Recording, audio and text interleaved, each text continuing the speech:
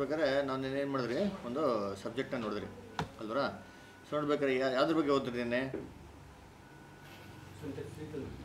ಸ್ತ್ರೀನ ಸಂತತಿ ಬಗ್ಗೆ ಓದ್ತೀರಿ ಅಲ್ವರ? ಯಾರದು ಸ್ತ್ರೀನ ಸಂತತಿ? ಹಾಂ? ಬರೀ ನಾವು ಒಬ್ಬರೇನಾ ಮತ್ತೆ ನಾವೆಲ್ಲರೂ ಬರೀ ಬರೀ ನಾವೆಲ್ಲರೂ ಅಭಿಷೇಕಿಸಲ್ ಪಟ್ಟವರು ಅಂದ್ರೆ ಯಾರು ಬರೀ ಸಭೆನಾ? ಯೇಸು ಸ್ವಾಮಿ ಬರ್ತಾರ ಇಲ್ವ ಅದಲ್ಲೇ ಯೇಸು ಸ್ವಾಮಿ ಬರ್ತಾರ ಇಲ್ಲ ಅದರಲ್ಲಿ? ಹಾಂ? ಇವಾಗ ಬರೀ ಸಭೆ ಅಂತಂದರೆ ಯೇಸು ಸ್ವಾಮಿ ಬರಲ್ವಾ ಅದಲ್ಲೇ ಬರ್ತಾರೆ. ಅದರ ಹಂಗೆ ಯೇಸು ಸ್ವಾಮಿ ಏನಾಗಿದ್ದಾರೆ ಆ ದೇಹಕ್ಕೆ? ಹಾಂ ತಲೆ. ಅದರ ನೋಡ್ಬೇಕಾದ್ರೆ ಏನಂತಂದರೆ ಈ ಒಂದು ಇದಕ್ಕೆ ಮೇನ್ ಫಸ್ಟ್ ಯಾರು ಅಂದರೆ ನಮ್ಮ ರಕ್ಷಕನೇ ಅಂತ ಯೇಸು ಸ್ವಾಮಿ. ಅದರ ಇದಿಗೆ ಅವರೇನಾಗಿದ್ದಾರೆ? ಒಂದು ತಲೆ ಆಗಿದೆ ನಾವೇನಾಗಿದ್ದೀರಿ? ದೇಹಕ್ಕೆ ಅಂಗವಾಗಿದ್ದೀರಿ. ಅದರ ಸದ್ಯ ನೋಡ್ಬೇಕು ಏನು ನೋಡಿದೆ ಅಂದರೆ ಇದೇ ಒಂದು ದೊಡ್ಡ ರಹಸ್ಯ ಅಂತ ಏನು ಮಾಡ್ತಾರೆ? ಅಪೋಸ್ಟಲ್ ಪೌಲು ಮಾತಾಡ್ತಾರೆ. ಅದರ ಸೊ ಈ ಒಂದು ಯೇಸು ಯೇಸು ಸ್ವಾಮಿ ಅಂತಂದರೆ ಯೇಸು ಕ್ರಿಸ್ತನು ಅಂತಂದರೆ ಒಂದು ದೇಹಕ್ಕೆ ಒಂದು ಶಿರಸ್ಸು ಯಾವ ರೀತಿ ಇದೆಯೋ ಇದೇ ದೇಹಕ್ಕೆ ಅಂಗವ ಯಾವ ರೀತಿ ಇದೆಯೋ ಅದೇ ಥರ ಇಂದು ಒಂದು ರಹಸ್ಯ ಅಂತ ಏನು ಮಾಡಿದ್ರು? ಅದನ್ನು ಹೇಳಿದ್ರು. ಅಂದ್ರೆ ಸದ್ಯ ನೋಡ್ಬೇಕಾದ್ರೆ ನೆನ್ನೆ ಏನು ಮಾಡಿದ್ರಿ? ಇದ್ರ ಬಗ್ಗೆ ಓದ್ರಿ ಅಂದ್ರೆ ಇದು ನಿನ್ನೆ ಅಷ್ಟು ಕ್ವಶನ್ ಕೇಳಿದಲ್ಲ ಬರಲ್ಲ ಅವರು?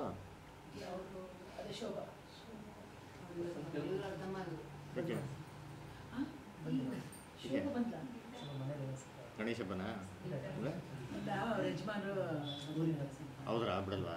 ಸರಿ, ಓಕೆ. ನೋ? ಇಶ್ಯೂಸ್ ಓಕೆನಾ ಸೊ ಅದಕ್ಕೆ ನೋಡ್ಬೇಕಾದ್ರೆ ಏನು ಮಾಡಿದ್ರೆ ನೆನೆ ಇದ್ರ ಬಗ್ಗೆ ನೋಡಿದ್ರಿ ಅಲ್ವಾ? ಸೊ ಅದಕ್ಕೆ ಅದ್ರ ಬಗ್ಗೆ ಏನು ಡೌಟ್ಸ್ ಏನಿಲ್ಲ. ಸೊ ಇವತ್ತಿನ ಕ್ಲಾಸ್ಗೆ ಮಾಡೋಣ ನಾವು ಕಂಟಿನ್ಯೂ ಮಾಡೋಣ ಅಲ್ವಾ? ಸೊ ನೋಡ್ಬೇಕಾದ್ರೆ ಇವತ್ತು ನಮ್ಮೊಂದು ಪಾಠ ಯಾವುದು ಅಂತಂದರೆ, ಈ ಒಂದು ಹಳೆ ಒಡಂಬಡಿಕೆಯಲ್ಲಿ ದೇವರು ಇಸ್ರೇಲ್ ಜನಗಳ ನಡುವೆ ಮಾಡಿರೋಂಥ ಒಂದು ಮುಖ್ಯವಾಗಿರೋಂಥ ಒಂದು ಒಂದು ಸ್ಟ್ರಕ್ಚರ್ ಅದರ ಅದ್ರ ಬಗ್ಗೆ ಏನು ಮಾಡೋಣ? ಓದೋಣ. ಯಾವುದು ಅಂತಂದರೆ, ಈ ದೇವ್ರ ದರ್ಶನದ ಗುಡಾರ. ಅಲ್ವರ ನಮಗೆಲ್ಲ ಚೆನ್ನಾಗಿ ಗೊತ್ತು. ಇಸ್ರೇ ಜನಗಳಿಗೆ ಏನು ಮಾಡ್ತಾರೆ ಅಂದರೆ ದೇವರು ಅರಣ್ಯದಲ್ಲಿ ಕಟ್ ನಡ್ಸ್ಕೊಂಡ್ಬರ್ಬೇಕಾದ್ರೆ ಏನು ಮಾಡ್ತಾರೆ? ಈ ದೇವದರ್ಶನ ಗುಡಾರ ಅಂತ ಏನು ಮಾಡ್ತಾರೆ? ನಮಗೆ ಕೊಡ್ತಾರೆ. ಅಲ್ವರ? ಸೊ ಇದ್ರ ಬಗ್ಗೆ ನಾವು ಬೈಬಲಲ್ಲಿ ಏನು ಮಾಡ್ತೀರಿ? ಓದಿರ್ತೀರಿ. ಅಲ್ವ ಎಲ್ಲ ಓದಿದ್ದೀರಾ? ಬೈಬಲ್ ಇವೆಲ್ಲ ಓದಿದ್ದೀರಿ. ಅಲ್ವ ದೇವದರ್ಶನ ಗುಡಾರದಲ್ಲಿ ಏನೆಲ್ಲ ಕೆಲಸ ಮಾಡಿದ್ರು ಅಂತಂದ್ಬಿಟ್ಟು. ಅಲ್ವರ? ಏನು ಕೆಲಸ ಮಾಡ್ತಾಯಿದ್ರು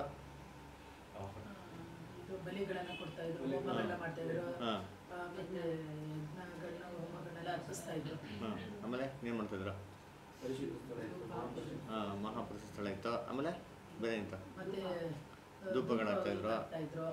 ಯಾಜಕರ ಸೊಟ್ಟಕ್ಕೆ ಅವರು ಸತ್ತೋದ್ರ ತಗದಿಂದ ಹೇಳ್ಕೋಬೇಕು ಅಂದ್ಬಿಟ್ಟು. ಸರಪಣಿಗಳನ್ನೆಲ್ಲ ಕಟ್ಟಿದೆ ಕಟ್ಟಿದ್ರು. ಕೊಟ್ಟಿದ್ರು. ಆಮೇಲೆ ಏನು? ಅಜ್ಜ ಟ್ಯಾಬ್ ನಾಯ್ಕೊಂಡು ಹಾಂ. ಏನು ಮಾಡ್ತಾರೆ ಆರ್ಕ್ ಆಫ್ ದ ಇತ್ತು. ವೆರಿ ಗುಡ್ ಅಲ್ವಾ ಸೊ ಇಷ್ಟೆಲ್ಲ ಒಂದು ಕಾರ್ಯಗಳ ಓದ್ತಿರೋದ್ರ ಇವೆಲ್ಲ ಓದ್ಬೇಕಾದ್ರೆ ನಮಗೆ ಹೆಂಗಿಸ್ತದೆ ಓದ್ಬೇಕಾದ್ರೆ ಇವೆಲ್ಲ ಏನಪ್ಪ ಏನು ಇಷ್ಟು ಚೆನ್ನಾಗೆಲ್ಲ ಮಾಡಿದ್ದಾರೆ ಅಂತ ಅನಿಸ್ತದ ಕಠಿಣವಾಗಿದೆ ಒಂಥರ ಕಷ್ಟಕರವಾಗಿದೆ ಅಂತ ಅನ್ಸುತ್ತೆ. ಏನಕ್ಕೆ ಕಷ್ಟ ಅಂತ ಅನಿಸ್ತದೆ ಕರೆಕ್ಟ್ ಕಷ್ಟ ಅನ್ಸುತ್ತೆ. ಏನಕ್ಕೆ ಹೀಗಿದೆ ದೊಡ್ಡ ದೊಡ್ಡ ದೊಡ್ಡ ದೊಡ್ಡದು ಬ- ಎಲ್ಲ ಬಲಿ ಕೊಟ್ಟು ಅದನ್ನೆಲ್ಲ ಮಾಡ್ಬೇಕು ಅಂದ್ರೆ ಅದು ಹೋಮಗಳ ಮೇಲೆಲ್ಲ ಸುಟ್ಟು ಅದೆಲ್ಲ ಓದ್ಬೇಕಾದ್ರೆ ಒಂಥರ ಜಿಗುಸೆ ಆಗ್ತಾ ಇದೆ ಒಂಥರ ಅಸಹ್ಯ ಅನಿಸ್ತದೆ ಅಲ್ವರಾ? ಕರೆಕ್ಟಾ ಇದು ಹೆಂಗಿದೆ ಅಂತಂದ್ರೆ ಇವಾಗ ಬೇರೆ ಧರ್ಮದಲ್ಲಿ ಮಾಡೋಂಥ ಕೆಲಸಗಳಿಗೆ ಏನಾಗಿದೆ ಹಾ? ಅದೇ ಥರ ಇದೆ. ಅಲ್ವರ ಸೊ ಇದು ಓದ್ಬೇಕಾದ್ರೆ ಅನಿಸ್ತದೆ? ಇದೆಲ್ಲ ಮಾಡಿದ್ರು? ಅಲ್ವರ ಯಾಕಂದ್ರೆ ಯೇಸು ಸ್ವಾಮಿ ಬಂದಿದ್ಮೇಲೆ ಇದೆಲ್ಲ ಏನಾರ ಇದೆಯಾ ಪಿಕ್ಚರ್ ಹೊಸ ಒಡಂಬಡಿಕೆ ನೋಡಿದ್ರೆ ಏನಿಲ್ಲ. ಏನೂ ಇಲ್ಲ. ಅದಕ್ಕೆ ಸಡನ್ ಆಗಿ ಏನಕ್ಕಿದೆ ಹಳೆ ಒಡಂಬಡಿಕೆಯಲ್ಲಿ ಮಾತ್ರ ಮಾಡಿದ್ರು? ಏನಕ್ಕಿದ್ದು ಮಾಡಿದ್ರು ಅಂತ ಅಂದ್ಬಿಟ್ಟು ನಮ್ಗೆ ಏನಿಸ್ತದೆ ಒಂಥರ ಏನಂತಾರೆ ಒಂಥರ. ಏನಿದು ಓದೋಕ್ಕೆ ಒಂಥರ ಬೇಜಾರಾಗ್ತಾರೆ? ಆಮೇಲೆ ಏನಪ್ಪ, ಹಿಂದೂಸ್ಗೂ ಮತ್ತೆ ಇದಕ್ಕೂ ಏನಿಲ್ಲ. ಜಾಸ್ತಿ ವ್ಯತ್ಯಾಸ ಇಲ್ಲ. ಅಂತ ಏನು ಮಾಡ್ತಾರೆ ಅನ್ಸರ್ ಅವರು ಕೂಡ ಏನು ಮಾಡ್ತಾರೆ? ಯಜ್ಞ, ಧೂಪ, ನೈವೇದ್ಯ ಅಲ್ವರ? ಇದನ್ನೇ ಮಾಡೋದು. ಅದನ್ನೇನು ಮಾಡ್ತಾರೆ? ಇದರಲ್ಲೂ ಕೂಡ ಇದನ್ನೇ ನೋಡಿಸ್ತಾರೆ. ಅಲ್ವರ? ತುಂಬ ಶುದ್ಧೀಕರಣ, ಎಲ್ಲ ಮಾತೆ ತೆರಳಿಂತ ನೀಟಾಗಿ ವಾಶ್ ಮಾಡ್ಕೊಂಡು, ನೀಟಾಗಿ ತೊಳೆಯೋದು, ಅದನ್ನು ಬಲಿ ಕೊಡೋದು ಆ ರಕ್ತನ ದೇವ್ರಿಗೆ ಸಲ್ಲಿಸೋದು. ಅಲ್ವರ? ಅದು ಇದೇ ರೀತಿ ಹಾಕ್ಬೇಕು ಅಂತ ಅಂತ ಹೇಳೋದು. ಇದೆಲ್ಲ ಹೆಂಗಿದೆ ಅಂತಂದರೆ, ಏನಪ್ಪ, ಆ ಕಾಲದಲ್ಲಿ ನಡೆದಿರೋದಕ್ಕೂ, ಈ ಕಾಲದಲ್ಲಿ ಸಮಾಜದಲ್ಲಿ ನಡೆದಿರೋದಕ್ಕೆ ಇಲ್ಲ. ಏನೋ ಜಾಸ್ತಿ ವ್ಯತ್ಯಾಸ ಅಂತ ಹೇಳ್ತಾರೆ ನಮಗೆ ಒಂಥರ ಅನಿಸ್ತಾರೆ ಅಂದ್ರೆ ಹಂಗೆ ಬೈಬಲ್ ಓದ್ಬೇಕಾದ್ರೆ ಏನಕ್ಕೆ ಹಂಗೆ ಮಾಡಿದ್ರು ಅಂತಂದ್ಬಿಟ್ಟು ಮನಸ್ಸಲ್ಲಿ ಒಂದು ಪ್ರಶ್ನೆ ಬರ್ತಾರೆ ಅದರ ಸರ್, ಏನಕ್ಕೆ ಮಾಡಿದ್ರು ಅದೆಲ್ಲ? ಅಂದ್ರೆ ಮುಂದೆ ಇದೆಲ್ಲ ಹಾಗೆ ಆಗುತ್ತೆ. ಜನರು ಈ ರೀತಿಯಾದ ಒಂದು ಪರಿಸ್ಥಿತಿಗೆ ಬಿದ್ದೋಗಿದ್ದಾರೆ. ಬಿದ್ದೋಗ್ತಾರೆ. ಬಿದ್ದೋಗ್ತಾರೆ ಅಂದ್ಬಿಟ್ಟು ಫಸ್ಟೇ ಬಿದ್ದೋಗ್ಬಿಡ್ಲಿ ಅಂದ್ಬಿಟ್ಟು ನೋಡ್ಕೊಂಡ್ರೆ ದೇವರು. ಪರಿಶುದ್ಧ ಸ್ಥಳಕ್ಕೆ ಹೋಗೋದಕ್ಕೆ ಪರಿಶುದ್ಧ ನಗರಕ್ಕೆ ಈ ಒಂದು ಹಂತವಾಗಿ ಹೋಗ್ಬೇಕು. ಇವನಂತ ಅಂದ್ರೆ ನಾವೆಲ್ಲ ಹಂಗಾರೆ ಏನು ಮಾಡಬೇಕು? ಇವಾಗ ಒಂದು ಬಲಿಪೀಠ ಕಟ್ಬಿಟ್ಟು ಬಲಿಗಳನ್ನ ಸಲ್ಲಿಸ್ಬೇಕು. ಓರಿ ಎತ್ತುಗಳನ್ನೇ ಮಾಡ್ಬೇಕು ಇವಾಗ. ಕಡಿಬೇಕು. ಆ ರೀತಿಯಾಗಿ ಒಂದು ಯೇಸು ಸ್ವಾಮಿ ಆ ಒಂದು ಯಜ್ಞದ ಒಂದು ಬಲಿಯಾಗಿ ಬರ್ತಾನೆ ಒಂದು ಗುರುತಿಗೆ. ಅದನ್ನೆಲ್ಲ ಒಂದು ಇರ- ಮಾ- ಒಂದು ಸೂಚನೆಯಾಗಿ ತೋರಿಸಿರ್ತಾರೆ ಛಾಯಾಗಿ ಬಟ್ ಬ್ರದರ್ ಈಗ ದೇಹವೇ ದೇವಾಲಯ ಅದೇ ಫಾಲೋ ಆಗುತ್ತೆ. ಹಾಂ. ಹಂಗಾರೆ ನಮ್ಮ ದೇಹದ ರೀತಿ ಕಂಪಾರ್ಟ್ಮೆಂಟ್ ಏನಿಲ್ವಲ್ಲ? ಅಪಾರ್ಟ್ಮೆಂಟ್ ಇಲ್ಲ ಬಟ್ ದೇಹ ಅಷ್ಟೇ ಪರಿಶುದ್ಧವಾಗಿ ದೇವಾಲಯ ಅಂತ. ಹಾಂ. ಸರಿ ಇವತ್ತೇನು ಮಾಡೋಣ? ಇವೆಲ್ಲ ಒಂದು ಕ್ವಶನ್ಸ್ಗಳಿಗೆ ಸತ್ಯವೇದನೆ ಏನು ಮಾಡೋಣ? ಉತ್ತರ ಏನಂತ ನೋಡೋಣ. ಕರೆಕ್ಟಾಗಿ ಇವೆಲ್ಲ ಕೊಟ್ಟಿರ್ಬೇಕಾದ್ರೆ ದೇವ್ರು ಏನು ಮಾಡೋಕ್ಕೆ ಸಾಧ್ಯ ಇಲ್ಲ? ಸುಮ್ಮನೆ ಕೊಟ್ಟಿರೋಕ್ಕೆ ಸಾಧ್ಯನೇ ಇಲ್ಲ. ಯಾಕಂದ್ರೆ ಯೇಸು ಕೃಷ್ಣ ಹೇಳ್ತಾರೆ ಮನುಷ್ಯ ಮಾತಾಡಂತ ಪ್ರತಿಯೊಂದು ವೀಣಾದ ವಾರ್ತೆಗೆ ಏನು ಕೊಡಬೇಕು? ಲೆಕ್ಕ ಕೊಡಬೇಕು ಅಂತ ಅಂದ್ಬಿಟ್ರು. ಅಲ್ವರ? ಮನುಷ್ಯ ಮಾತಾಡಂತ ವೀಣಾದ ವಾರ್ತೆಗೆ ಲೆಕ್ಕ ಕೊಡಬೇಕು ಅಂತಂದ್ರೆ, ಇನ್ನು ದೇವ್ರು ಏನಾದ್ರು ವೀಣವಾಗಿರೋದೇನೋ ಇನ್ಫಾರ್ಮೇಶನ್ ಬೈಬಲ್ ಕೊಟ್ಟಿರ್ತಾರಾ? ಇಲ್ಲ. ಸಾಧ್ಯನೇ ಇಲ್ಲ. ಅದ್ರ ಹಂಗಾರೆ ಕೊಟ್ಟಿದ್ದಾರೆ ಅಂತಂದ್ರೆ, ಅದರಲ್ಲಿ ಏನೋ ಒಂದು ಕಾರಣ ಏನಾಗಿರ್ಬೇಕು? ಇರಬೇಕು. ಅದರ ಈ ಕಾರಣ ಏನು ಅಂತ ಅಂದ್ಬಿಟ್ಟು ಏನು ಮಾಡೋಣ? ನಾವು ಸತ್ಯವೇದ ಮುಖಾಂತರ ಓದ್ಬಿಟ್ಟು ಏನು ಮಾಡೋಣ? ನಾವು ತಿಳ್ಕೊಳೋಣ ಅಲ್ವರ? ಸರಿ. ಈ ಒಂದು ದೇವರಸ್ನ ಗುಡಾರ ಅಂತಂದ್ಬಿಟ್ಟು ದೇವರು ಇದನ್ನ ಎಲ್ಲಿಗೆ ಕೊಟ್ಟಿದ್ದು ಅಂತಂದರೆ ಇಸ್ರೇಲ್ ಜನಗಳಿಗೆ ಮುಖ್ಯವಾಗಿ ಯಾವ ಕ ಸಮಯದಲ್ಲಿ ಕೊಟ್ಟಿದ್ದಾರೆ? ಆ ಐಗುಪ್ ದೇಶನ ಬಿಡುಗಡೆ ಮಾಡಿಕೊಂಡು ಅದರ ಏನೋ ಮೋಸ ಮುಖಾಂತರ ಎಲ್ಲ ಬಿಡುಗಡೆ ಹೊಂದಿ ಆ ಕಾನಾನ್ ದೇಶಕ್ಕೆ ಹೋಗ್ತಾ ತರಬೇಕಾದ್ರೆ ಏನು ಮಾಡಿದ್ರೆ ಆ ನಡುವೆ ಏನು ಮಾಡಿದ್ದು ಈ ಏರ್ಪಾಡ್ನ ಏನು ಮಾಡಿದ್ದು ಕೊಟ್ಟಿದ್ದು ಇದಕ್ಕಿಂತ ಮುಂಚೆ ಆ ಈ ಏರ್ಪಾಡು ಬೈಬಲ್ ಬಗ್ಗೆ ಏನಿಲ್ಲ ಇನ್ಫಾರ್ಮೇಷನ್ ಇಲ್ಲ. ಕರೆಕ್ಟಾ ಈ ಈಜಿಪ್ಟಿನ ಬಿಡುಗಡೆ ಮಾಡ್ಕೊಂಡು ಬಂದ್ಮೇಲೆ ಏನಾಗಿದ್ದು? ನೀವು ಒಂದು ವ್ಯವಸ್ಥೆ ಅಂತಂದ್ಬಿಟ್ಟು ಮಾಡಿದ್ದು. ಅದಕ್ಕಿಂತ ಮುಂಚೆ ಇಲ್ಲ ಏರ್ಪಾಡ್ ಎಲ್ಲೋ ಬೈಬಲ್ ಓದ್ತೀರಾ? ಇಲ್ಲ ಬಲಿಪೀಠ ಕಟ್ತಾ ಇದ್ರು, ಯಜ್ಞಗಳನ್ನ ಕೊಡ್ತಾ ಇದ್ರು, ಅಷ್ಟೇ ಹೊರತು ಈ ಒಂದು ದೇವಾಲಯ ಥರ ಒಂದು ಕಟ್ಟಿ, ಗುಡಾರ ಅಂತ ಮುಟ್ಕೊಂಡು ದೇವರಿಗೆ ಪ್ರತ್ಯೇಕವಾಗಿ ಈ ಥರ ಎಲ್ಲ ಒಂದು ಯಾಚಿಕ ವರ್ಗದನ್ನು ನೇಮಿಸಿ ಇದೆಲ್ಲ ಏರ್ಪಾಡು ಶುರು ಆಗಿದೆ ಎಲ್ಲಿ ಅಂತಂದರೆ ಆ ಮೋಸೆ ಕಾಲದ ನಂತರ ಅಲ್ವರ? ಈ ಅರಣ್ಯದಲ್ಲಿ ಏನಾಯಿತು? ಅದರ ಮೋ ಇಸ್ರೇಲ್ ಜನಗಳು ದೇಶನ ಅಂತ ಬಿಟ್ಟು ಕಾನಾನ್ ದೇಶಕ್ಕೆ ಹೋಗ್ತಾರೆ. ಸೊ ಸೆಂಟ್ರಲ್ ಏನಾಯಿತು? ಸೆಂಟ್ರಲ್ಲಿ ಇಸ್ರೇಲ್ ಜನಗಳಿಗೆ ಏನು ಕೊಟ್ಟರು ಏನು ಕೊಟ್ರು? ಟೆನ್ ಕಮೆಂಟ್ಸ್ ಕೊಟ್ಟರು ಅಲ್ವರ? ಎಷ್ಟು ಕೊಟ್ಟಿದ್ದು? ಹತ್ತು. ಹತ್ತು. ಬರೀ ಹತ್ತೆ ಕೊಟ್ರಾ?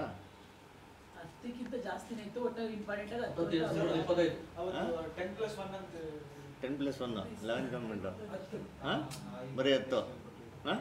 ಅಲ್ಲಿ ಪರ್ವತದ ಮೇಲೆ ಬರ್ದಿದ್ದೆ ಹತ್ತು. ಹಾಂ ಪರ್ವತದ ಮೇಲೆ ಬರ್ದಿದ್ದೆ ಹತ್ತು. ಯಾಕೆ? ಆಮೇಲೆ ಆಮೇಲೆ ಹಿಂದಿನ ಬರೀ ಏನು ಕೊಡಲೇ ಇಲ್ವಾ? ಇವಾಗ ಹತ್ತು ಪ್ರಮಾಣ ಕೈಗೂ ನಡೀಕೆ ಎಷ್ಟಪ್ಪ ಇವಾಗ ಹತ್ತು ಪ್ರಮಾಣ ಹತ್ತು ರೂಲ್ಸ್ ಹೋಗ್ಬಿಟ್ಟ ಅಂದರೆ ನಾವು ಹತ್ತು ರೂಲ್ಸ್ ನಡೆಯೋಕ್ಕೆ ಈಸಿನೋ ಕಷ್ಟನಾ? ಅದು ಬಾಯಲ್ಲಿ ಇಡಬಹುದು ಬಟ್ ನಡೆಯಕ್ಕಾಗಲ್ಲ ಏನು ಹತ್ತು ಪ್ರಮಾಣಗಳು ಯಾವ್ದು ಗೊತ್ತಿದೆಯಾ? ಫಸ್ಟ್ ಏನ್ರಿ? ಹಾಂ ದೇವ್ರನ್ನ ಬಿಟ್ಟು ಬೇರೆ ದೇವ್ರನ್ನೇ ಮಾಡ್ಬಿಡ್ತಾವ ಈಸಿನೋ ಈಸಿನ ಕಷ್ಟನಾ? ಈಸಿ. ನೆಕ್ಸ್ಟ್ ಎರಡನೇದು ಯಾವುದೇ ವಿಗ್ರಹ ಏನು ಮಾಡ್ಬಿಡ್ತಾವ ಮಾಡ್ಬಿಡು ಇದು ಈಸಿನೇ ಕಷ್ಟನಾ? ಹಾಂ ಇದೇ ಥರ ಹತ್ತು ಪ್ರಮಾಣಗಳು ಓದ್ಕೊಂಡ್ಬಂದ್ರು ಎಲ್ಲನೇ ಅಂತೆ. ಈಸಿನೇ. ಅಂದ್ರೆ ಹಂಗಾರೆ ಇದೇನಕ್ಕೆ ಬರೀ ಇದು ಮಾಡಿದ್ರು? ಏನಕ್ಕೆ ಫೇಲಿಯರ್ ಆಯಿತು? ನೋಡ್ಬೇಕು. ಆ್ಯಕ್ಚುಲಿ ಇಸ್ರೇಲ್ಗಳಿಗೆ ಕೊಟ್ಟಂಥ ಕಮಾಂಡ್ಮೆಂಟ್ಸ್ ಏನಂದರೆ ಬರೀ ಟೆನ್ ಕಮಾಂಡ್ಮೆಂಟ್ಸ್ ಕೊಟ್ಟಿಲ್ಲ. ಎಷ್ಟು ಕೊಟ್ಟ ಕೊಟ್ಟಿದ್ದು actually six hundred and six loss ಕೊಟ್ಟರು ಎಷ್ಟು? ಆರುನೂರ ಆರು ಲಾ ಕೊಟ್ಟಿದ್ದು. ಅದರ ಅದನ್ನೇ ಏನು ಮಾಡಿದ್ರು ಅಂದರೆ ಆ ಒಂದು ಯಾಜಕ ಕಾಂಡ, ಧರ್ಮೋಪದೇಶ ಕಾಂಡ, ಎರಡನೇ ಕಾಂಡದಲ್ಲಿ ಸ್ಪಷ್ಟವಾಗಿ ಏನು ಮಾಡೋದಿದ್ದಲ್ಲ ಫುಲ್ಲು ರೂಲ್ಸ್ ರೆಗ್ಯುಲೇಷನ್ಸ್ ಕೊಟ್ಟಾರೆ ಅದರ ಅದಕ್ಕೆ ನೋಡ್ಬೇಕ್ರೆ ಇಸ್ರೇಲ್ಗಳಿಗೆ ಆಗಿಲ್ಲ ಇದು. ಇದನ್ನು ಸಂಪೂರ್ಣವಾಗಿ ಕೈಗೊಂಡು ಏನು ಮಾಡೋಕ್ಕಾಗಿಲ್ಲ. ನಡೆಯೋದಕ್ಕಾಗಿಲ್ಲ. ಅದರ ಯಾಕಂದರೆ ಸರ್ಟನ್ ಸೆಟ್ ಆಫ್ ಲಾ ಹೆಂಗಿತ್ತು ಅಂದರೆ ಇವ್ರಿಗೆ ಅದು ಫಾಲೋ ಮಾಡೋಕೆ ಏನಾಗ್ತಾ ಇರಲ್ಲ. ಆಗ್ತಾ ಇಲ್ದಿರೋಂಥ ಒಂದು ಲಾ ಅಂದ್ರೆ ಅದೇ ಹೊಡ್ಬೇಕೇನ್ರಿ ಇದೇ ಥರ ಒಂದು ಸೆಟಪ್ ಯಾವಾಗ ಕೊಟ್ಟಿದೆ ಅಂದರೆ, ಈ ಮೌನ್ ಸಿನೆ ಹತ್ರ ಏನು ಮಾಡ್ತಾರೆ, ಧರ್ಮಶಾಸ್ತ್ರ ಅಂತ ಏನು ಮಾಡ್ತಾರೆ ಅಲ್ಲಿ ಇಸ್ರೇಲ್ ಜನಗಳಿಗೆ ಕೊಡ್ತಾರೆ. ಆ ಧರ್ಮಶಾಸ್ತ್ರ ಕೊಟ್ಟಿದ ಮೇಲೇ ಆ ಒಂದು ಆಧಾರದ ಮೇಲೆ ದೇವ್ರೇನು ಮಾಡಿದ್ರು, ಈ ದೇವ್ರ ದರ್ಶನ ಗುಡಾರ ಅಂತ ಏನು ಮಾಡೋದು ನಮಗೆ ನಮಗೆ ಕೊಟ್ಟರು ಅಲ್ಲರ? ಅದಕ್ಕೆ ಈ ದೇವ್ರ ದರ್ಶನ ಗುಡಾರ ಕಟ್ಟಬೇಕಾದ್ರೆ ದೇವ್ರೇನು ಮಾಡ್ತಾರೆ ಅಂದರೆ, ತುಂಬ ಸ್ಟ್ರಿಕ್ಟಾಗಿ ಏನು ಮಾಡೋಂತಂತಾರೆ ಕಟ್ಟು ಅಂತಂತಾರೆ ಯಾವ ಥರ ಸ್ಟ್ರಿಕ್ಟಾಗಿ ಕಟ್ಟು ಅಂತಂತಂದರೆ ಇದರಲ್ಲಿ ಒಂದೇ ಒಂದು ಮಿಸ್ಟೇಕ್ ಆಗ್ಬಾರ್ದು. ಅದರ ಒಂದೇ ಒಂದು ಮಿಸ್ಟೇಕ್ ಆದರೆ ಅವ್ನು ಕೊಟ್ಟಿರೋಂಥ ಒಂದು ಪೆನಾಲ್ಟಿ ಏನಂದರೆ ಡೆತ್ ಪೆನಾಲ್ಟಿ ಅಷ್ಟೊಂದು ಸ್ಟ್ರಿಕ್ಟಾಗಿ ಕೊಟ್ಟು ಅಂತ ಹೇಳ್ತಾರೆ ನೋಡಿ ಈ ಬ್ರೂಸಲ್ಲಿ ಓದಿ ಅಪೋಸ್ಟಲ್ ಪೌಲು ಹೇಳ್ತಾರೆ ಮೋಸಗೆ ಏನು ಹೇಳಿದ್ರು ದೇವರು ಅಂತ? ಫೆಬ್ರವರಿಯಲ್ಲಿ ಎಂಟನೇ ಅಧ್ಯಾಯ ಐದನೇ ವಚನ. ಹ್ಞೂ ಹಾಂ ನೋಡ್ರಿ ಪರಲೋಕದಲ್ಲಿರುವ ದೇವಾಲಯದ ಪ್ರತಿರೂಪವು ನೋಡ್ರ ಅದೆಂತ ಇದು ಅಂತಂದ್ರೆ ಪರಲೋಕದಲ್ಲೇ ದೇವಾಲಯ ಇದೆಂತೆ ಅಂದ್ರೆ ಆ ಗರ್ಭಗುಡಿಯಲ್ಲಿ ದೇವರು ಕೂತಿದ್ದಾರಂತೆ. ಅದಕ್ಕೆ ಪ್ರತಿ ರೂಪವು ಯಾವುದು? ಭೂಲೋಕದಲ್ಲಿ ಆ ಒಂದು ಅರಣ್ಯದಲ್ಲಿ ಕಟ್ಟಿರೋಂಥ ದೇವದರ್ಶನ ಗುಡಾರ. ಅಲ್ವರ? ಆಮೇಲೆ ಹಾಂ. ಆಲಯದಲ್ಲಿ ಯಾಜಕತ್ವವನ್ನು ನಡೆಸುವವರು. ಹ್ಞೂ ಮೋಶೆಯು ದೇವದರ್ಶನ ಗುಡಾರವನ್ನು ಮಾಡುವುದಕ್ಕಿದ್ದಾಗ ಹ್ಞೂ ಬೆಟ್ಟದಲ್ಲಿ ನಾನು ನಿನಗೆ ತೋರಿಸಿದ ಮಾದರಿಯ ಪ್ರಕಾರವೇ? ನೋಡ್ರ ಬೆಟ್ಟದಲ್ಲಿ ನಾನು ನಿನಗೆ ನೋಡಿಸುವಂತ ಮಾದರಿಯ ಪ್ರಕಾರವೇ ಹಾಂ. ಎಲ್ಲವನ್ನು ಮಾಡಿಸಬೇಕು. ಎಲ್ಲವನ್ನು ಮಾಡಿಸಬೇಕು ನೋಡ್ರ ಏನಂತಾರೆ ಎಲ್ಲವನ್ನು ನೋಡಿಸ್ತಂತಾನೆ ಮಾಡಬೇಕು ಅಂತ ಅಂದ್ಬಿಟ್ರು ಅದರ ಇದ್ರಲ್ಲಿ ಏನೇ ರೀತಿ ಏನು ಹೋಗ್ಬಾರ್ದು ವ್ಯತ್ಯಾಸ ಮಾಡೋಕೆ ಹೋಗ್ಬಾರ್ದು. ಅಂದ್ರೆ ಹಂಗಾರೆ ದೇವ್ರು ಎಷ್ಟು ಒಂದು ಸ್ಟ್ರಿಕ್ಟಾಗಿ ಹೇಳಿದ್ರು ಅಂತಂದರೆ ಇದರಲ್ಲಿ ಏನೋ ಒಂದು ಸ್ವಲ್ಪ ಸ್ವಲ್ಪ ಮಿಸ್ಟೇಕ್ ಆಗಿತ್ತು ಅಂದ್ರೆ ಸರಿ ಕನ್ಸ್ಟ್ರಕ್ಷನಲ್ಲಾಗಲಿ ಅಥವಾ ಒಂದು ನಡೆಸೋಂಥ ಒಂದು ಕಾರ್ಯಗಳಲ್ಲಾಗಲಿ ಸ್ವಲ್ಪ ಸ್ವಲ್ಪ ಮಿಸ್ಟೇಕ್ ಮಾಡಿದ್ರೆ ಸರಿ ದೇವ್ರ ಕೃಪೆನೇ ಕೊಡ್ತಾ ಇಲ್ಲ ಗ್ರೇಸೇ ಇಲ್ಲ. ಸ್ಪಾಟಲ್ಲಿ ಏನಂದ್ರೆ ಅವನಿಗೆ ಮರಣ. ಸ್ಪಾಟ್ ಸ್ಪಾಟಲ್ಲಿ ಏನಂದ್ರೆ ಅವನು ಸತ್ತೋಗ್ಬಿಡೋನು. ಅಂದ್ರೆ ಆ ಥರ ಮೋಸಗೆ ಅಂತ ಹೇಳಿದ್ರೆ ಹೇಳ್ದಂತಾನೆ ಕಟ್ಟಬೇಕು. ಸ್ವಲ್ಪ ಸ್ವಲ್ಪ ಮಿಸ್ಟೇಕ್ಸ್ ಮಾಡಿದ್ರೆ ಎಕ್ಸೆಪ್ಷನ್ಸೇ ಇರ್ತಾ ಇಲ್ಲ. ಅದು ನೋಡಿ ಹೇಳ್ತೀನಿ. ನಮ್ಮ ಅರಣ್ಯಕಾಂಡ ನಾಲ್ಕು ಹದಿನೈದು. ಅರಣ್ಯಕಾಂಡ ನಾಲ್ಕು ಹದಿನೈದು. ಹ್ಞೂ ಹ್ಞೂ ಹ್ಞೂ ಹ್ಞೂ. ಆರೋನನು ಹ್ಮ್. ಅವನ ಮಕ್ಕಳು ದೇವಸ್ಥಾನದ ಎಲ್ಲ ಸಾಮಾನುಗಳನ್ನು ಹ್ಞೂ ಮುಚ್ಚಿ ಮುಚ್ಚಿ ಸಿದ್ಧ ಮಾಡಿದ್ದ ನಂತರ ಹ್ಞೂ ಕೆಹಾತ್ಯರು ಹ್ಞೂ ಅವುಗಳನ್ನು ಹೊರುವುದಕ್ಕೆ ಬರಬೇಕು ಹ್ಞೂ ಇವರು ದೇವಸ್ಥಾನದ ಸಾಮಾನುಗಳನ್ನು ಮುಟ್ಟಬಾರದು ಹ್ಮ್. ಮುಟ್ಟಿದರೆ ಸತ್ತಾರು ನೋಡ್ರ? ಏನಂತಾರೆ ದೇವಸ್ಥಾನದ ಸ್ಥಾ ಏನಂತಾರೆ ವಸ್ತುಗಳನ್ನ ಮುಟ್ಲೇಬಾರ್ದು ಅದನ್ನ ಎತ್ಕೊಂಡು ಹೋಗ್ಬೇಕಾದ್ರೆ ಕೂಡ ಪರ್ಟಿಕ್ಯುಲರ್ ಜನಗಳೇ ಬಂದ್ಬಿಟ್ಟು ಪರ್ಟಿಕ್ಯುಲರ್ ವಸ್ತುಗಳೇ ಮಾಡಬೇಕು ಅದನ್ನು ಎತ್ತಬೇಕು ಅದನ್ನು ಕ್ಲೀನಾಗಿ ಯಾವ ಥರ ಬಟ್ಟೆ ಎಲ್ಲ ಹಾಕಿ ಮುಚ್ಚಬೇಕು ಅಂತ ಮಾಡ್ತಾರೆ? ರೂಲ್ಸ್ ರೆಗ್ಯುಲೇಷನ್ಸ್ ಇದೆ. ಇಷ್ಟ ಬಂದ್ರೆ ಇಷ್ಟ ಬಂದಾಗ ಮಾಡಂಗೆ ಇರ್ತಾ ಇರಲ್ಲ ಅದರ ಸೊ ಇಷ್ಟೊಂದು ಸ್ಟ್ರಿಕ್ಟಾಗಿ ದೇವರು ಏನು ಕೊಟ್ಟರು ಅದರ ಹಂಗಾದ್ರೆ ಈ ಒಂದು ದೇವಸ್ಥಾನ ಗುಡಾರನ್ನ ಏನಕ್ಕಪ್ಪ? ಏರ್ಪಾಡು ಕೊಟ್ರು ನಮಗೆ. ಅಲ್ವರಾ? ನೋಡ್ಬೇಕಾದ್ರೆ ಈ ದೇವರಸ್ಥ ಗುಡಾರದಿಂದ ಏನು ಕಾರಣ? ಈಗ ಕೊಡೋದಕ್ಕೆ ಏನು ಉದ್ದೇಶ, ಏನು ಕಾರಣಗಳಾಗಿತ್ತು ಅಂತಂದ್ರೆ ಅದೇ ನೋಡ್ಬೇಕಾದ್ರೆ ಇದು ಕೊಟ್ಟಿದ್ದೇ ಏನಕ್ಕೆ ಅಂತಂದರೆ ಮೋಸೆ ಮುಖಾಂತರ ದೇವ್ರು ಏನು ಮಾಡಿದ್ರು? ಇಸ್ರೇಜಿಗಳಿಗೆ ನ್ಯಾಯ ಪ್ರಮಾಣ ಅಂತ ಏನು ಮಾಡಿದ್ರು? ಕೊಟ್ಟರು ಅದರ ಸರಿ, ಇವಾಗ ನ್ಯಾಯ ಪ್ರಮಾಣ ಕೊಟ್ಟಿದ್ಮೇಲೆ ಏನಕ್ಕೆ ಇಮ್ಮಿಡಿಯಾಗಿ ಈಗ ಬಂತು? ಅಂತ ನೋಡ್ಬೇಕಾದ್ರೆ ನ್ಯಾಯ ಪ್ರಮಾಣದ ಉದ್ದೇಶ ಏನಂತ ಮಾಡೋದು ನಾವು ಇವಾಗ ನಾವು ತಿಳ್ಕೊಬೇಕು. ಅಂದ್ರೆ ಸೊ ನ್ಯಾಯ ಪ್ರಮಾಣ ಕೊಡೋಂಥ ಉದ್ದೇಶ ಏನು? ಓದಿ ಗಲಾತಿಯರಲ್ಲಿ ಮೂರನೇ ಅಧ್ಯಾಯ ಹನ್ನೆರಡನೇ ವಚನ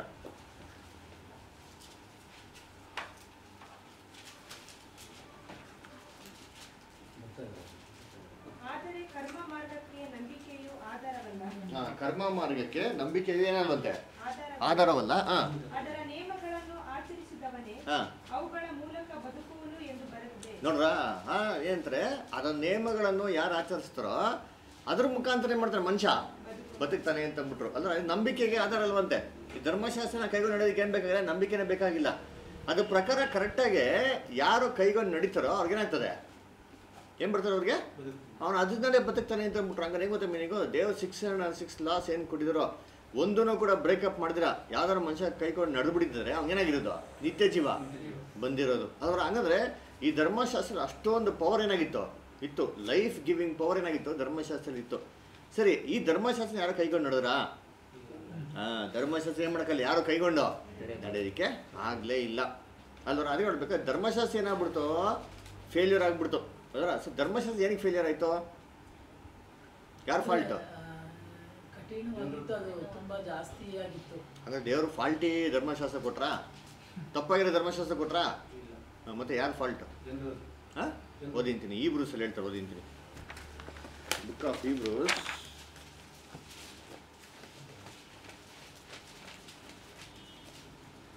ಫೆಬ್ರವರಿದಲ್ಲಿ ಎಂಟನೇ ಅಧ್ಯಾಯದಲ್ಲಿ ಏಳನೇ ವಚನ. ಹಾಂ. ದೋಷ? ದೋಷ?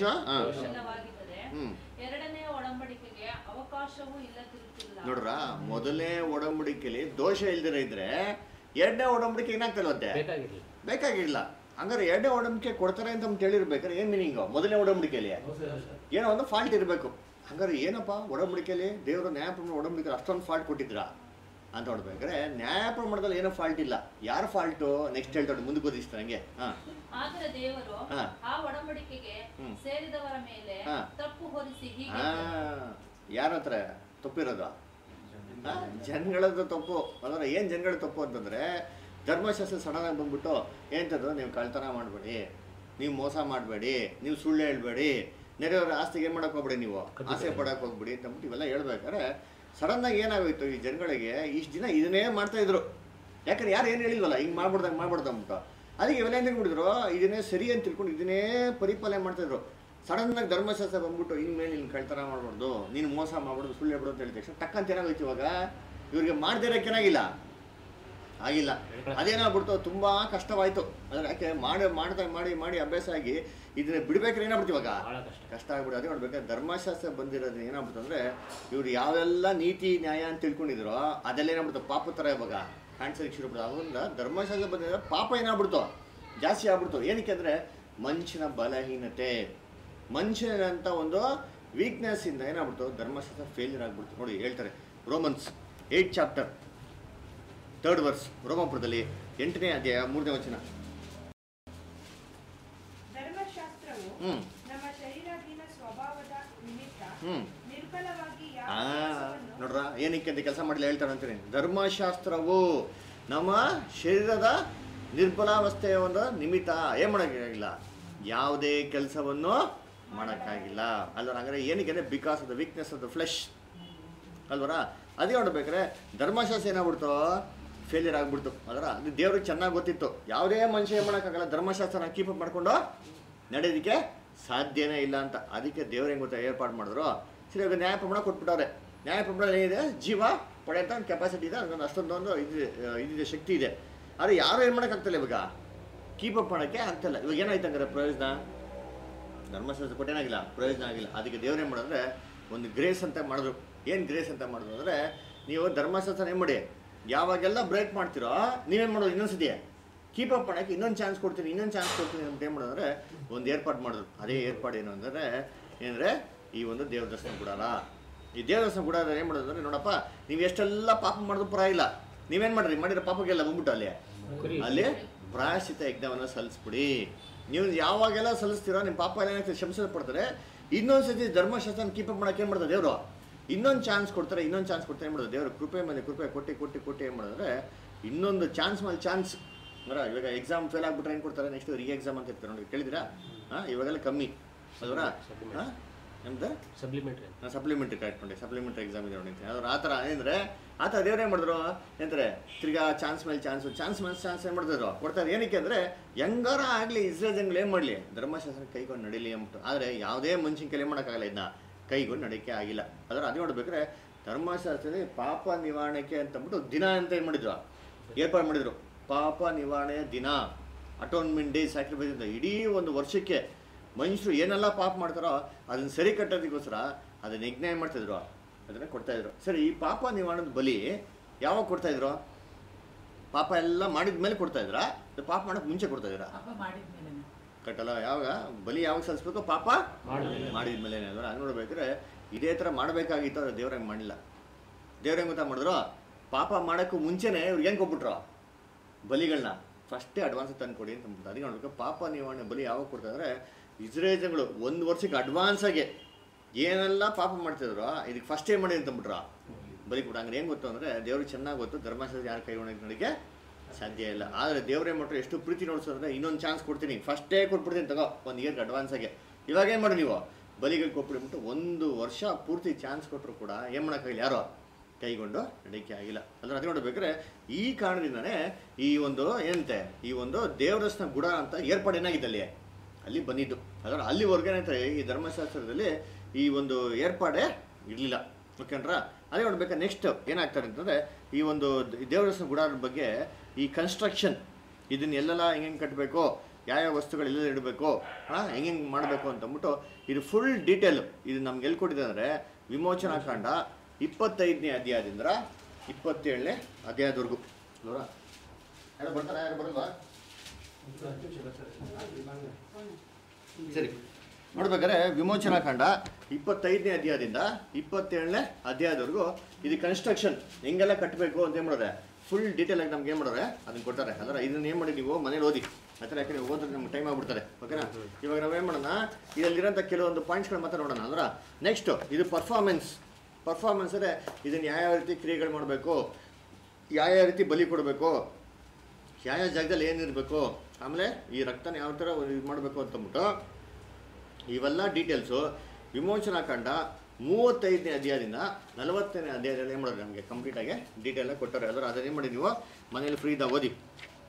ಓಕೆನಾ ಇವಾಗ ಏನು ಮಾಡೋಣ ಅಂತಂದರೆ ಈ ದೇವ್ರ ದರ್ಶನ ಗುಡಾರದ ಕನ್ಸ್ಟ್ರಕ್ಷನ್ ಬಗ್ಗೆ ಏನು ಮಾಡೋಣ ನಾವು? ನಾವು ತಿಳ್ಕೊಳ್ಳೋಣ. ಅದರ ನೋಡ್ಬೇಕಾದ್ರೆ ದೇವ್ರ ದರ್ಶನ ಗುಡಾರ ಅಂತ ಹೇಳ್ಬೇಕಾದ್ರೆ ಯಾವುದು ಅಂತಂದರೆ ಹೆಂಗಿತ್ತು ಅಂತಂದರೆ ಆ್ಯಕ್ಚುಲಿ ಈ ಟೋಟಲಾಗೆ ಈ ಒಂದು ದೇವರಸು ಗುಡಾರದ ಇರೋಂಥ ಒಂದು ಅಳತೆ, ಒಂದು ಉದ್ದ ಎಷ್ಟಿತ್ತು ಅಂತಂದರೆ ನೂರ ಅಡಿ ಏನ್ರಿ? ಒಂದು ಉದ್ದ ಉದ್ದ ಅಂತೆ. ಇದು ಹಗಲ ಎಷ್ಟಿತ್ತು ಅಂತಂದರೆ ಎಪ್ಪತ್ತೈದು ಅಡಿ ಏನ್ರಿ ಹಗಲ. ಇದಕ್ಕೇನು ಹೆಸರು ಅಂತ ಕೊಟ್ಟಿದ್ರು ಅಂತಂದರೆ ಪ್ರಕಾರ ಅಥವಾ ಅಂಗಳ ಅಂತ ಏನು ಮಾಡ್ತಾರೆ ಇದನ್ನು ಕರಿತಾ ಇರ್ತಾರೆ ಇಂಗ್ಲೀಷಲ್ಲಿ ಕೋರ್ಟ್ ಅಂತ ಏನು ಮಾಡ್ತಾರೆ? ಅದನ್ನು ಕರೀತಾರೆ. ಓಕೆನ್ರಾ ಈ ಒಂದು ಏನ್ರಿ, ಈ ಒಂದು ಕೋರ್ಟ್ ಒಳಗಡೆ ಈ ಒಂದು ಅಂಗಳದ ಒಳಗಡೆ ಏನಾಗಿತ್ತು ಅಂದರೆ, ಕರೆಕ್ಟಾಗಿರೋಂಥ ದೇವ್ರ ದರ್ಶನ ಗುಡಾರ ಇತ್ತು. ನಾವೇನು ಗುಡಾರ ಅಂತ ಹೇಳ್ತೀರ ಅಂತಂದರೆ, ಬೈಬಲಲ್ಲಿ ದೇವ್ರ ದರ್ಶನ ಗುಡಾರ ಅಂತ ಹೇಳ್ಬೇಕಾದ್ರೆ, ಯಾವ್ದು ಹೇಳೋದಂದ್ರೆ ಕರೆಕ್ಟಾಗಿ ಇದು ಹೇಳೋದು. ನೋಡಿ, ಈ ಗೋಲ್ಡನ್ ಸ್ಟ್ರಕ್ಚರ್ಗೆ ಇದು ಹೇಳೋದು. ಇದು ಕರಿಯ ಕರೆಕ್ಟಾಗಿರೋಂಥ ಅಳತೆ, ಉದ್ದ ಎಷ್ಟಡಿ ಇತ್ತು ಅಂತಂದರೆ, ನಲವತ್ತೈದು ಅಡಿ ಏನ್ರಿ, ಒಂದು ಉದ್ದ. ಅಗಲ ಎಷ್ಟಪ್ಪ ಇತ್ತು ಅಂತಂದರೆ, ಹದಿನೈದು ಅಡಿ ಏನ್ರಿ ಅಗಲ ಎತ್ತರ ಎಷ್ಟಿತ್ತು ಅಂತಂದರೆ ಅದು ಕೂಡ ಹದಿನೈದು ಅಡಿ ಅಂದರೆ. ಎತ್ತರ? ಇದಕ್ಕೆ ದೇವರು ಕೊಟ್ಟಂಥ ಹೆಸರು ಅಂದರೆ ಇಂಗ್ಲೀಷಲ್ಲಿ ಟ್ಯಾಬ್ರನ್ಯಾಕಲ್ ಪ್ರಾಪರ್ ಅಥವಾ ದೇವ ದರ್ಶನ ಗುಡಾರ ಅಂತ ಏನು ಮಾಡ್ತಾರೆ? ಇದನ್ನು ಬೈಬಲ್ನಲ್ಲಿ ಕರಿತಾ ಇದ್ರು. ಓಕೆಂದ್ರ ಸರಿ ನೋಡ್ಬೇಕಾದ್ರೆ ಈ ಒಂದು ದೇವ್ರ ದರ್ಶನ ಗುಡಾರ ಇದೇನಿದೆಯೋ? ಈ ನಲವತ್ತೈದು ಅಡಿ ಬೈ ಹದಿನೈದು ಅಡಿ ಬೈ ಹದಿನೈದು ಅಡಿ. ಇದನ್ನು ಈ ಟೋಟಲಾಗಿ ಎರಡು ಭಾಗವಾಗಿ ಏನು ಮಾಡಿದ್ರು ನಮಗೆ? ನಮಗೆ ವಿಭಾಗಿಸಿದ್ರು. ಯಾವ ಥರ ವಿಭಾಗಿಸಿದ್ರು ಅಂತಂದರೆ ಈ ಒಂದು ಮೊದಲನೇ ಭಾಗ, ಹೊರಗಡೆ ಇರೋಂಥ ಮೊದಲನೇ ಭಾಗ, ಅದು ಹೆಂಗಿತ್ತಂದ್ರೆ ಏನ್ರಿ, ಹದಿನೈದು ಅಡಿ ಅಗಲ, ಹದಿನೈದು ಅಡಿ ಎತ್ತರ. ಎತ್ತರ ಹದಿನೈದು ಅಡಿ ಏನ್ರಿ? ಉದ್ದ. ಅಂದರೆ ಪರ್ಫೆಕ್ಟ್ ಕ್ಯೂಬಾಯ್ಡ್ ಥರ ಅದಕ್ಕೆ ಹೆಸರು ಏನು ಅಂತಂದರೆ, ಮಹಾಪರಿಶುದ್ಧ ಸ್ಥಳ. ಅದರ ಅಥವಾ ಗರ್ಭಗುಡಿ ಅಂತ ಹೇಳ್ತಾರೆ ಗೊತ್ತಾ? ಇದರ ಎಕ್ಸಾಕ್ಟ್ ಅಳತೆ ಹೆಂಗಿತ್ತು ಅಂದರೆ, ಏನ್ರಿ, ಆ ಒಂದು ಪರ್ಫೆಕ್ಟ್ ಕ್ಯೂಬಾಯ್ಡ್ ಥರ fifteen feet height fifteen feet length fifteen feet breadth ಓಕೆನ್ರಾ ಇದಕ್ಕೆ ಹೆಸರು ಅಂದರೆ ಮೋಸ್ಟ್ ಓಲಿ ಅಂತಂದ್ಬಿಟ್ಟು ನೆಕ್ಸ್ಟು ಪರಿಶುದ್ಧ ಸ್ಥಳ ಅಂತಿತ್ತು. ಈ ಪರಿಶುದ್ಧ ಸ್ಥಳದ ಅಳತೆ ಎಷ್ಟಿತ್ತು ಅಂದರೆ ಉದ್ದ ಬಂದ್ಬಿಟ್ಟು ಮೂವತ್ತಡಿ ಅಗಲ ಹದಿನೈದು ಅಡಿ, ಎತ್ತರ ಏನ್ರಿ? ಹದಿನೈದು ಅಡಿ. ಏನಂದರೆ ಒಂದು ಪರ್ಫೆಕ್ಟ್ ರೆಕ್ಟ್ಯಾಂಗಲ್ ಥರ ಅಲ್ವರ? ಸೊ ಈ ರೀತಿ ನೋಡ್ಬೇಕಾದ್ರೆ ಏನು ಮಾಡಿದ್ರೆ?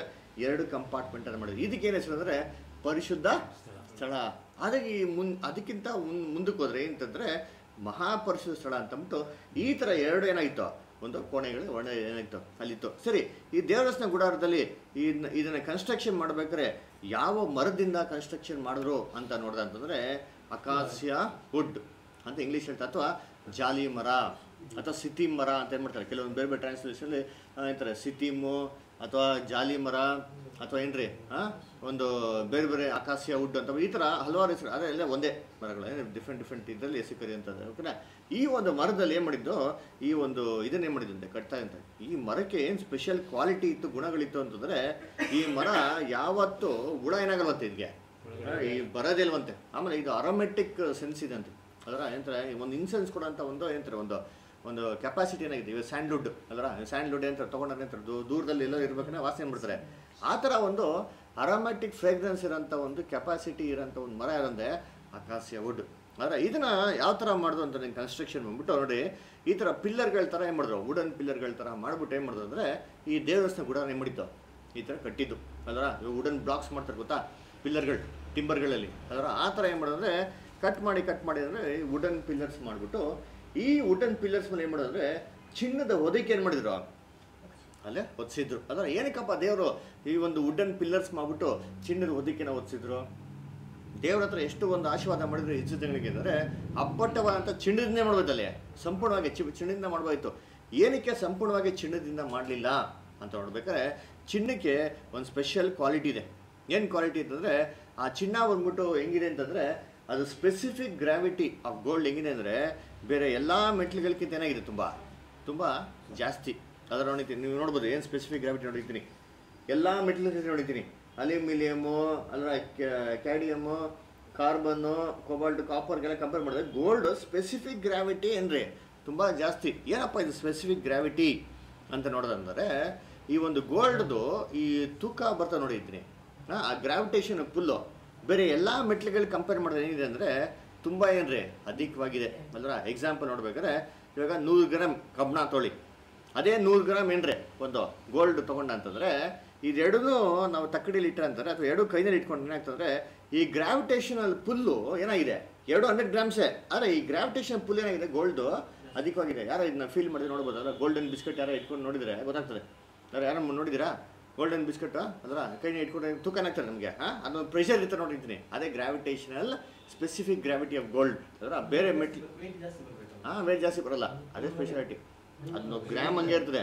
ಅದೇ ಸ್ಪೆಸಿಫಿಕ್ ಗ್ರಾವಿಟಿ ಅಂದರೆ ಆ ಗ್ರಾವಿಟೇಷನ್ ಫುಲ್ ಏನಿದೆಯೋ ಅದರಲ್ಲಿ ಗೋಲ್ಡಲ್ಲಿ ಜಾಸ್ತಿ. ಅದರ ಅದಕ್ಕೆ ನೋಡಬೇಕ್ರೆ ಗೋಲ್ಡ್ ಸ್ಪೆಷಲ್ ಕ್ವಾಲಿಟೀಸ್ ಇದೆ. ಅದನ್ನು ಎಷ್ಟು ಉದ್ದ ಬೇಕಾದ್ರೆ ಎಳಿಬೋದು? ಮ್ಯಾಲಿಬಲ್ ಆ್ಯಂಡ್ ಡಕ್ಟೈಲ್ ಕೆಪಾಸಿಟಿ ಅಂತ ಹೇಳ್ತಾರೆ. ಅಲ್ವರ? ಕ್ವಾಲಿಟೀಸು ಆ ಥರ ನೋಡ್ಬೇಕಾದ್ರೆ ಗೋಲ್ಡ್ದು ಅಂತಾರೆ ಆ ಥರ ಇದು. ಅದಕ್ಕೆ ನೋಡ್ಬೇಕಾದ್ರೆ ಇವಾಗ ಇಸ್ರೇಜನ್ಗಳು ಜನಗಳು ದೇವರಸ್ನ ಗುಡಾರನ ಇರೋಂಥ ಎಲ್ಲ ವಸ್ತುಗಳನ್ನ ಅಪ್ಪಟ್ಟವಾದಂಥ ಒಂದು ಚಿನ್ನದಿಂದ ಏನ್ರಿ ಕಟ್ಬಿಟ್ಟ ಅಂತಂದರೆ ಏನು ಮಾಡ್ಬೇಕಿದ್ನ ಅವಾಗವಾಗ? ಹಾಂ ಹಾಂ ಅವಾಗ ಅವಾಗ ಏನು ಮಾಡ್ತಾಯಿದ್ರು ಅಂದರೆ ಒಂದೇ ಜಾಗದಲ್ಲಿ ಏನು ಮಾಡಲಿಲ್ಲ ಇವರು? ಕಟ್ಟಿಲ್ಲ. ಕಟ್ಟ ಈ ದೇವಸ್ಥಾನ ಕೂಡ ಕಟ್ಬಿಟ್ಟು ಬಿಟ್ಬಿಟ್ರಾ? ಹಾಂ, ಇದನ್ನ ಏನು ಮಾಡಿದ್ರು? ಅವಾಗ ಏನು ಮಾಡ್ತಾಯಿದ್ರು ಎಸ್ ಆವಾಗ ಅವಾಗ ಏನು ಮಾಡ್ತಾಯಿದ್ರೆ ಒಂದು ಜಾಗದಿಂದ ಇನ್ನೊಂದು ಜಾಗ ಏನು ಮಾಡ್ತಾಯಿದ್ರು ಟ್ರಾನ್ಸ್ಪೋರ್ಟ್ ಮಾಡ್ತಾಯಿದ್ರು ಅಲ್ವರ? ಅದು ಇವ್ರು ಹೋಗಿದ್ದು ಯಾವ ಇದರಲ್ಲಿ ಅಂದರೆ ಅರಣ್ಯ. ಅರಣ್ಯ ಅಂದ್ರೇನು ಕಾಡು. ಎಷ್ಟು ಗಿಡಗಳಿತ್ತು, ಎಷ್ಟು ಮರಗಳಿತ್ತು? ನೀರಾವರಿ ಎಲ್ಲ ಚೆನ್ನಾಗಿತ್ತಾ? ಹಾಂ, ಮತ್ತೆ ಎಲ್ಲಿ ಹೋಗಿತ್ತ ರಸ್ತೆ ಇರಲಿಲ್ಲ ಹಾಂ ರಸ್ತೆ ಇರಲಿಲ್ಲ. ರಸ್ತೆ ಇರಲಿಲ್ಲ ಆದರೆ ಕಾಡುಪ್ರಾಣಿಗಳೆಲ್ಲ ಇತ್ತಾ ಹಾಂ ಏನು ಬೈಬಲ್ ಓದಿದ್ದೀರಾ ಅರಣ್ಯ ಅನ್ನೋದು ಕನ್ನಡದಲ್ಲಿ ಅರಣ್ಯ ಅಂತ ಹಾಕ್ಬಿಟ್ಟಾರೆ. ಡೆಸರ್ಟ್ ಅದು ವಿಲ್ಡರ್ನೆಸ್ಸು ಹಾಂ ಮಳೆಗಾಡು. ಬರ್ಡ್ ಭೂಮಿ. ಅದರ ಏನಂತಾರೆ? ಅದು ಬರ್ಡ್ ಭೂಮಿಗೆ ಕನ್ನಡದಲ್ಲಿ ಅರಣ್ಯ ಅಂತ ಹಾಕ್ಬಿಟ್ಟಾರೆ. ಅರಣ್ಯ ಅಂದ್ರೆ ಏನು? ಕಾಡು. ಅದು ಕಾಡು ಅದು ಪಾಪ. ನೋಡ್ಬೇಕಾದ್ರೆ ಒಂದು ಗಿಡ ಇಲ್ಲ ಒಂದು ಮರ ಇಲ್ಲ. ಹಾ ಪಾಪ ಇಜ್ರೇಲ್ ಕುಡಿಯಕ್ಕೆ ಏನು ಸಿಗ್ತಾ ಇರಲ್ಲ? ನೀರು ಸಿಗ್ತಾ ಇಲ್ಲ ಊಟ ತಿನ್ನಕ್ಕೆ ಊಟ ಸಿಗ್ಲಿಲ್ಲ ಎಷ್ಟು ಗುಂಡ್ಬಿಡ್ತಾ ಇದ್ರು. ಕರೆಕ್ಟ್ ಅಂತ ಡೆಸರ್ಟ್ ಲ್ಯಾಂಡಲ್ಲಿ ಯೋಚನೆ ಮಾಡ್ರಿ ಅಂತೀನಿ ಈ ಫುಲ್ಲು ಗೋಲ್ಡನ್ ಮಾಡಿಬಿಟ್ಟ ಅಂತಂದ್ರೆ ಆ ಪಿಲ್ಲರ್ಗಳನ್ನು ಎತ್ಕೊಂಡು ಟ್ರಾನ್ಸ್ಪೋರ್ಟ್ ಮಾಡ್ಬೇಕಂದ್ರೆ ಎಷ್ಟು ಕಷ್ಟ ಆಗಿರೋದು. ಅದು ಎಷ್ಟು ಲೆಂತ್ ನೋಡಿದ್ರೆ. ನೂರೈವತ್ತು ಅಡಿ ನೂರೈವತ್ತು ಅಡಿ ಉಡ್ಡ ಅಂತಂದ್ರೆ ಏನ್ರಿ ಏನು? ಎಷ್ಟು ಉದ್ದ? ಆಮೇಲೆ ಎಪ್ಪತ್ತೈದು ಅಡಿ ಅಗಲ ಅಂತಂದ್ರೆ ಅದಕ್ಕೆ ಬೇಕಾಗಿರುವಂಥ ಎಲ್ಲ ಸಾಮಗ್ರಿಗಳು ಪ್ಯೂರ್ ಗೋಲ್ಡಲ್ಲಿ ಮಾಡ್ಬಿಟ್ಟ ಅಂತಂದ್ರೆ ಸಾಲಿಡ್ ಗೋಲ್ಡಲ್ಲಿ ಎತ್ಕೊಂಡು ಹೋಗೋದಕ್ಕೆ ಏನಾಗ್ತಾರೆ ತುಂಬ ತುಂಬ ತುಂಬಾ ಕಷ್ಟ ಆಗಿಬಿಡ್ತಾರೆ ಅಂದ್ಬಿಟ್ಟು ದೇವರ ಅದಕ್ಕೆ ಏನು ಮಾಡೋದಂದರೆ ಅಕಾಸ್ಯ ವುಡ್ ಈ ವುಡ್ ಮೇಲೆ ಏನು ಮಾಡ್ರಿ ನೀವು? ನೀವು ಹಾಕ್ಬಿಟ್ಟು ಏನು ಮಾಡಿದ್ದು? ಕ್ಲೀನಾಗೆ ನಂತರ ಈ ಥರ ಪ್ಲೇಟಿಂಗ್ ಮಾಡಿಬಿಟ್ಟು ನೀವು ಇದನ್ನ ಮಾಡಿ ಯೂಸ್ ಮಾಡಿ ಅಂತ ಹೇಳಿ ಮಾಡಿದ್ದು. ಅದನ್ನು ಕೊಟ್ಟಿದ್ದಾರೆ ಸರಿ ಈ ಪಿಲ್ಲರ್ಸ್ಗಳನ್ನ ಯಾವ ಥರ ಮಾಡ್ತಾ ಇದ್ರು ಅಂದರೆ ನೋಡಿ ಈ ಥರ ಪಿಲ್ಲರ್ಸ್ಗಳಿಗೆ ಏನಾದ್ರು ಅಂದರೆ ಈ ಬಾಟಮ್ನಲ್ಲಿ ಈ ಥರ ಏನಾಗಿದೆ ಒಂದು ಈ ಥರ ಇರೋದು ಪಾಯಿಂಟರ್ಸ್ ಥರ ಓಕೆನಾ ಲೆಗ್ ಥರ ಇರೋದು. ಇದನ್ನ ಏನು ಮಾಡೋರು ಅಂದರೆ ಒಂದು ಪಿಲ್ಲರ್ ಪಕ್ಕದಲ್ಲಿ ಇನ್ನೊಂದು ಪಿಲ್ಲರ್ ಈ ಥರ ಪಿಲ್ಲರ್ಗಳ ಪಕ್ಕದಲ್ಲಿ ಪಕ್ಕದಲ್ಲಿ ಪಕ್ಕದಲ್ಲಿ ಹಂಗೆ ಜೋಡಿಸಿ ಮಾಡಿದ್ರೆ ಒಂದು ಗೋಲ್ಡನ್ ವಾಲ್ ಥರ ಏನು ಮಾಡೋರು? ಅದನ್ನ ಮಾಡೋರು. ಈ ಒಂದು ಪಿಲ್ಲರ್ಗಳನ್ನ ಏನು ಮಾಡೋರು ಅಂತಂದರೆ ಈ ಥರ ನೆಲದಲ್ಲಿ ಏನು ಮಾಡೋರು? ಅದನ್ನ ಕೂತ್ಬಿಡೋರು ಅದನ್ನ. ಆ ನೆಲ್ಲಲ್ಲಿ ಮಣ್ಣು ಇತ್ತಾರ್ತೆ ಗೊತ್ತಾ? ಆ ಲೆಗ್ಸ್ ಇರ್ತದೆ ನೋಡಿ. ಆ ಲೆಗ್ಸ್ ಏನು ಅಂದರೆ ಈ ಮಣ್ಣಲ್ಲಿ ಊತ್ಬಿಡೋರು. ಯಾವ ಥರ ಊತೋರು ಅಂತಂದರೆ ಈ ಸಿಲ್ವರ್ ಸಾಕೆಟ್ಸ್ ಅಂತ ಇರ್ತಾ ಇತ್ತು. ಈ ಬೆಳ್ಳಿಯಿಂದ ಮಾಡಲ್ಪಟ್ಟಂಥ ಸಾಕೆಟ್ ಇರ್ತಾ ಇತ್ತು ನೋಡಿ ಅಂತೀನಿ.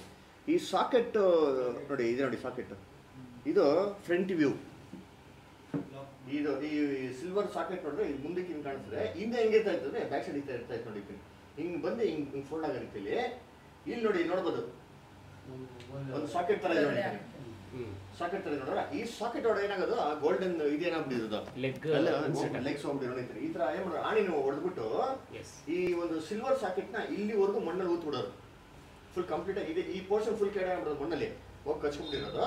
ಈ ತರ ಮಣ್ಣು ಇತ್ತಂದ್ರೆ ಅಂದ್ರೆ ಮಣ್ಣು ಒಳಗೆ ಕ್ಲೀನ್ ಆಗಿ ಏನಾಗಿದ್ದು ಈ ಸಾಕೆಟ್ ನಾಕ್ ಕೂತ್ ಬಿಡೋರು ಅದನ್ನ ಮಳೆ ಹೊಡೆದು ಹಾಕ್ಬಿಟ್ಟು ಏನ್ ಮಾಡೋರು ಉಳಿ ಹೊಡೆದ್ಬಿಟ್ಟು ಅದನ್ನ ನೆಲಕ್ಕೆ ಕಟ್ಟ ಫಿಕ್ಸ್ ಮಾಡ್ಬಿಡೋರು ನೋಡಿ ನೋಡ್ಬೋದು ನಾವು ಈ ಪಿಕ್ಚರಲ್ಲಿ ನೋಡಿ ಕಾಣಿಸ್ತಾ ನೋಡ್ರಾ ಈ ತರ ಸಾಕೆಟ್ ಪಕ್ಕ ಸಾಕೆಟ್ ಯಾಕಂದ್ರೆ ಎಲ್ಲರಿಗೂ ಏನಾಗಿದೆ ಗೊತ್ತಾ? ಮತ್ತೆ ಕ್ಲಾನ್ ಥರ ಇರೋದು ಕ್ಲೀನ್ ಆಗಿ ಅದು ಫಿಕ್ಸ್ ಆಗ್ಬಿಟ್ಟಿರೋದು. ಏನೇ ಇದಾದರೂ ಸರಿ ಅದು ಅಲ್ಲಾಡ್ತಾ ಇರಲ್ಲ. ಈ ತರ ಏನು ಮಾಡೋರು ಅಂದ್ರೆ ಈ ಸಿಲ್ವರ್ ಸಾಕೆಟ್ಸ್ ಅಲ್ಲಿ ಹಾಕ್ಬಿಟ್ಟು ಏನು ಮಾಡೋರು ಅಂತಾರೆ ಅದನ್ನ ನೆಲಕ್ಕೆ ಊತ್ಬಿಟ್ಟು ನೋಡಿ ನೋಡ್ಬೋದು ನೋಡಿ. ಇದು ನೆಲಕ್ಕೆ ಹಾಕಿ ಊತ್ಬಿಡೋರು ಹುಳಿ ಹಾಕಿ ಪಂಚ್ ಮಾಡ್ಬಿಡೋರು ನೋಡಿ ಒಂದೊಂದಕ್ಕೆ ಇದೆ. ಕ್ಲಾಂಪ್ಸ್ಗಳಿಗೆ ನೋಡಿರ್ತೀನಿ. ಕ್ಲಿಪ್ ಆ ಕ್ಲಿಪ್ ಹಂಗೆ ಅಂತ ಲಾಕ್ ಹಾಕ್ಬಿಡೋದು ಲಾಕಿಂಗ್ ಲಾಕಿಂಗ್ ಸಿಸ್ಟಮ್ ಥರ ಈ ಥರ ಹಾಕ್ಬಿಟ್ಟು ಏನು ಮಾಡೋರು? ಸಿಲ್ವರ್ ಸಾಕೆಟ್ಸ್ನ ಹಂಗೆ ಹಾಕಿ ಇದು ಮಾಡಿಬಿಡೋರು. ಫ್ರಂಟಲ್ಲಿ ಹಿಂಗೆ ಕಾಣಿಸೋದು. ಇದು ಬ್ಯಾಕ್ ಪೋರ್ಷನ್ ಮೇಡೆ ನೋಡಿದ್ದು? ಈ ಕೆಡೆ ನೋಡಿದ್ರೆ ಫ್ರಂಟ್ ಪೋರ್ಷನ್ ಫ್ರಂಟಲ್ಲಿ ನಮ್ಗೆ ಏನಾಗಿರುತ್ತೋ? ಈ ಥರ ಸ್ಟ್ರಕ್ಚರ್ ನಮಗೆ ಕಾಣಿಸ್ತಾ ಇತ್ತು. ನೋಡಿ, ಇಲ್ಲಿ ನೋಡ್ಬೋದು ನಾನು ಕ್ಲೀನ್ ನೋಡಿ ನೋಡಿ ಈ ಥರ ಮಣ್ಣಿದೆ ಗೊತ್ತಾ? ಈ ಮಣ್ಣಲ್ಲಿ ಹಾಕಿ ಊತ್ಬಿಡೋರು. ನೋಡಿ, ಇದು ಇದು ಮುಂದೆ ಇರೋ ಪೋರ್ಷನ್ ಬ್ಯಾಕ್ ಸೈಡ್ ಏನಾಗಿರೋದು? ಎಲ್ಲ ಕೆಡ ಹೋಗ್ಬಿಡಿರೋದು ಮಣ್ಣಲ್ಲಿ. ಕಾಣಿಸ್ ನೋಡಿ ಸಾಕೆಟ್ಗಳು ನೋಡ್ರ ಮಣ್ಣು ಹಾಕ್ಬಿಟ್ಟು ನೋಡಿ ಹೆಂಗೆ ಕ್ಲೀನಾಗಿ ಮುಸ್ತಾ ಇದ್ದಾರೆ ನೋಡಿ. ನೋಡ್ರ ಫುಲ್ ಪಿಲ್ಲರ್ ಹಿಂಗೆ ಹೊಟ್ಟಿತ್ತು ಒಂದು ಸಿಲ್ವರ್ ಸಾಕೆಟ್ಸ್ ಏನಿದೆಯೋ ಕಂಪ್ಲೀಟ್ ಆಯ್ತು ಅಲ್ಲ ಮಣ್ಣಲ್ಲಿ ಸಬ್ಬರ್ಜ್ ಆಗೋಯ್ತು. ಹಂಗೆ ಮಾಡ್ಬಿಟ್ಟು ಏನು ಮಾಡೋರು ಅಂದರೆ ಈ ಗೋಲ್ಡನ್ ಪಿಲ್ಲರ್ಸ್ಗಳು ಏನು ಮಾಡೋರು ಅಲ್ಲಿ ಹಾಕ್ಬಿಡೋರು ನೋಡ್ತೀನಿ ಎವ್ರಿ ಟೂ ಸಿಲ್ವರ್ ಸಾಕೆಟ್ಸ್ಗೆ ಒಂದು ಪಿಲ್ಲರ್ ಅವಾಗೇನಾಗಿರೋದು ಲಾಕಿಂಗ್ ಸಿಸ್ಟಮು ಪಕ್ಕ ಕನ್ಫರ್ಮ್ ಆಗಿ ಏನಂತ ಅಲ್ಲಿ? ಅಲ್ಲಿ ಗ್ರಿಪ್ಪಲ್ಲಿ ಕೂತ್ಕೊಂಡ್ಬಿಡೋರು ಈ ಥರ ನೋಡಿ ನೋಡಿ ಕ್ಲೀನ್ ನೋಡ್ಸ್ಕೊಂಡ್ರಿ ಕಾಣಿಸ್ತದ ಅಲ್ಲಿ? ನೋಡಿ ಎರಡೆರಡು ಸಿಲ್ವರ್ ಸಾಕೆಟ್ಸ್ಗಳಿಗೆ ಒಂದು ಪಿಲ್ಲರ್ ಹಾಕ್ಬಿಟ್ಟು. ಏನು ಮಾಡೋರು? ಅದನ್ನು ಕ್ಲೀನಾಗಿ ಲಾಕ್ ಮಾಡ್ಬಿಟ್ಟಿರೋರು.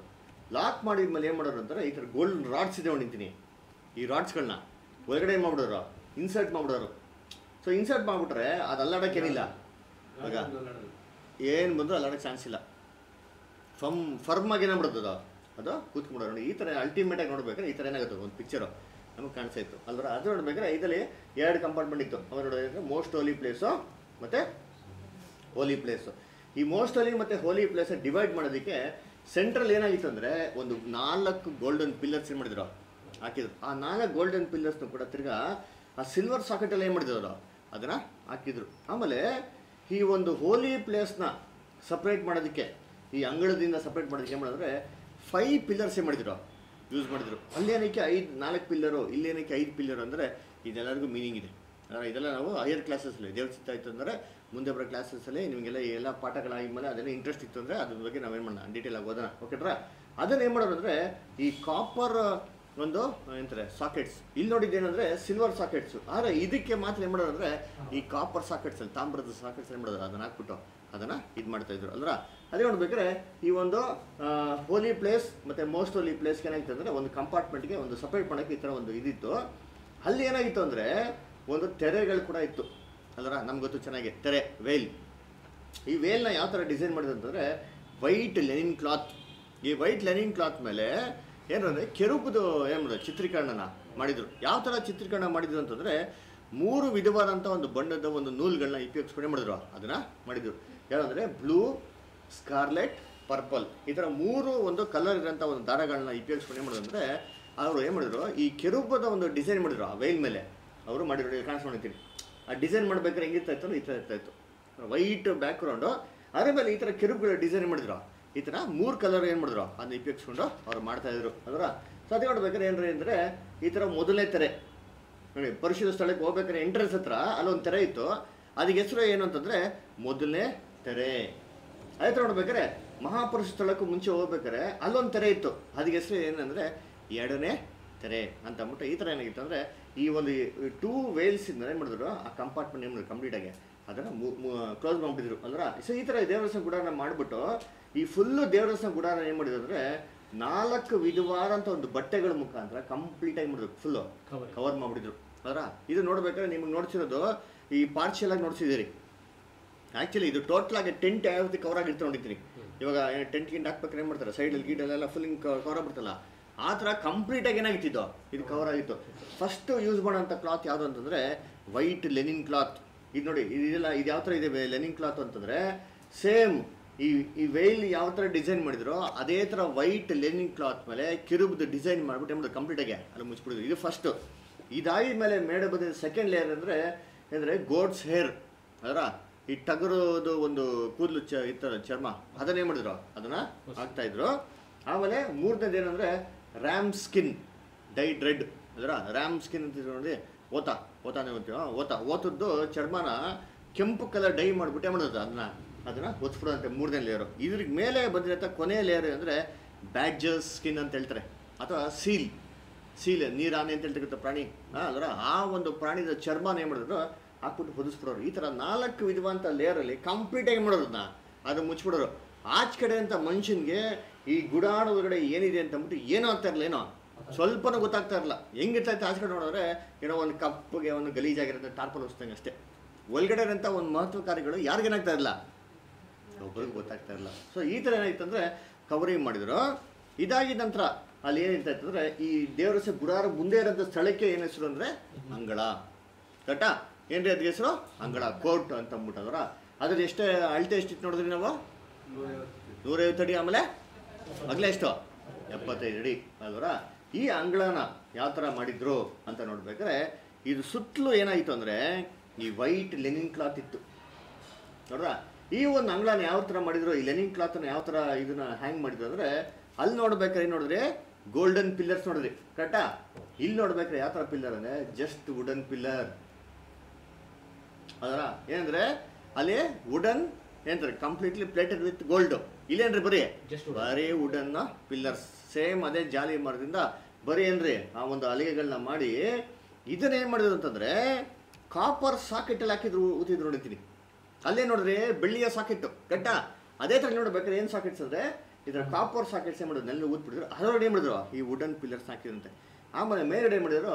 ಈ ಸಿಲ್ವರ್ ಚಾಪಿಟರ್ಸ್ ಅಂತ ಹೇಳ್ತಾರೆ. ಇವಾಗ ಹೆಂಗ ಟೋಪಿ ಹಾಕ್ತಾರೆ ನಿಂತೀರಿ ಆ ಥರ ಒಂದು ಟೋಪಿ ಥರ ಹಾಕ್ಬಿಟ್ಟು ಏನು ಮಾಡಿದ್ರು? ಲಾಕ್ ಮಾಡ್ಬಿಟ್ಟು ಏನು ಮಾಡೋರು ಅಂತಂದ್ರೆ ಈ ಒಂದು ಇದೆ ಸಿಲ್ವರ್ ಸ್ಟ್ರಿಂಗ್ ನೋಡಿ ಒಂದು ಏನಂತಾರೆ ಬೆಳ್ಳಿಯ ತಂತಿ ಏನು ಮಾಡೋದಂತೆ? ಇದನ್ನ ಹಾಕ್ಬಿಟ್ಟು ಏನು ಮಾಡಂತೆ ಉಕ್ಕೊಡ್ಬಿಟ್ಟು ಕ್ಲೀನಾಗಿ ಎಳೆದು ಕಟ್ಬಿಡ್ತಾ ಇದ್ರಂತೆ ಅಂದ್ರೆ ಸೊ ಈ ಥರ ಏನಾಗಿತ್ತು ಅಂದರೆ ಸುತ್ತಲೂ ದೇವರಸ್ಥಾನ ಗುಡಾಡೋ ಸುತ್ತಲೂ ಏನಾಗಿತ್ತು ಈ ಥರ ಒಂದು ವೈಟ್ ಲೆನಿನ್ ಕ್ಲಾತ್ ಎಲ್ಲೋ ಜಾಗ ಇಲ್ದ್ರೆ completely totally covered single piece ಏನಂತ ಅಲ್ಲಿ?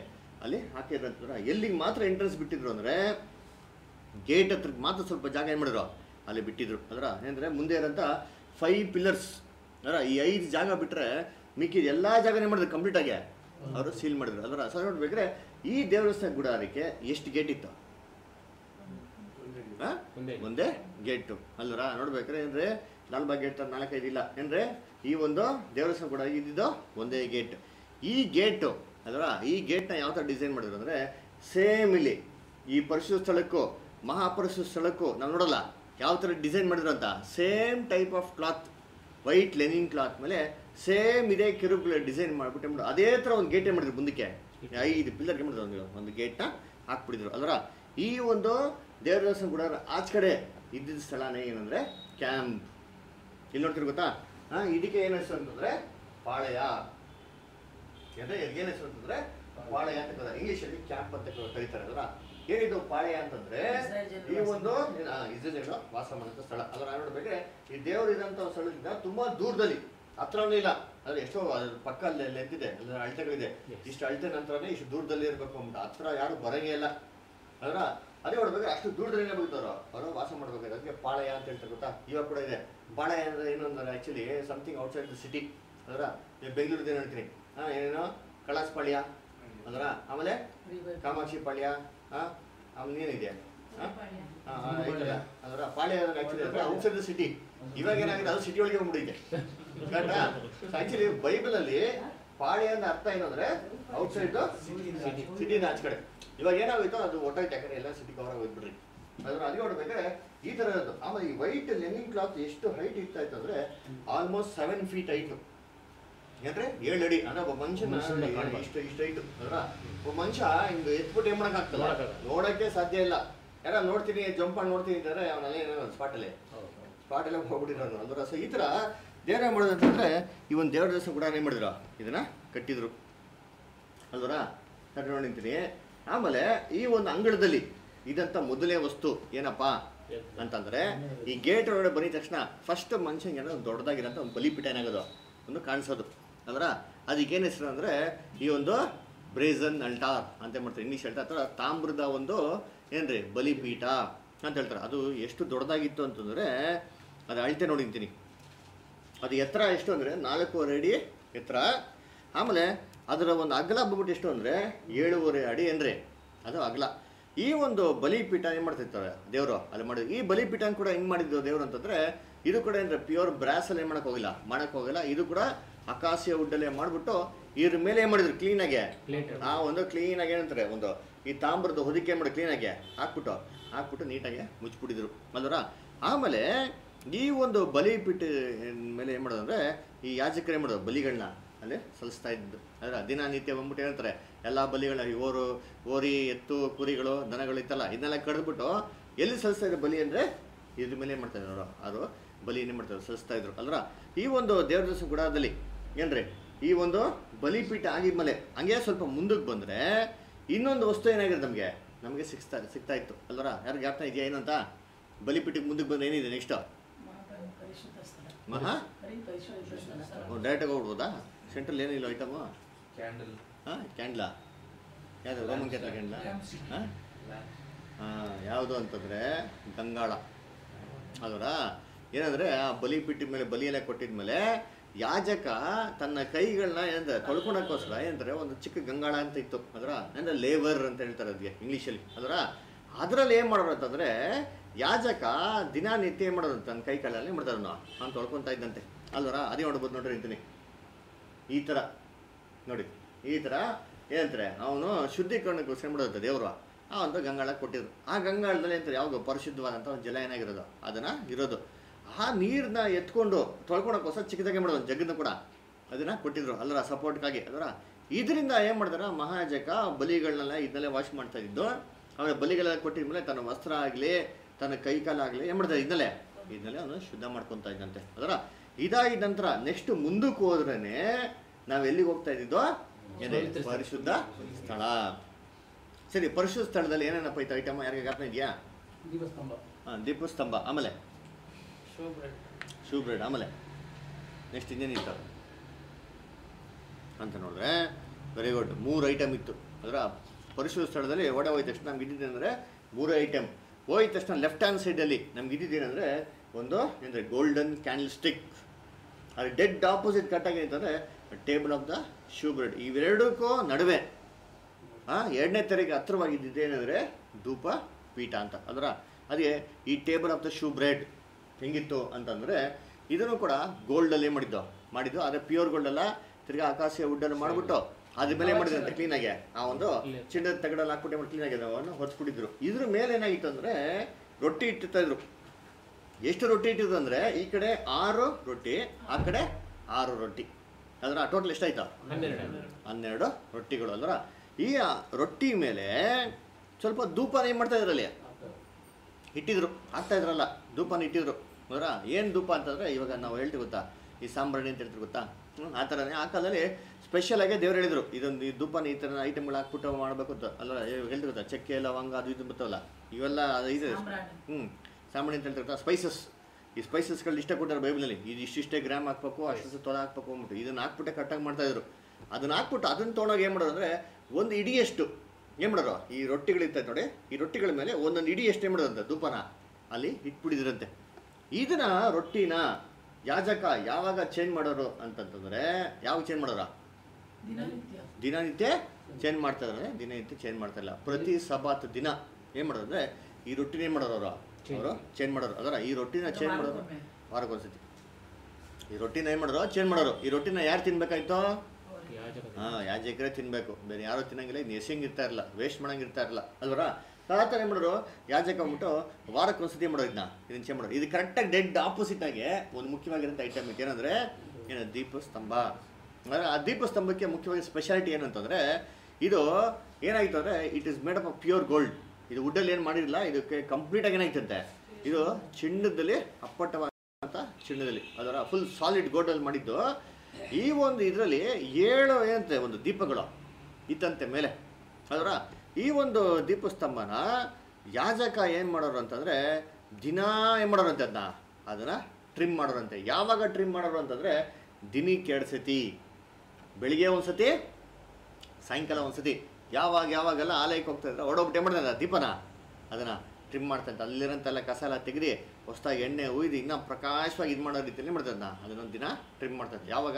ಡೈಲಿ ಎಷ್ಟೇ ಸರಿ ಹಾಂ, ಎರಡು ಸತಿ. ಬೆಳಿಗ್ಗೆ ಮತ್ತೆ ಅದಕ್ಕೆ ದಾನಿಯಲ್ ಪುಸ್ತಕ ತಗೊಳ್ತಿರಲಿಲ್ಲ ಸಂಜೆ ನೈವೇದ್ಯ ಸಮಯದಲ್ಲಿ ಅಂತಂದ್ಬಿಟ್ಟು ಪ್ರೇಯರ್ ಮಾಡೋದಂತ ಅಲ್ವರ ಅದು ನೋಡ್ಬೇಕಾ ದಾನಿಯಲ್ಲಿ ಮೂರು ಸತಿ ಹೇಗೆ ಪ್ರೇಯರ್ ಮಾಡ್ತಾರೆ ಅಂದರೆ, ಇದೇ ನೈವೇದ್ಯ ಸಮಯದಲ್ಲಿ ಬೆಳಗ್ಗೆ ಒಂದು ಸತಿ, ಸಾಯಂಕಾಲ ಒಂದು ಸತಿ, ನಡುವೆ ಅಂತ ಮಧ್ಯಾಹ್ನ ಒಂದು ಸತಿ. ಅದರ ಅದಕ್ಕೆ ನೋಡ್ಬೇಕಾರೇನ್ರಿ ಇದಾಗಿದ್ದ ನಂತರ ಇನ್ನೂ ಮುಂದಕ್ಕೆ ಹೋದರೆ ಎರಡನೇ ತೆರೆಗೆ ಹತ್ರವಾಗಿ ಇವೆರಡು ವಸ್ತುಗಳ ನಡುವೆ ಇದ್ದಿದ್ದೇನಂತಂದರೆ ಏನ್ರಿ, ಆ ಒಂದು ಇನ್ಸನ್ಸ್ ಅಲ್ಟಾರ್ ಅಂತ ಹೇಳ್ತಾರೆ. ಅಂದರೆ ಧೂಪ ವೇದಿ ಅಂತ ಹೇಳ್ತಾರೆ. ಆ ಧೂಪ ಪೀಠ ಅಂತಂದ್ಬಿಟ್ಟು ಈ ಧೂಪ ಪೀಠ ಕೂಡ ಯಾವ್ದ್ರಲ್ಲಿ ಮಾಡಿದ್ದು ಅಂತಂದರೆ ಆ್ಯಕ್ಚುಲಿ ಇದು ಕೂಡ ಆಕಾಶ ಉಡ್ಡನ್ ಮಾಡ್ಬಿಟ್ಟು ಚಿನ್ನದ ಹೊದಿಕೆ ಏನು ಮಾಡ್ತಾರೆ ದೇವರು ವಸಂತ ಈ ಧೂಪ ಬಿಟ್ಟಿದ ಮೇಲೆ ಯಾಜಕ ಏನು ಮಾಡೋರು? ಈ ಸಾಮ್ರಾಣಿನ ಅಥವಾ ಧೂಪ ಇದೆಯಲ್ಲ ಆ ಧೂಪ ಏನು ಮಾಡೋರು ಅವರು? ಅವರು ಅದನ್ನು ಹಾಕೋರಂತೆ ಅಲ್ರ ಈ ಧೂಪ ಎಲ್ಲಿಂದ ತರ್ತಾ ಇದ್ರು ಅವರು? ಯಾಜಕ ಈ ಧೂಪ ಅಂತ ತರ್ತಾ ಇದ್ರಲ್ಲ ಈ ಧೂಪ ಮತ್ತೆ ಕೆಂಡ ತಂದ್ರಲ್ಲ ಆ ಕೆಂಡ ಎಲ್ಲಿಂದ ತರ್ತಾ ಇದ್ರು? ಧೂಪ ಎಲ್ಲಿಂದ ತರ್ತಾ ಇದ್ರು? ಹಾಂ. ಯಜ್ಞವಿಧಿ ಇತ್ತಲ್ಲ ಆಚೆ ಕಡೆ ದೊಡ್ಡದು ಹಾಂ. ಅದ್ರಲ್ಲಿ? ಹಾಂ? ಅದ್ರಲ್ಲಿ ಏನು ತರ್ತಿದ್ರಾ ಬಲಿ ತಗೊಂಡ್ಬಿಡ್ತದ್ರ? ಬುದಿ. ಹಾಂ? ಬಲಿ ಮಾತ್ರ ಕೊಡ್ತೀವಿ ಹಾಂ ಬಲಿ ಕೊಡ್ತಾ ಇದ್ರ ಮತ್ತೆ ಏನು ಕೆಂಡ ತರ್ತಿದ್ರು? ಅಂತಂದ್ರೆ ಆ ಒಂದು ಬಲಿಪೀಠದ ಮೇಲೆ ಕೆಂಡ ಇತ್ತು ಗೊತ್ತಾ?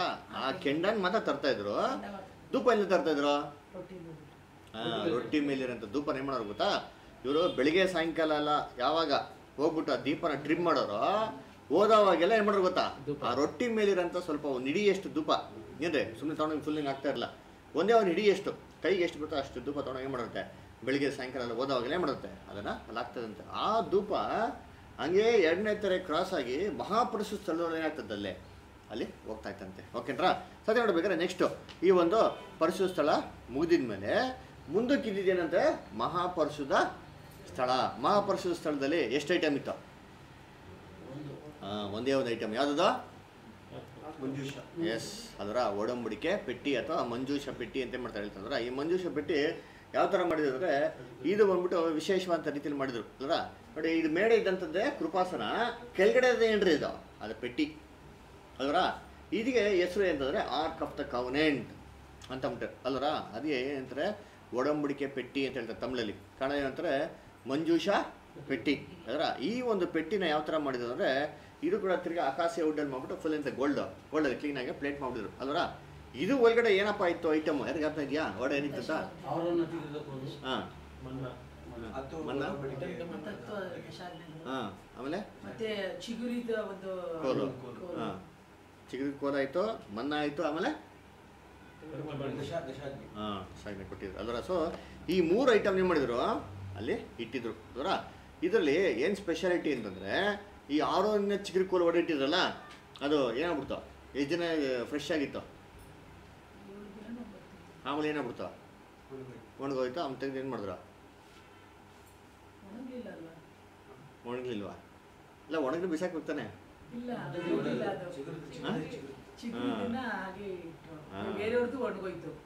ಇದು ಯಾವತ್ತೂ ಒಣಗ್ತಾನೆ ಇರಲ್ಲ ಎಲ್ಲಿತ್ತು ಒಡಂಬಡಿಕೆ ಪೆಟ್ಟಿ ಹೊಡಿದ್ರು ಸೇನಾಕಲ್ಲಿ ಯಾವತ್ತು? ಒಣಗ್ತಾ ಇರಲ್ಲ ಅದರ ಆಮೇಲೆ ಆ ಗೋಲ್ಡನ್ ಪಾಟಲ್ಲಿ ಏನಿಟ್ಟಿದ್ರು? ಚಿನ್ನದ ಬಟ್ಲಲ್ಲಿ ಮನ್ನ ಇಟ್ಟಿದ್ರು. ಅಲ್ವಾ ಇವಾಗ ತಿಂಗಳಿಗೆ ಮನ್ನ ಯಾವಾಗ ಹಾಂ ಅಡವಿಯಲ್ಲಿ ಕೊಟ್ರು. ಅದರ? ಯಾ ಅದಕ್ಕೆ ಮನ್ನ ಕೊಡ್ಬೇಕಾದ್ರೆ ರೂಲ್ಸ್ ಆ್ಯಂಡ್ ರೆಗ್ಯುಲೇಷನ್ಸ್ ಹಾಂ ಇವತ್ತಿನ ಇವತ್ತೇ ಮಾಡ್ಕೋ ಮುಗಿಸ್ಬಿಡ್ಬೇಕು. ನಾಳೆ ಸೇರ್ಸಿಟ್ಟು ಏನಾಗ್ತದ ಅದು ಕೆಟ್ಟೋಗ್ಬಿಡ್ತಾ ಇತ್ತು. ಅಲ್ವರ? ಹಂಗೆ ನೋಡ್ಬೇಕಾದ್ರೆ ಅವತ್ತಿಂದ ಅವತ್ತೇ ಮಾಡೋಕೆ ಅದನ್ನ ಮುಗಿಸಿಟ್ಬಿಡ್ಬೇಕು ಅಂದ್ರೆ ಈ ಒಂದು ಮಂಜುಷ ಪೆಟ್ಟಿಲಿ ಅಂತ ಮಣ್ಣ ದಿನ ಏನು ಮಾಡಬೇಕು? ಚೇಂಜ್ ಮಾಡ್ಬೋದು. ಮಾಡ್ಬೇಕಾಯ್ತಾ ಅದು ಮಾಡ್ತೀವಿ ಅದು ಹಾಗೆ ಕೊಳಿತಾ ಇರಲ್ವಾ ಕೊಳಿತಾ ಇರಲಿಲ್ವಾ? ಇಲ್ಲ ಇಲ್ಲ. ಹೇಗೆ? ಬ್ಲೆಸ್ಸಿಂಗ್? ಬ್ಲೆಸ್ಸಿಂಗ್ ಇರೋಂಥ ಜಾಗ. ದೇವ್ರು ಹೇಳಿರ್ತಾರಲ್ಲ ಅದು ಕೆಡೋದಿಲ್ಲ ಅಂತಾನೆ ಹೇಳಿರ್ತಾರಲ್ಲ. ಅರುಣನ ಕೋಲು ಹೆಂಗೆ ಯಾವ ರೀತಿಯಾಗಿ ಚಿಗುರ್ದಂಗೆ ಇತ್ತು ಅದು ಅದೇ ರೀತಿ ಇರುತ್ತೆ. ಅದೇ ಥರ ಸ್ಪೆಷಾಲಿಟಿ ಅಂದ್ರೆ ಈ ಚಿನ್ನದ ಬಟ್ಲಲ್ಲಿ ಇಟ್ಟಿರೋಂಥ ಮನ್ನ ಯಾವತ್ತೇನಾಗ್ತಾ ಇರಲ್ಲ ಕೆಡ್ತಾನೆ ಇರ್ಲಿಲ್ಲ. ಅಲ್ಲ ಅದೇ ನೋಡ್ಬೇಕು ದೇವ್ರು ಏನು ಮಾಡ್ತಂತಂದ್ರೆ ಅಂತಂದ್ರೆ ಈ ಒಂದು ಚಿನ್ನದ ಬಟ್ಟಲು ಏನು ಮಾಡ್ತಾರೆ? ಆ ಮನ್ನಾನ ಏನು ಮಾಡಿದ್ರು? ಇಟ್ಟಿದ್ದು ಯಾವತ್ತೂ ಕರಪ್ಟೇ ಆಗ್ತಾ ಇರಲ್ಲ ಆಚೆ ಕಡೆ ಏನಾದ್ರು ಕೊಳಿತಾ ಇತ್ತು ಇದೇನಾಯ್ತಲ್ಲ ಕೊಳಿತಾನೆ ಇಲ್ಲ. ವಚನ ಓದಿ. Hebrews nine chapter four and five ಹೆಬ್ರಾಯದಲ್ಲಿ. ಒಂಬತ್ತನೇ ಇದೆಯಾ ನಾಲ್ಕು ಮತ್ತು ಐದು. ಒಂಬತ್ತು ನಾಲ್ಕು. ಹ್ಞೂ ಚಿನ್ನದ ಧೂಪಾರತಿ ಒಳಗೂ ಹೊರಗೂ ಚಿನ್ನದ ತಗಳನ್ನು ಮುಡಾಯಿಸಿದ ಒಡಂಬಡಿಕೆ ಮಂಜುಸ ಇವು ಬೆಳೀತವು ಹ್ಞೂ ಆ ಮಂಜುಸದೊಳಗೆ ಮನ್ನ ಇಟ್ಟಿದ್ದ ಚಿನ್ನದ ಪಾತ್ರೆಯು ಹ್ಞೂ ಆರೋನನ ಚಿಗುರಿದ ಕೋಲು ಹ್ಞೂ ಒಡಂಬಡಿಕೆ ಬರೆದಿದ್ದ ಕಲ್ಲಿನ ಅಲಿಗೆಗಳು ಇದ್ದವು. ಆಮೇಲೆ? ಅದರ ಮೇಲೆ ದೇವರ ಪ್ರಭಾವವನ್ನು ಸೂಚಿಸುವ ನಿರೋಬಿಗಳು ಕೃಪಾ ಆಸನವನ್ನು ಆಜ್ಞಾ ಆಚ್ಛಾದಿಸಿಕೊಂಡಿದ್ದು. ಆಚ್ಛಾದಿಸಿಕೊಂಡಿದ್ದವು. ನೋಡ್ರ ಏನೈತೆ ಮೇಲೆ? ಕೃಪಾಸನ ಐತಂತೆ ಅದರ ಸಹ ವರ್ಡ್ ಇದ್ದಿದೆ ಮೂರೇ ಐಟಮು ಅದರ ಸೊ ಮೇಡ್ ಏನಿತ್ತಂದ್ರೆ ಕೃಪಾಸನ ಅಂತ ಇತ್ತು ಅದರ ಈ ಕೃಪಾಸನ ಹೆಂಗ್ ಮಾಡಿದ್ರು ದೇವರು ಅಂತಂದ್ರೆ it was made up of single piece of gold ಅದರ ಸಾಲಿಡ್ ಗೋಲ್ಡಲ್ಲಿ ಅದರ ಯಾವ ಥರ ಮಾಡಿದ್ರೆ ಎರಡು ಕೆರೂಬ್ಗಳ ಒಂದು ಚಿತ್ರೀಕರಣ. ಏನ್ರಿ? ಎರಡು ಕೆರೂಬ್ಗಳು ಕೃಪಾಸನ ದಿಟ್ಟಿಸಿ ನೋಡಿ ಆರಕ್ಕೆ ಸಿದ್ಧವಾಗಿರೋಂಥ ಎರಡು ಕಿರುಬುಗಳ ಚಿತ್ರೀಕರಣ ಏನ್ ಮಾಡಿದ್ರು? ಅಲ್ಲಿ ಕೆತ್ತಿದ್ರು. ಯಾವ ಥರ ಕೆತ್ತಿದ್ರು ಅಂತಂದ್ರೆ ಏನ್ರಿ? ಒಂದೇ ಒಂದು ಸಿಂಗಲ್ ಪೀಸ್ ಗೋಲ್ಡಲ್ಲಿ ಏನು ಮಾಡಿದ್ರು ಅಂದರೆ ಇದರ ಬ್ಯೂಟಿಫುಲ್ ಆಗಿ ಏನು ಮಾಡಿದ್ರು ಒಂದು ಇದನ್ನ ಮಾಡಿದ್ರು. ಇದನ್ನ ಏನು ಮಾಡಿದ್ರು? ಕ್ಲೀನಾಗಿ ಹಾಕ್ಬಿಟ್ಟು ಮಾಡೋದನ್ನ ಅದ್ಮೇಲೆ ಹಾಕ್ಬಿಟ್ಟು ಸೀಲ್ ಮಾಡಿದ್ರು ಅಂತ ಈ ಥರ ಏನಾಗಿತ್ತು ಅಂದರೆ ಈ ಕೃಪಾಸನ ಎಲ್ಲಿಟ್ಟಿದ್ರು? ಮಹಾಪರಶು ಸ್ಥಳದೇ ಮಾಡಿದ್ರು? ಅದನ್ನು ಇಟ್ಟಿದ್ರು. ಸರಿ ಮಹಾಪರಶು ಸ್ಥಳಕ್ಕೆ ಎಷ್ಟು ಸತಿ ಒಂದ್ಸತಿ ಹೋಗ್ಬೋದು? ದಿನ ಹೋಗ್ಬೋದಾ ಮಹಾಪರಶು ಸ್ಥಳಕ್ಕೆ? ನೋಡಿ ಅಲ್ಲಿ ಏನು ಪರಿಶು ಸ್ಥಳಕ್ಕೆ ದಿನ ಏನು ಹೋಗೈತೆ ಹೋಗೋಯ್ತು. ಇಲ್ಲಿ ವರ್ಷಕ್ಕೆ ಒಮ್ಮೆ. ಒಂದೇ ಸತಿ. ಅದರ ನೋಡ್ಬೇಕಾರೆ ಅದು ಹೋಗ್ಬೇಕಾರೆ ಏನು ತೊಗೊಳ್ಬೇಕು? ಹ್ಞೂ ಹ್ಞೂ ಆಚೆ ಕಡೆ ಬಲಿ ಕೊಟ್ಟಿರೋಂಥ ಒಂದು ಬಲಿ ಮಾಡಕೈತಲ್ಲಿ ಒಳಗಡೆ ತೊಗೊಂಡೋಗ್ಬೇಕಾಯ್ತು ಅಲ್ವರ ನೋಡ್ಬೇಕಾದ್ರೆ ವರ್ಷಕ್ಕೆ ಒಂದೇ ಸತಿ ಮಹಾಯಾಜಕ ಮಾತ್ರ ಹೋಗೋದಕ್ಕೆ ಒಂದು ಪರ್ಮಿಷನ್ ಬೇರೆ ಯಾರಿಗೇನಿಲ್ಲ. ಪರ್ಮಿಷನ್ ಇಲ್ಲ. ಅಲ್ವರ ನೋಡ್ಬೇಕಾದ್ರೆ ಹೊರಡೆ ಹೋಗ್ಬೇಕಾದ್ರೆ ಎಷ್ಟು ಸ್ಟ್ರಿಕ್ಟ್ ಆಗಿ ದೇವ್ರು ಇದ್ರು ಅಂತಂದ್ರೆ ಅವ್ನು ಹೊರಡೆ ಹೋಗ್ಬೇಕಾದ್ರೆ ಅವನಲ್ಲಿ ಏನೋ ಒಂದೇ ಒಂದು ಮಿಸ್ಟೇಕ್ ಮಾಡೋ ಏನೋ ಇಮಟೆಗೆ ಅವನು ಸುತ್ತಬಿಡು ಅದಕ್ಕೆ ಏನು ಮಾಡೋರಂದರೆ ಮಹಾಜಕನ ಮಹಾಯಾಜಕನ ಕಳಿಸ್ಬೇಕಾದ್ರೆ ಹೊಟ್ಟೆಗೆ ಸೊಂಟಕ್ಕೆ ಹಗ್ಗ ಹಾಕ್ಬಿಟ್ಟು ಕಳಿಸೋರು. ಯಾಕಂದ್ರೆ ಇವನು ಹೋಗಿ ಸತ್ತೋಗ್ಬಿಟ್ಟಾದ್ರೆ ಬೇರೆ ಇನ್ನು ಯಾರು ಹೋಗೋದಕ್ಕೇನಿಲ್ಲ. ಅನುಮತಿ ಇಲ್ಲ. ಅಲ್ವರ ಮಹಾಜಕ್ಕನೇ ಹೋಗ್ಬೇಕು ವರ್ಷ ಒಂದೇ ಸತಿ ಹೋಗ್ಬೇಕು ಇವ್ನು ಸತ್ತೋಗ್ಬಿಟ್ರೆ? ಅದಕ್ಕೆ ಏನು ಮಾಡೋದಂತೆ? ಅವ್ನು ಹೇಳ್ಕೊಳಕ್ಕೆ ಏನು ಮಾಡಿದ್ರೆ ಅದಕ್ಕೆ ಹಗ್ಗ ಹಾಕ್ಬಿಟ್ಟು ಮಾಡೋದು? ಕಡೆ ಅಂದ್ರೆ ಎಷ್ಟು ಸ್ಟ್ರಿಕ್ಟ್ ಆಗಿ ಅಂತ ಇಮ್ಯಾಜಿನ್ ಮಾಡಿ ಅವ್ನು ಮಿಸ್ಟೇಕ್ ಮಾಡಿ ಅವನೇ ಹೋಗೋಂಥ ಸಾಧ್ಯತೆಗಳು ಇರ್ತಾ ಇತ್ತು. ಅದ್ರ ಅದು ನೋಡ್ಬೇಕು ಇವ್ನು ಹೋಗ್ಬೇಕಾದ್ರೆ ಬರೀ ಕೈನಲ್ಲಿ ಹೋಗಂಗಿಲ್ಲ.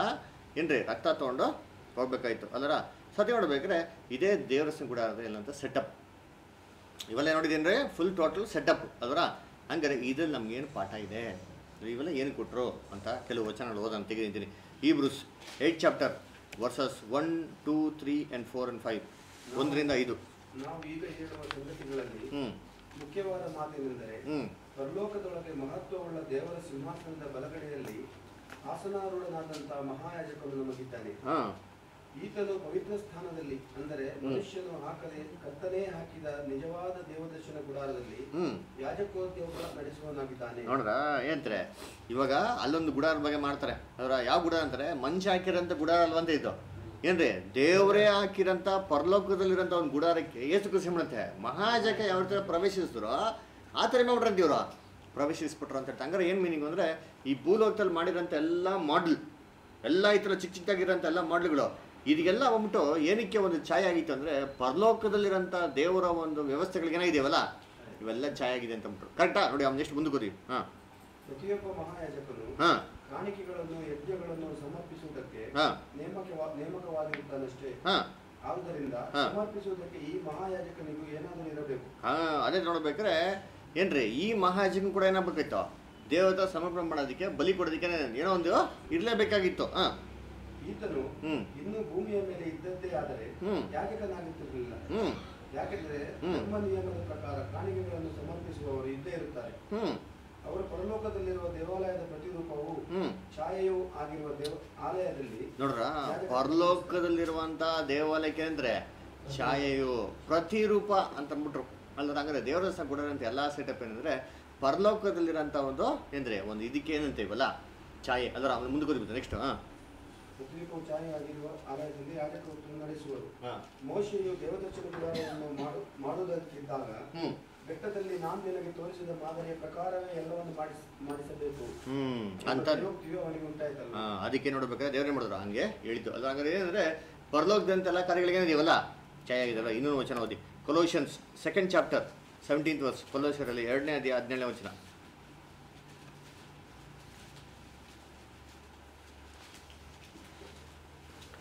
ಕೊಲೋಸಿಯರು ಎರಡು ಹದಿನೇಳು ಬರ್ತಾರೆ ನೋಡ್ರ ಇವು ಮುಂದೆ ಬರಬೇಕಾದಂಥ ಇದೆಯಲ್ಲ ಛಾಯೆಯಾಗಿದೆ. ಛಾಯೆ ಆಗಿದೆ ಹಾಂ ನೋಡ್ರ ಮುಂದೆ ಬರ್ಬೇಕಂತ ಕಾರ್ಯಗಳೇನಂತೇವಲ್ಲ ಛಾಯೆ. ಇವೆಲ್ಲ ಮುಂದೆ ಬರ್ಬೇಕಂತ ಯಾರಂತೆ? ಕ್ರಿಸ್ತನು. ಅಂದ್ರೆ ಕ್ರಿಸ್ತನ ಬಂದಿದ ನಂತರ ಎಲ್ಲ ನೆರವೇರಂತ ಕೆಲಸಗಳಿಗೆ ಏನಂತೆ ಹಳೆ ಒಡಂಬಡಿಕೆ ಬರ್ತಿದೆಯಲ್ಲ ಎಲ್ಲ ಛಾಯೆ. ಹಾಗೆ ನಾವು ಔಟ್ ಸ್ಟಡಿ ಬೈಬಲ್ ಓದಿದ್ರಿ ಬೈಬಲ್ ಓದ್ಬೇಕಾದ್ರೆ ಹೆಂಗಿದೆ ಅಂತಂದ್ರೆ ಛಾಯೆ ನಿಜ ಸ್ವರೂಪ. ಈ ಒಂದು ಪಾಯಿಂಟ್ ಕೂಡ ಏನು ಮಾಡ್ಕೋ? ಬೈಬಲಲ್ಲಿ ಮನಸ್ಸು ಇಟ್ಕೊಂಡ್ಬಿಟ್ಟು ನಾವೇನು ಮಾಡಿ ಕರೆಕ್ಟಾಗಿ ಬೈಬಲ್ ಓದೋದನ್ನ ಕಲಿಬೇಕಾದ್ರೆ ಛಾಯೆ ನಿಜ ಸ್ವರೂಪ. ಅದರ ಇನ್ನೊಂದು ವಚನ ಓದಿ. Hebrews ten chapter first verse. ಎಬ್ರದಲ್ಲಿ ಹತ್ತನೇ ಅಧ್ಯಾಯ ಒಂದನೇ ವಚನ.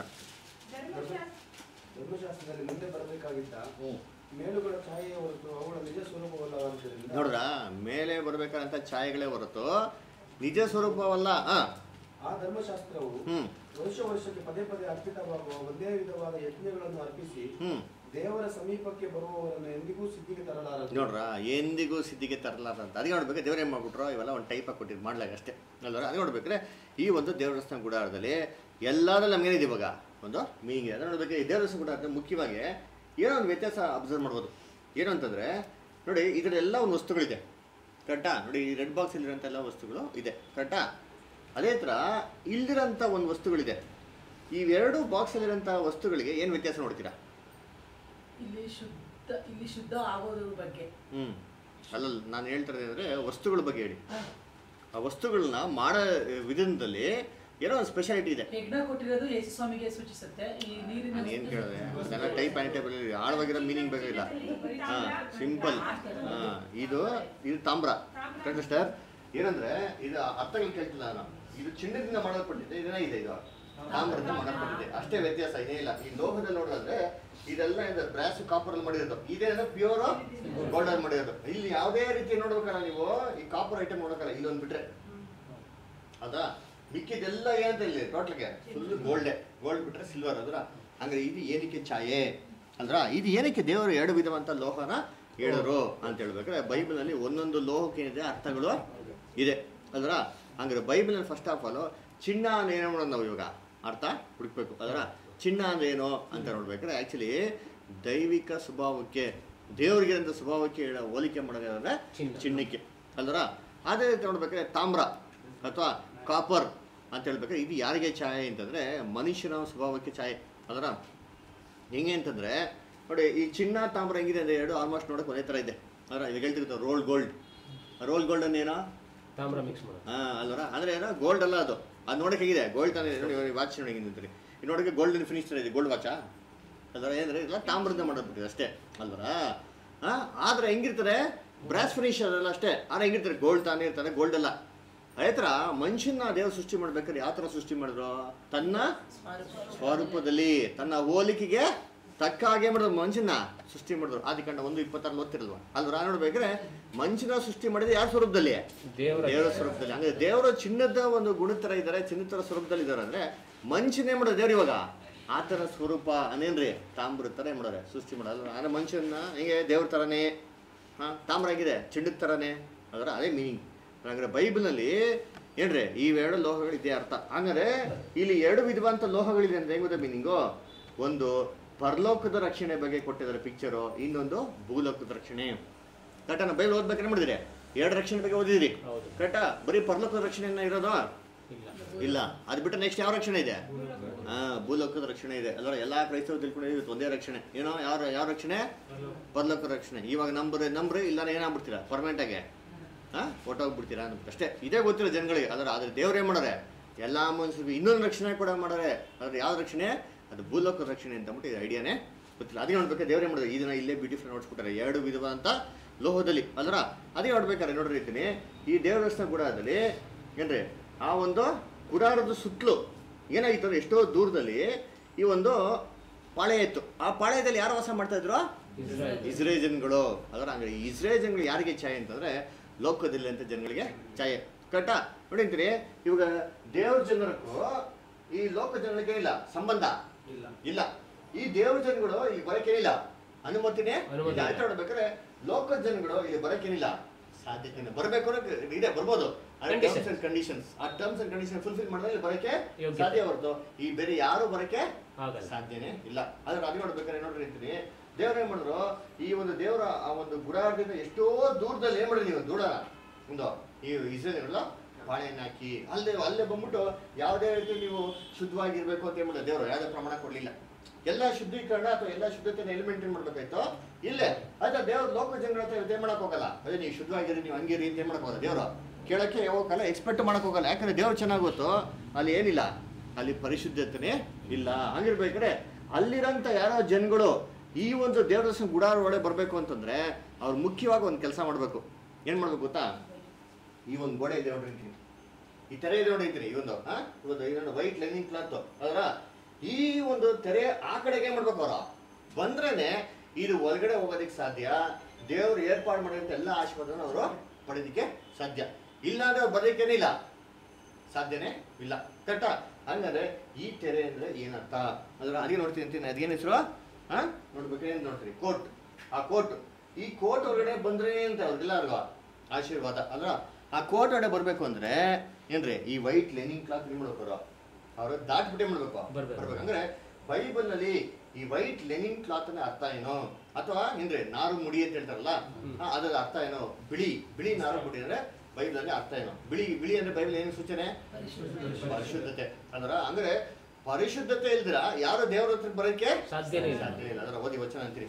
ಎಲ್ಲಿ ಅಂತಂದ್ರೆ ರೆವಲ್ಯೂಷನ್ ನೈನ್ಟೀನ್ ಏಯ್ಟ್ ತಮಿಳು ಪ್ರಕಾಶಮಾನವು ಓದಿ ಓದಿ ಓದಿ ಇಷ್ಟ ಓದಿ. ಪ್ರಕಾಶಮಾನವು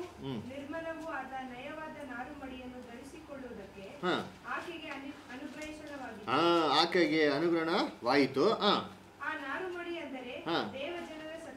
ಆ ಆ ನಾರು ಮುಡಿ ಅಂದ್ರೆ ಏನ್ರಿ? ದೇವ್ರ ಜನರ ಸತ್ಕಾರ್ಯ. ಸತ್ಕಾರ್ಯಗಳೇ. ಅದರ ಇಂಗ್ಲಿಷ್ ಏನ್ ಬರ್ತಾರೆ ಹಾ ಓದಿ ಬಿಡ. Righteous deeds of the saints. ಹಾ righteous deeds of the saints ಅಂತ ಅದರ ಆದರೆ ಏನ್ರಿ? The righteousness of the saints ಅಂತ ಬರ್ತಾರೆ ನೀತಿವಂತಿಕೆ. ಅಲ್ವರ? ನಾವೆಲ್ಲ ಹೋಗ್ತಾ ಇರ್ಬೇಕು ಹೆಂಗಿದ್ರಿ ಎಲ್ಲ ಏನ್ರಿ? ಹೊಲ್ಸಾಗಿದ್ದೀರಿ ಅಪರಿಶುದ್ಧವಾಗಿದ್ದೀರಿ. ಹಂಗಾರೆ ನಮಗೆ ನೀತಿವಂತರು ಆಗೋದಕ್ಕೆ ಒಂದು ದೇವ್ ಕೊಡುವಂಥ ಕೃಪೆ ಯಾರ ಮುಖಾಂತನೇ ಬರೀ ಯೇಸು ಕ್ರಿಸ್ತ ಮುಖಾಂತರ. ಅಂದರೆ ವಾಲ್ ಆಫ್ ಫೇತ್ ಆ ವಿಶ್ವಾಸದ ಒಂದು ಗೋಡೆ. ವಿಶ್ವಾಸದಿಂದಾನೇ ಏನಾಗುತ್ತೆ ಸಾಧ್ಯ ದೇವ್ರ ಮುಂದೆ? ನೀತಿವಂತರಾಗತ್ತೆ ಸರ್. ಲೋಕ ಜನಗಳೆಲ್ಲ ಇವತ್ತು ಎಲ್ಲಿದ್ದಾರೆ ಅಂತಂದ್ರೆ, ಎಲ್ಲ ಎಲ್ಲವ್ರೆ. ಆ ಲೋಕದಲ್ಲಿ ಏನು ಮಾಡ್ತಾರೆ ಇವತ್ತು? ಬಾಳ್ತಾವ್ರೆ ಎಲ್ಲರೂ. ಆ ವಿಶ್ವಾಸ ಇಲ್ಲ ಅವ್ರಿಗೆ. ಆ ವಿಶ್ವಾಸ ಇಲ್ದಿರೋದ್ರಿಂದ ಅವ್ರು ದೇವ್ರ ವಿಷಯ ಏನಾಗೋದಕ್ಕೆ ಸಾಧ್ಯ ಇಲ್ಲ ಇವಾಗ? ನೀತಿವಂತರಾಗೋದಕ್ಕೆ ಸಾಧ್ಯನೇ ಇಲ್ಲ. ಹಂಗೆ ದೇವ್ರ ವಿಷಯ ನೀತಿವಂತರಾಗಬೇಕು ಅಂತಂದರೆ, ಆ ಅಂಗಳದಲ್ಲಿ ನಾವು ಬರಬೇಕು ಅಂತಂದ್ರೆ ನಮಗೆ ದೇವ್ರ ಮೇಲೆ ಇರಬೇಕು ವಿಶ್ವಾಸ. ಇರಬೇಕು. ಯೇಸು ಕ್ರಿಸ್ತ ಮೇಲೆ ವಿಶ್ವಾಸ ಇರಬೇಕು. ಅದು ನೋಡ್ಬೇಕಾದ್ರೆ ಈ ದೇವ್ರ ಗುಡ ಒಡೆ ಬರೋದಕ್ಕೆ ಎಷ್ಟಪ್ಪ ಇದೆ? ಗೇಟು? ಹಾಂ ಒಂದೇ? ಗೇಟ್. ಅದ ನಾಲ್ಕೈದು ಗೇಟ್ಗಳಿದೆಯಾ? ಏನು ಅಪ್ಪಿ ತಪ್ಪಿ ಆಡ್ಕೊಂಡು ಬರ್ಬೋದಾ ಜಂಪ್ ಹೊಡ್ಕೊಂಡು ಬರ್ಬೋದ ಅಂದರೆ ಏನು ಬರೋಕ್ಕೆ ಸಾಧ್ಯನೇ ಇಲ್ಲ. ಏನು ಶಾರ್ಟ್ ಕಟ್ ಯಾವುದು ಇಲ್ಲ. ಅದರ ಇರೋದು ಒಂದೇ ಒಂದು ಗೇಟ್. ಅದರ ಆ ಒಂದು ಗೇಟ್ ಯಾರದು? ಹಾಂ ಏಸು ಕ್ರಿಸ್ತು. ಅಲ್ವರ? ನೋಡ್ಬೇಕ್ರೆ ತಂದೆ ದೇವತ್ರಕ್ಕೆ ಹೋಗ್ಬೇಕು ನಮ್ಗೆ ಇರೋದು ಒಂದೇ ಒಂದು ಮಾರ್ಗ. ಯಾವ ಮಾರ್ಗ ಅದು? ಏಸು ಕ್ರಿಸ್ತು ಬಿಟ್ಟರೆ ಬೇರೆ ಯಾವ ಮಾರ್ಗನೂ ಇಲ್ಲ. ಅಲ್ಲದ್ರೆ ಅದು ಹೇಳ್ಬೇಕಾದ್ರೆ ದೇವ್ರಿಗೂ ಮತ್ತು ಮನುಷ್ಯರಿಗೂ ಅದರ ಮಧ್ಯಸ್ಥರು ಜನ ಇರೋದು? ಒಬ್ಬರೇ ಹಾಂ ಯಾವ ಬ್ರೋಕರ್ ಎಲ್ಲ ಯಾರು ಇಲ್ಲ ಆರ್ ಟಿ ಆಫೀಸ್ ಥರನ ಹಾಂ ನೋಡ್ಬೇಕು ಇರೋದು ಒಬ್ಬರೇ ಒಬ್ರು ಯಾರಂತೆ? ಏಸು ಕ್ರಿಸ್ತು ಏಸು ಕ್ರಿಸ್ತು ಮುಖಾಂತರ ಎಲ್ಲಿ ಹೋಗಕ್ಕೆ ಸಾಧ್ಯ? ಪರ್ಲೋಕಕ್ಕೆ ಹೋಗಕ್ಕೆ ಸಾಧ್ಯ ಹೊರತು ಅವ್ರು ಇಲ್ದಿರ ರಕ್ಷಣೆ ಹೊಂದಕ್ಕೆ ಸಾಧ್ಯನೇ ಇಲ್ಲ. ಓದಿದ್ದೀನಿ. ಅಪೋಸ್ಲು ಕೃತ್ಯಗಳು ನಾಲ್ಕು ಹನ್ನೆರಡು. ಅಪೋಸ್ಲು ಕೃತ್ಯಗಳಲ್ಲಿ ನಾಲ್ಕನೇ ಅಧ್ಯಾಯ ಹನ್ನೆರಡನೇ ವಚನ.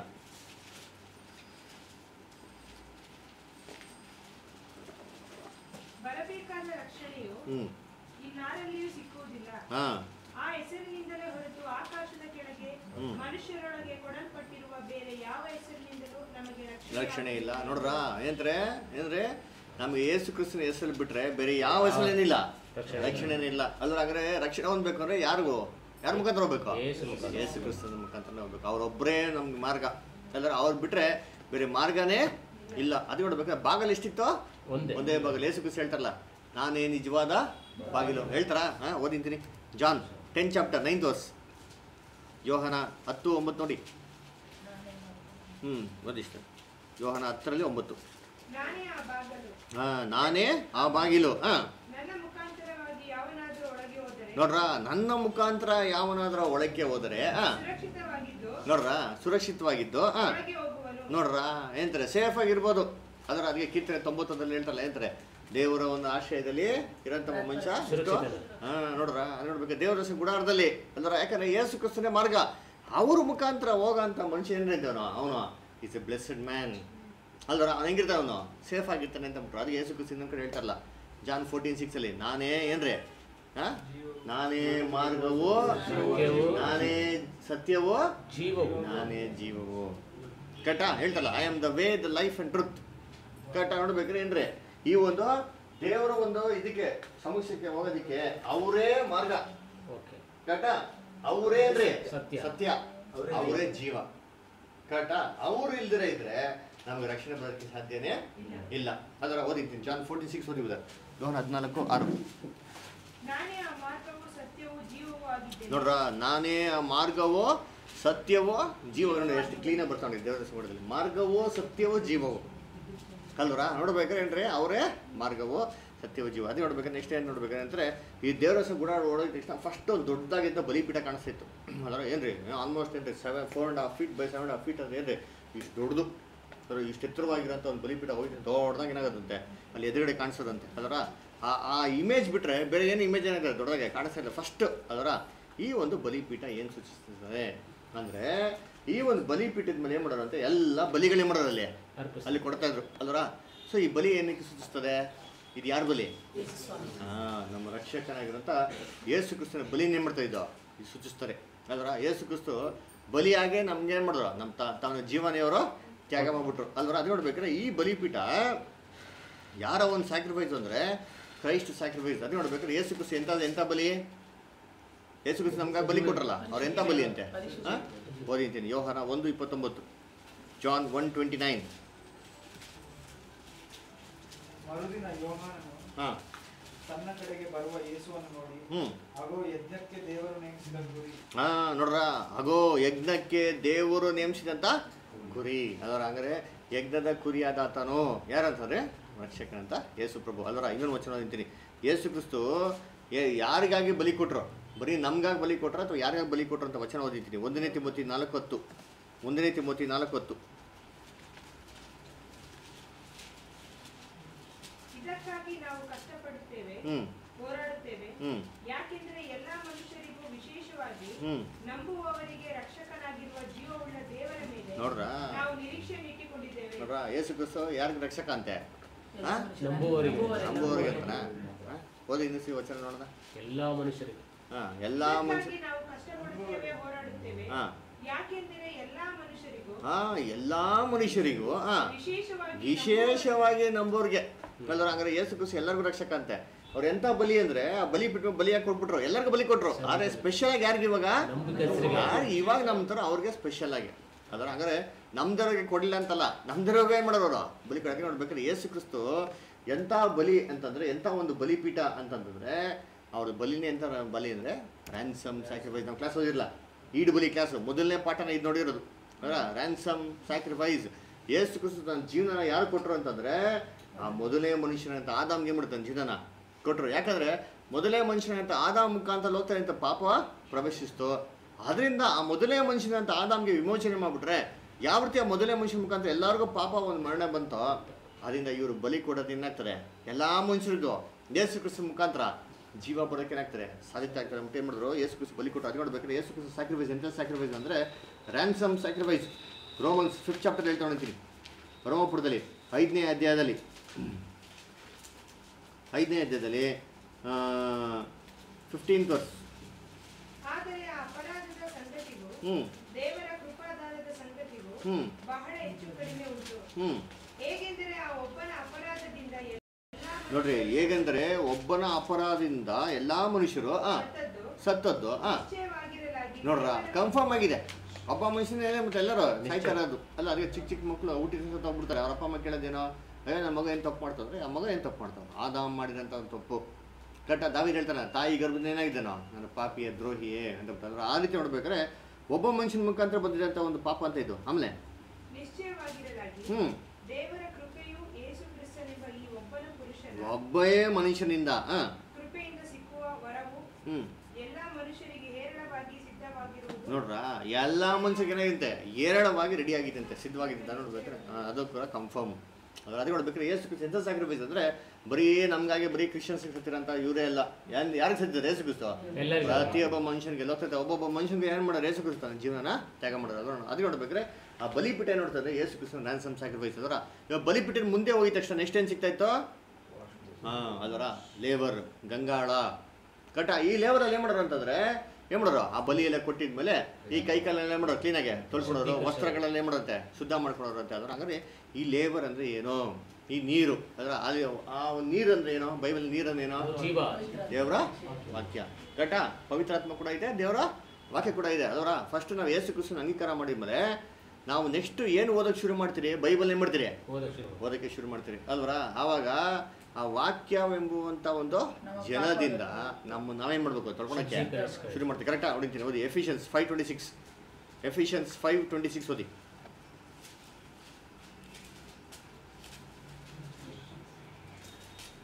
ಎಫಿಷಿಯನ್ಗೆ ಬಂದ ಪತ್ರಿಕೆ ಐದನೇ ಅಧ್ಯಾಯದಲ್ಲಿ ಇಪ್ಪತ್ತಾರು.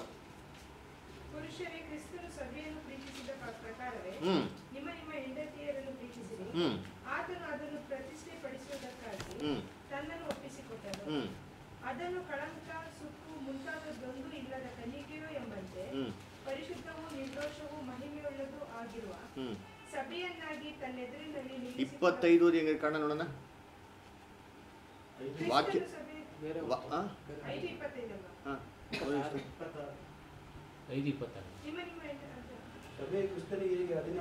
ಇಲ್ಲ ಇಲ್ಲ ವಾಕ್ಯವೆಂಬಂತ ಜಲಸ್ಥಾನ ಅಂತ ಬರ್ತಲ್ಲ. ಇಪ್ಪತ್ತಾರು. ಇಪ್ಪತ್ತಾರ? ಓದಿ ಇದು. That he might sa- he might sanctify her Hmm. having cleansed her by wa- by the washing of water with the word ಕಾಣಲ್ಲಿ ನಿಮ್ಮುತ್ತದೆ. Kannada ಒಂದು ಹೆಚ್ಚು ಕಮ್ಮಿ ಹಾಂ. ವಾಕ್ಯೋಪದೇಶ ಸಹಿತವಾಗಿ. ಜಲಸ್ನಾನವನ್ನು ಮಾಡಿಸಿ ಶುದ್ಧಿ ಮಾಡಿದನು. ಎಷ್ಟನೇ ಬುದ್ಧರ ವಚನ ಅದು? ಇಪ್ಪತ್ತೇಳನೇ ಅಲ್ಲ ಯಾವ್ದು ಹೇಳಿ? ಆ ಇಲ್ಲ ಕಾಣೋದು ಸುಮ್ಮನೆ ಹೆಚ್ಚು ಕಮ್ಮಿ ಇರ್ಬೇಕು ಕೆಳ ವಾಕ್ಯ ಸೊ ನೋಡ್ಬೇಕು ವಾಕ್ಯವೆಂಬಂಥ ಜಲಸ್ನಾನ. ಕಟ ಇಪ್ಪತ್ತೇಳು ಹಾಂ ಇಪ್ಪತ್ತೆರಡರಲ್ಲಿ ಕಟ ನೋಡ್ಬೇಕ್ರೆ? ಇಪ್ಪತ್ತೇಳ? ಐದು ಇದೆ. ಟ್ವೆಂಟಿ ಸೆವೆನ್ ಹಾಂ ಅದೇ ಅದೇ ಹಾಂ ಶುದ್ಧ ಮಾಡೋದು ಅಂತ ಅಂದರೆ ಅಂದರೆ ಶುದ್ಧೀಕರಣ. ಅಂದ್ರೆ ಅದೇ ಹೊಡ್ಬೇಕಾರೆ ಏನ್ರಿ? ಹಾಂ ನಾವೆಲ್ಲ ಫಸ್ಟ್ ಏಸು ಕುಸ ರಕ್ಷಣೆ ಹೊಂದಿದ್ಮೇಲೆ ಏಸು ಕುಸ ನಂಬಿದ ಮೇಲೆ ಏನು ಮಾಡ್ತೀವಿ ನೆಕ್ಸ್ಟು ಬೈಬಲ್ ಓದಕ್ಕೆ ಏನು ಮಾಡ್ತೀರಿ? ನಾವು ಶುರು ಮಾಡ್ತೀವಿ. ಬೈಬಲ್ ಓದ್ತಾ ಇರ್ಬೇಕು ಏನು ಮಾಡ್ತೀರಿ? ಅದೆಲ್ಲಂತೆಲ್ಲ ಪ್ಯೂರಿಫೈಯಿಂಗ್ ಆಕ್ಟಿವಿಟಿ ಏನು ಮಾಡ್ತೀರಿ? ನಾವು ಮಾಡ್ತೀವಿ. ಅದರ ವಾಕ್ಯದಲ್ಲಿ ಗೊತ್ತಾಗ್ತದೆ ನಮಗೆ. ಅದರ ಏನು ಗೊತ್ತಾಗ್ತದೆ? ಸುಳ್ಳು ಹೇಳ್ಬಾರ್ದು ಅಂತಂದ್ಬಿಟ್ಟು. ಅಲ್ವರ ಯಾಕೆ ಸುಳ್ಳು ಹೇಳಿದ್ರೆ ಯಾರು ಮಕ್ಕಳು ಸೈತಾನ. ಸೈತಾನ್ ಮಕ್ಕಳು ಅವಾಗ ನಾವು ಏನು ಮಾಡ್ತೀರಿ? ಈ ಸುಳ್ಳು ಹೇಳೋದು ಏನು ಮಾಡ್ತೀವಿ ನಾವು? ಬಿಟ್ಬಿಡ್ತೀರಿ. ಅವಾಗ ಏನು ಮಾಡ್ದಾಗಲ್ಲಿ ನೀರಲ್ಲಿ ಏನು ಮಾಡ್ದಾಗಲ್ಲಿ ತೊಳ್ಕೊಂಡಂಗೆ. ಅದರ ಅದಕ್ಕೆ ನೋಡ್ಬೇಕು. ನೀರಲ್ಲಿ ಏನು ಮಾಡಿದೆ? ಆಚೆ ಕಡೆ ಅಂತ ಗಲೀಜು ಏನು ಮಾಡಿದೆ? ತೊಳ್ಕೊತಾ ಇದ್ರಿ ಕರೆಕ್ಟಾ ಏನು ಶುದ್ಧ ಮಾಡ್ತಾ ಇದ್ರೆ ನಮ್ಮ ದೇಹದ ಹೊರಗಡೆ ಅಂತೆಲ್ಲ ಹೊಲ್ಸ್ಗಳು. ಅಂದರೆ ಇಷ್ಟು ದಿನ ಮಾಡ್ತಂತೆಲ್ಲ ಹೊಲ್ಸ್ ಕೆಲಸಗಳು ಮಾಡ್ತಾರೆ ಇವಾಗ. ಬಿಡ್ತಾ ಇದ್ರಿ ಅಲ್ವರ? ಅದೇ ನೋಡಿ, ಇನ್ನೊಂದು ವಚನ ಓದಿಂತೀನಿ ಯಾಕೋಬು ಒಂದನೇ ಅಧ್ಯಾಯ ಇಪ್ಪತ್ತೆರಡರಿಂದ ಇಪ್ಪತ್ತು ಐದು ಯಾಕೋಬು ಒಂದು ಇಪ್ಪತ್ತೆರಡರಿಂದ ಇಪ್ಪತ್ತೈದು. ವಾಕ್ಯದ ಪ್ರಕಾರ ನಡೆಯುವರಾಗಿರ್ರಿ ಹ್ಞೂ ಅದನ್ನು ಕೇಳುವವರು ಮಾತ್ರವೇ ಆಗಿದ್ದು ಹ್ಞೂ ನಿಮ್ಮನ್ನು ನೀವೇ ಮೋಸಗೊಳಿಸಬೇಡಿರಿ ಹ್ಞೂ ಯಾವನಾದರೂ ವಾಕ್ಯವನ್ನು ಕೇಳುವವನಾದರೂ ಅದರ ಪ್ರಕಾರ ನಡೆದಿದ್ದರೆ ಹ್ಞೂ ಅವನು ಕನ್ನಡಿಯಲ್ಲಿ ತನ್ನ ಹುಟ್ಟು ಮುಖವನ್ನು ನೋಡಿದ ಮನುಷ್ಯನಂತಿರುವನು. ನೋಡ್ರ ವಾಕ್ಯನ ಬರೀ ಓದ್ಬಿಟ್ಟು ಅದ್ರ ಪ್ರಕಾರ ನಡೀತಾರೆ ಅವ್ನು ಹೆಂಗಿರ್ತಾನಂತೆ ಕನ್ನಡಿಯಲ್ಲಿ ಏನು ನೋಡ್ಕೊಂಡಂಗೆ? ಮುಖವನ್ನು. ನೋಡ್ಕೊಂಡಂಗೆ. ಅದ್ರ ನೀರು ಏನು ಮಾಡ್ತಾ ಇತ್ತು ಗೊತ್ತಾ? ಹಾಂ ನೀರು ಬರೀ ವಾಷಿಂಗ್ ಮಾತ್ರ ಹೆಲ್ಪ್ ಮಾಡ್ತಾ ಇಲ್ವಂತೆ? ಅದಕ್ಕೆ ಕನ್ನಡಿ ತೋರೋ ಕೂಡ ಕೆಲಸ ಮಾಡ್ತಾ ಇದ್ದಂತೆ ಕರೆಕ್ಟಾ ಆ? ನೀರಲ್ಲಿ ನೋಡಿದಂಗೆ ಇರ್ತಾಯಿತ್ತು ಮಕ್ಕಳ ಏನಂತ ರಿಫ್ಲೆಕ್ಷನ್ ಕ್ಲೀನಾಗಿ ಕಾಣಿಸೋದು. ಹಾಂ ಅಲ್ವರ ಆಯ್ತು ನೋಡ್ಬೇಕಾದ್ರೆ ನಾವೆಲ್ಲ ಏಸು ಕ್ರಿಸ್ತನ ಅಂಗೀಕಾರ ಮಾಡಿ ಮೇಲೆ ಏನು ಮಾಡ್ತೀರಿ? ವಾಕ್ಯ ಏನು ಮಾಡ್ತೀರಿ ಅಲ್ಲಿ? ಹಾಂ ವಾಕ್ಯ ನೋಡ್ಬೇಕಾದ್ರೆ ನಮ್ಗೇನಾಯ್ತು? ನಮ್ಮ ಕಂಡೀಷನ್ ಹೆಂಗಿದೆ ಅಂತ ನಮ್ಗೇನಾಯ್ತು ಇವಾಗ? ಗೊತ್ತಾಯ್ತು. ಓಹೋ ನಾನೆಲ್ಲ ಹಿಂಗಿದ್ದೀನಿ ಹಿಂಗಿರ್ಬಾರ್ದು. ಅಲ್ವರ ಓ ಏಸು ಕ್ರಿಸ್ ಹಿಂಗಿದ್ದಾರೆ ವಾಕ್ಯದಲ್ಲಿ ಹಿಂಗಿದೆ ಅಂತ ನೋಡಿದ್ರು. ನಮ್ಮ ನಾವೇನು ಮಾಡಿದ್ರೆ? ಸರಿಪಡಿಸೋಣಕ್ಕೆ? ಅಲ್ಲಿ ಶುರು ಮಾಡಿದ್ವಿ. ಅಂದ್ರೆ ಹಂಗೆ ಅದೇ ವಾಕ್ಯ. ಅದರ ಆ ವಾಕ್ಯ ನಮ್ಗೇನು ಮಾಡ್ತಾರೆ? ನಮ್ಗಿರೋಂಥ ಎಲ್ಲ ಮಿಸ್ಟೇಕ್ಸ್ ಏನು ಮಾಡ್ತಾರೆ? ಎತ್ತಿ ನೋಡಿಸ್ತಾ ಅಂದ್ರೆ ಅದಕ್ಕೆ ದಿನನಿತ್ಯ ವಾಕ್ಯ ಓದಿ ಓದಿ ನಮ್ಮ ಮಾಡೋದು ನಾವು ಹಂಗೆ ಬದಲಾವಣೆ ಮಾಡ್ಕೊಂಡು ನೋಡಿ ಸೆಕೆಂಡ್ ಕೋರ್ ತ್ರೀ ಏಯ್ಟೀನ್ ಹ್ಞೂ ಹ್ಞೂ ಹ್ಞೂ ಹಾಂ ನೋಡ್ರ ಕರ್ತನ ಮುಖವನ್ನು ಹೆಂಗಂತೆ? ದರ್ಪಣದಲ್ಲಿ ಕಾಣಿಸಿದಂತೆ ಎಂಬಂತೆ. ಹಾಂ. ಪ್ರಭಾವದಿಂದ ಹಾಂ. ಅಧಿಕ ಪ್ರಭಾವಕ್ಕೆ ಹೋಗುತ್ತಾ ಹಾಂ. ನೋಡ್ರ, ಏನಂತಾರೆ, ಪ್ರಭಾವದಿಂದ ಪ್ರಭಾವಕ್ಕೆ ಏನು ಮಾಡ್ತೀವಿ ನಾವು?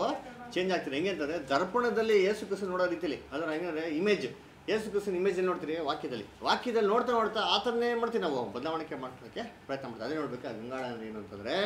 ಏನ್ರಿ, ಆ ಒಂದು ವಾಕ್ಯ. ವಾಕ್ಯದಲ್ಲಿ ಏನು ಮಾಡ್ತಾರೆ ಎಲ್ಲ ನಮಗೆ? ಎತ್ ನೋಡ್ತಾರೆ ನೋಡ್ಬೇಕ್ರೆ ಆ ನೀರು ತೆಚ್ಕೊಳಕ್ಕೆ ಏನು ಮಾಡ್ತಾರೆ? ಚಿಕ್ಕ ಚಿಕ್ಕದಾಗಿ ಏನಂತ ಒಂದು ಜಗ್ ಕೊಟ್ಟಿದ್ರಂತೆ. ಅದೇನು ಮೀನಿಂಗ್ ಅಂದರೆ, ಈ ಬೈಬಲ್ನ ಅರ್ಥ ಮಾಡ್ಕೊಳಕ್ಕೆ ದೇವ್ರು ನಮ್ಗೆ ಕೊಟ್ಟಂಥ ಸಪೋರ್ಟಿಂಗ್ ಬುಕ್ಸ್ ಅದರ ಡಿಕ್ಷನರಿ ಕನ್ಕಾರ್ಡೆನ್ಸು ಈ ಥರ ಕ್ಲಾಸ್ಗಳು ಇದ್ರ ಮುಖಾಂತರ ಆಗ್ತಾರೆ? ಬೈಬಲ್ ನಾವು ಅರ್ಥ ಮಾಡ್ಕೊಳಕ್ಕೆ ಕ್ಲೀನ್ ಕ್ಲೀನಾಗಿ ಸಾಧ್ಯ ಆಗ್ತದೆ. ಅದರಿಂದ ಏನು ಮಾಡಬೇಕು? ಶುದ್ಧೀಕರಣ ಮಾಡಬೇಕು. ಅದರ ಕರೆಕ್ಟ್ ನೋಡ್ಬೇಕು. ಈಗ ನೋಡಿ ಹಿಂಗಾಗಿದ ತಕ್ಷಣ ನೆಕ್ಸ್ಟ್ ಏನಂತಂದ್ರೆ ಏನ್ರಿ ಇವಾಗ ಅಂಗಳದಲ್ಲಿದ್ರೆ ನೆಕ್ಸ್ಟ್ ಎಲ್ಲ ಹೋಗ್ತೀರಿ? ಹಾ ಪರಿಶುದ್ಧ ಸ್ಥಳ. ಕಟ ನೋಡಿ, ಆ ಪರಶು ಸ್ಥಳಕ್ಕೆ ನಾವೇನ್ ಮಾಡ್ತೀರಿ? ಅಲ್ಲಿ ಹೋಗ್ತೀರಿ. ಅಂದ್ರ ಈ ಪರಶು ಸ್ಥಳಕ್ಕೆ ನೋಡಿ, ಅಲ್ಲಿ ಯಾಜಕ ಏನು ಮಾಡ್ತಾ ಇದ್ದ ಅಲ್ಲಿ? ಅಲ್ಲಿ ಇದ್ರಲ್ಲಿ ಇರ್ತಾ ಇದ್ದ. ಯಾವ್ದಲ್ಲಿ ಆ ಅಂಗಳದಲ್ಲಿ ಒಬ್ಬ ವ್ಯಕ್ತಿ ಇದ್ದಾನೆ. ಆಮೇಲೆ ಆ ಪರಿಶುದ್ಧ ಸ್ಥಳದಲ್ಲೇ ಇದೆ ಒಬ್ಬ ವ್ಯಕ್ತಿ ಇದ್ದಾನೆ. ಅದರ ಇವಾಗ ನಾವು ಬೈಬಲಲ್ಲಿ ಈ ಯಾಜಕ ವರ್ಗದವ್ರು ಓದಿದ್ರಿ. ಅದರ ಯಾಜಕ ಯಾಜಕ ವರ್ಗದವ್ರನ್ನ ಯಾವ ಗೋತ್ರದಿಂದ ಆರಿಸ್ಕೊಂಡ್ರು? ಹಾ ಲೇವಿಯ ಒಂದು ಗೋತ್ರದಿಂದ ಆರಿಸ್ಕೊಂಡ್ರು. ಎಲ್ಲ ಲೇವಿಗಳು ಪರಿಶುದ್ಧ ಸ್ಥಳಕ್ಕೆ ಹೋಗ್ಬಿಟ್ರಾ? ಹಾಂ ಅಂದ್ರೆ ಅದಲ್ಲೇನಿತ್ತು ಒಂದು. ತಿರ್ಗ ಒಂದು ಹೈಯಾರ್ಕಿ ಇತ್ತು. ಅದರ ಅಂದರೆ ಲೇವಿಗಳನ್ನ ಆರಿಸ್ಕೊಂಡ್ರು. ಲೇವಿಗಳಲ್ಲಿ ಎಲ್ಲರೂ ಪರಿಶುದ್ಧ ಸ್ಥಳಕ್ಕೆ ಹೋಗಂಗಿಲ್ಲ. ಅಲ್ಲೇ ಮಾಡಿದ್ರು ಒಂದು ಒಂದು ಸ್ವಲ್ಪ ಗ್ರೂಪ್ನ ಆರಿಸ್ಕೊಂಡ್ರು ಯಾರದು? ಹಾಂ ಪಾತ್ರೆ ತೊಳೆಯೋದ್ರಲ್ಲಿ ಯಾರು ಕೆಲಸ ಮಾಡ್ತಿದ್ದೋ ಲೇವಿಗಳು. ಅದ್ರಲ್ಲಿ ಸ್ವಲ್ಪ ಗ್ರೂಪ್ ಆಫ್ ಪೀಪಲ್ ಇದ್ರು. ಅವರು ಯಾರು ಅಂದರೆ? ಯಾಜಕರು. ಅವರು ಮಾತ್ರ ಎಲ್ಲಿಗೆ ಹೋಗ್ಬೋದು ಅಂದರೆ ಪರಿಶುದ್ಧ ಸ್ಥಳಕ್ಕೆ ಹೋಗ್ಬೋದು ಅದ್ರಲ್ಲಿ ಒಬ್ಬೇ ಒಬ್ಬ ವ್ಯಕ್ತಿನ ಆರಿಸ್ಕೊಂಡ್ರು ಅವ್ನು ಪರಿಶುದ್ಧ ಹಾಂ ಅಲ್ವರ ಹಂಗಾರೆ ಪರ್ಲಕ್ಕೆ ಹೋಗೋದು ಹೆಂಗಿದೆ ನೋಡ್ರಿ ಮಾರ್ಗ? ಅದು ಹೇಳೋದಲ್ಲ? ಅದೇನಂದ್ರೆ ಫಸ್ಟು ಅಂಗಳದಲ್ಲಿ ಇದ್ದರು ಎಷ್ಟು ಲೇವಿಗಳು ತುಂಬ ಜಾಸ್ತಿ ಜನ ಇದ್ರು. ಕರೆಕ್ಟಾ ಆದರೆ ಪರಿಶುದ್ಧ ಸ್ಥಳದಲ್ಲಿ ಏನಂದ್ರೆ ಯಾಜಕರು ಜನ ಅಂತೆ. ಸ್ವಲ್ಪ ಜನ. ಮಹಾಯಾಜಕ ಒಬ್ಬನೇ. ಥರ ಇವತ್ತು ಯೇಸು ಕೃಷ್ಣ ವಿಶ್ವಾಸ ಪಡೋದ್ರೆ ಜನ ಅವರಂತೆ. ತುಂಬಾ ತುಂಬ ದೊಡ್ಡ ಗ್ರೂಪ್ ಇದೆ. ಕರೆಕ್ಟಾ ವಿಶ್ವಾಸ ಪಡ್ತಾ ಇಲ್ಲ ಎಲ್ಲವ್ರಂತೆ ಎಲ್ಲ ಎಲ್ಲೋರೆ ಎಲ್ಲ ಅಂಗಡಿದವ್ರೆ ಅದರ ಆದರೆ ಬರೀ ವಿಶ್ವಾಸ ಪಟ್ಟರೆ ನಮಗೆ ಸಾಲಲ್ಲ. ನೆಕ್ಸ್ಟ್ ಓದೋಣ. ಅದು ಕ್ಲಾಸಸ್ಸಲ್ಲಿ ಓದೋಣ. ನೆಕ್ಸ್ಟ್ ನಾವು ಯಾವ ಲೆವೆಲ್ ಬೆಳಿಬೇಕು ಅಂತ ಅದು ನೋಡ್ಬೇಕ್ರೆ ಎಲ್ಲರೂ ಹೋಗೋದಕ್ಕೆ ಸಾಧ್ಯ ಇಲ್ಲ. ಬರೀ ಯಾರಂತಾರೆ ಸ್ವಲ್ಪ ಜನ ಮಾತ್ರ ಹೋಗೋದಕ್ಕೆ ಸಾಧ್ಯ. ಅಲ್ವರ? ಅದೇ ನೋಡ್ಬೇಕ್ರೆ ಇದನ್ನ ಹೋಗ್ಬೇಕಾರೆ ಹೆಂಗಪ್ಪ ಹೋಗ್ಬೇಕಾಯ್ತು ಅಂತ ನೋಡ್ಬೇಕ್ರೆ ನೋಡಿ ಈ ಥರ ತೆರೆ ಹಿಂಗೆ ದಾಟ್ಕೊಂಡು ಹಿಂಗೆ ಹಿಂಗೆ ಹೋಗ್ಬೇಕಾಯ್ತಾ ಅಂತಂದರೆ ನೋಡಿ ತೆರೆ ನೋಡಿ ಈ ಮೊದಲೇ ವೇಲ್ ಇತ್ತಲ್ಲ ಈ ಮೊದಲೇ ವೇಲ್ನ ಹಿಂಗೆ ಕಟ್ ಅಂತ ತೆಗೆದ್ಬಿಟ್ಟು ಹಿಂಗೆ ಹೋಗೋದಾಯ್ತಾ ಅಂತ ನೋಡ್ಬೇಕಾರೆ ಹಂಗೆ ಹೋಗೋಕ್ಕೆ ಸಾಧ್ಯವಾಗ್ತಾ ಇರಲ್ಲ. ಯಾಕೆ? ಹಾಂ ಪಿಲ್ಲರ್ ನಡುವೆ ಗ್ಯಾಪ್ ಇದೆಯಲ್ಲ, ಈ ಫೈವ್ ಪಿಲ್ಲರ್ಸ್ ಇದೆಯಲ್ಲ ಬ್ರದರ್, ಹೆಂಗೆ ಅಂದರೆ ಸೆಂಟರ್ ಸೆಂಟರ್ ಗ್ಯಾಪ್ ಇಟ್ಟಿದ್ದಾನೆ. ಇವ್ರು ತೆರೆ ಹಾಕ್ಬಿಟ್ಟಿದ್ರು. ಈ ತೆರೆ ಹಿಂಗೆ ತೆರೆದ್ಬಿಟ್ಟು ಹೋಗ್ಬೋದಾಗಿತ್ತಲ್ಲ ಅಂತ ನೋಡೋದಾದ್ರೆ ತೆರೆನ ತೆಗೆದ್ಬಿಟ್ಟು ಹಂಗೆ ಹೋಗೋದಕ್ಕೆ ಸಾಧ್ಯವಾಗ್ತಾ ಇರಲ್ಲ. ಯಾಕೆಂದರೆ ಆ ತೆರೆ ಇದೆ ಗೊತ್ತಾ? ಆ ತೆರೆದು ಥಿಕ್ನೆಸ್ ಎಷ್ಟು ಅಂತಂದರೆ ಆಲ್ಮೋಸ್ಟು ಫೈವ್ ಇಂಚಸ್ ತಿಕ್ಕಂತೆ ಇಷ್ಟು ದಪ್ಪ. ನೋಡಿ ನಮ್ದು ಒಂದು ಹಾಸಿಗೆ ಬರ್ತದೆ ನೋಡಿ. ಅಷ್ಟು ದಪ್ಪ ಏನಂತೆ ಆ ತೆರೆದು ತಿಕ್ನೆಸ್ ಏನಾಗಿತ್ತಂತೆ? ಅಲ್ಲಿ ಇತ್ತಂತೆ ಅಲ್ವ? ಅದನ್ನ ಏನು ಮಾಡೋದಂದ್ರೆ ಆ ತೆರೆ ನಂಗೆ ಹಾಕಿದ್ರಿಂದ ಯಾರು ಹಿಂಗೆ ವಿಭಾಗಿಸ್ಬಿಟ್ಟು ಹೋಗೋದಕ್ಕೆ ಸಾಧ್ಯನೇ ಆಗ್ತಾ ಇರಲಿಲ್ಲ. ಅದಕ್ಕೆ ಏಸು ಗುರು ಸಾಯ್ಬೇಕಾದ್ರೆ ಏನಾಯ್ತು ತೆರೆ ಏನಾಯ್ತು? ಅರ್ಧೋಯ್ತು. ಹೆಂಗಿರಿತು ಹಾಂ ಮೇಗಡೆಯಿಂದ ಕೆಳನ ಕೆಳನ ಮೇಡನ ಮೇಲ್ಗಡೆಯಿಂದ ಹಾ ಹಾಂ ಮೇಲ್ಗಡೆಯಿಂದ ಕೆಳಗಡೆ ಅದ್ರ ಕೆಗಡೆಯಿಂದ ಅರ್ಧಿದ್ರೆ ಏನು ಮಾಡಿರೋದು ಶೀಶ್ನ ಶೀಶನ ಮೇಲೆ ಹಾಕ್ಬಿಟ್ಟಿರೋರು ನೋಡಿ ನಿಮ್ಮ ಶಿಷ್ಯರೇ ಬಂದು ಏನು ಮಾಡ್ತಾರೆ? ಏನ ಮಾಡ್ಬಿಟ್ರೆ? ಅದಕ್ಕೆ ದೇವರೇ ಮಾಡ್ರು ದೇವರೇ ಅದನ್ನ ಅದೇನಂದ್ರೆ ಪರಲೋಕಕ್ಕೆ ಹೋಗೋಂಥ ಆ್ಯಕ್ಸಸ್ಸು ಪ್ರಿಪೇರ್ ಮಾಡಿದ್ದು ಯಾರು ಅಂತೆ? ಎಂತ ತಂದೆ ದೇವರೇ ಮಾಡಿದ್ರು? ಯೇಸು ಕ್ರಿಸ್ತ ಒಂದು ಬಲಿ ಮುಖಾಂತರ ಮಾಡಿದ್ನ. ಅದನ್ನು ಸಿದ್ಧ ಮಾಡಿದ್ರು. ಅದರ ಅದೇ ನೋಡ್ಬೇಕಾದ್ರೆ ಏನ್ರಿ ಈ ತೆರೆನ ಹಿಂಗಂದ್ರೆ ಈಸಿಯಾಗಿ ಮಾಡ್ಕೊಂಡೆಲ್ಲ ಹೋಗೋದಕ್ಕೆ ಸಾಧ್ಯ ಇಲ್ಲ. ಇದು ಹೋಗ್ಬೇಕು ಅಂದರೆ ಏನು ಕಂಡೀಷನ್ ಅಂತಂದರೆ ಆ ತೆರೆ ಎಷ್ಟು ತೂಕ ಇತ್ತು ಅಂದರೆ ಆ ತೆರೆನ ಹಿಂಗೆ ಎತ್ಬಿಟ್ಟು ಏನು ಮಾಡ್ಬೇಕಿತ್ತು ಆ ಮನುಷ್ಯ ಕೆಳಗಡೆ ಬೊಕ್ಕೊಂಡು ಎಲ್ಲಿಗೆ ಹೋಗ್ಬೇಕು ಇವಾಗ? ಪರಿಶುದ್ಧ ಸ್ಥಳಕ್ಕೆ ಹೋಗ್ಬೇಕು. ಅಷ್ಟು ಈಸಿ ಅಂತ ಕಂಡೀಷನ್ ಎಲ್ಲ ಅಂತೆ ಸರ ಏನು ಎತ್ಬಿಟ್ಟು ತನ್ನ ತಾನೇ ತಗ್ಗಿಸ್ಕೊಂಡು ಮಾಡಕ್ಕೆ ಇವಾಗ? ಅದು ಹೋಗ್ಬೇಕು. ಅದಂದ್ರೆ ಅರ್ಥ ಏನು? ಅಲ್ವರ? ಅರ್ಥ ಏನು ಓದಿದ್ದೀನಿ. Hebrews ten chapter twenty eight verse ಫೆಬ್ರವರಿಯಲ್ಲಿ ಹತ್ತನೇ ಅಧ್ಯಾಯ ಇಪ್ಪತ್ತನೇ ವಚನ ಓದಿದ್ದೀನಿ.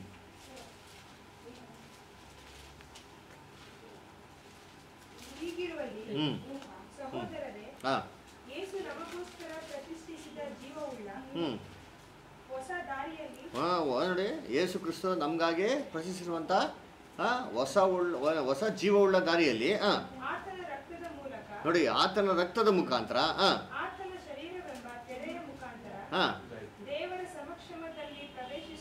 ಹಾಂ ನಮಗೆ ಧೈರ್ಯ ಉಂಟು. ನೋಡ್ರ ಹೆಂಗಂತ ಯೇಸು ಕ್ರಿಸ್ತನ ಒಂದು ರಕ್ತದಿಂದ ನಮ್ಗೆ ಏನಾಗಿದೆ ಅಂದರೆ ಇವತ್ತು ಪರಲೋಕಕ್ಕೆ ಹೋಗಿ ಏನಾಗಿದೆ ಒಂದು? ಒಂದು ಧೈರ್ಯ ಬಂದಿದೆ. ಹಂಗೆ ಹೇಳ್ಬೇಕು ಇದನ್ನ ಸಿದ್ಧ ಮಾಡಿದಾರು ಓಪನ್ ಮಾಡಿಕೊಟ್ಟಾರೆ ಯಾರು ಅಂತಂದ್ರೆ ಏನ್ರಿ?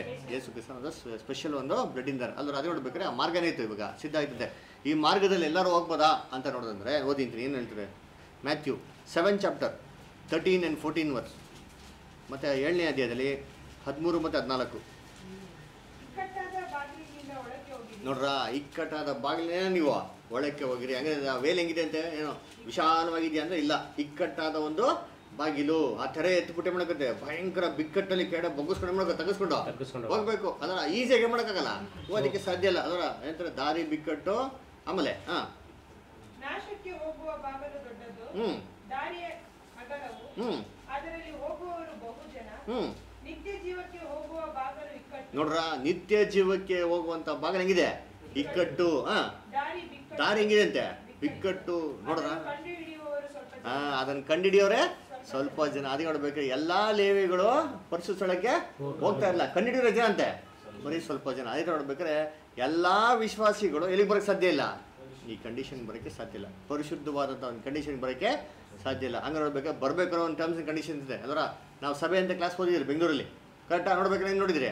ಹಾಂ many are called few are chosen ಕರೆಯಲ್ಪಟ್ಟವರು ಅನೇಕ ಜನ ಆಯಲ್ಪಟ್ಟವರು ಸ್ವಲ್ಪ ಜನ. ಕರೆಕ್ಟ್ ಆಗಿರ್ಬೇಕಂದ್ರೆ ಇಲ್ಲಿ ಎಲ್ಲರೂ ಬರೋಕ್ಕೆ ಸಾಧ್ಯ ಇಲ್ಲ. ಬಂದವರಲ್ಲಿ ಸ್ವಲ್ಪ ಜನ ಮಾತ್ರ ಮಾಡ್ತಾರೆ. ಹಾಯಿಸ್ಕೊಳ್ಳಿಕ್ಕೆ ಸಾಧ್ಯ ಎಲ್ಲಿ ಅಂತಂದ್ರೆ ಚೂಸನ್ ಕ್ಲಾಸ್ ಆಗೋದಕ್ಕೆ ಕರೆಕ್ಟಾ ಅದೇ ನೋಡ್ಬೇಕಾದ್ರೆ ಅಂತಾರೆ ಹಿಂಗೆ ದಾರಿ ಇದೆ ಇನ್ನೊಂದು ಮಚ್ಚ ಒಂದು Luke fourteen chapter twenty six and twenty seven Luke ಹದಿನಾಲ್ಕನೇ ಅಧ್ಯಾಯದಲ್ಲಿ ಇಪ್ಪತ್ತಾರು ಮತ್ತು ಇಪ್ಪತ್ತೇಳು.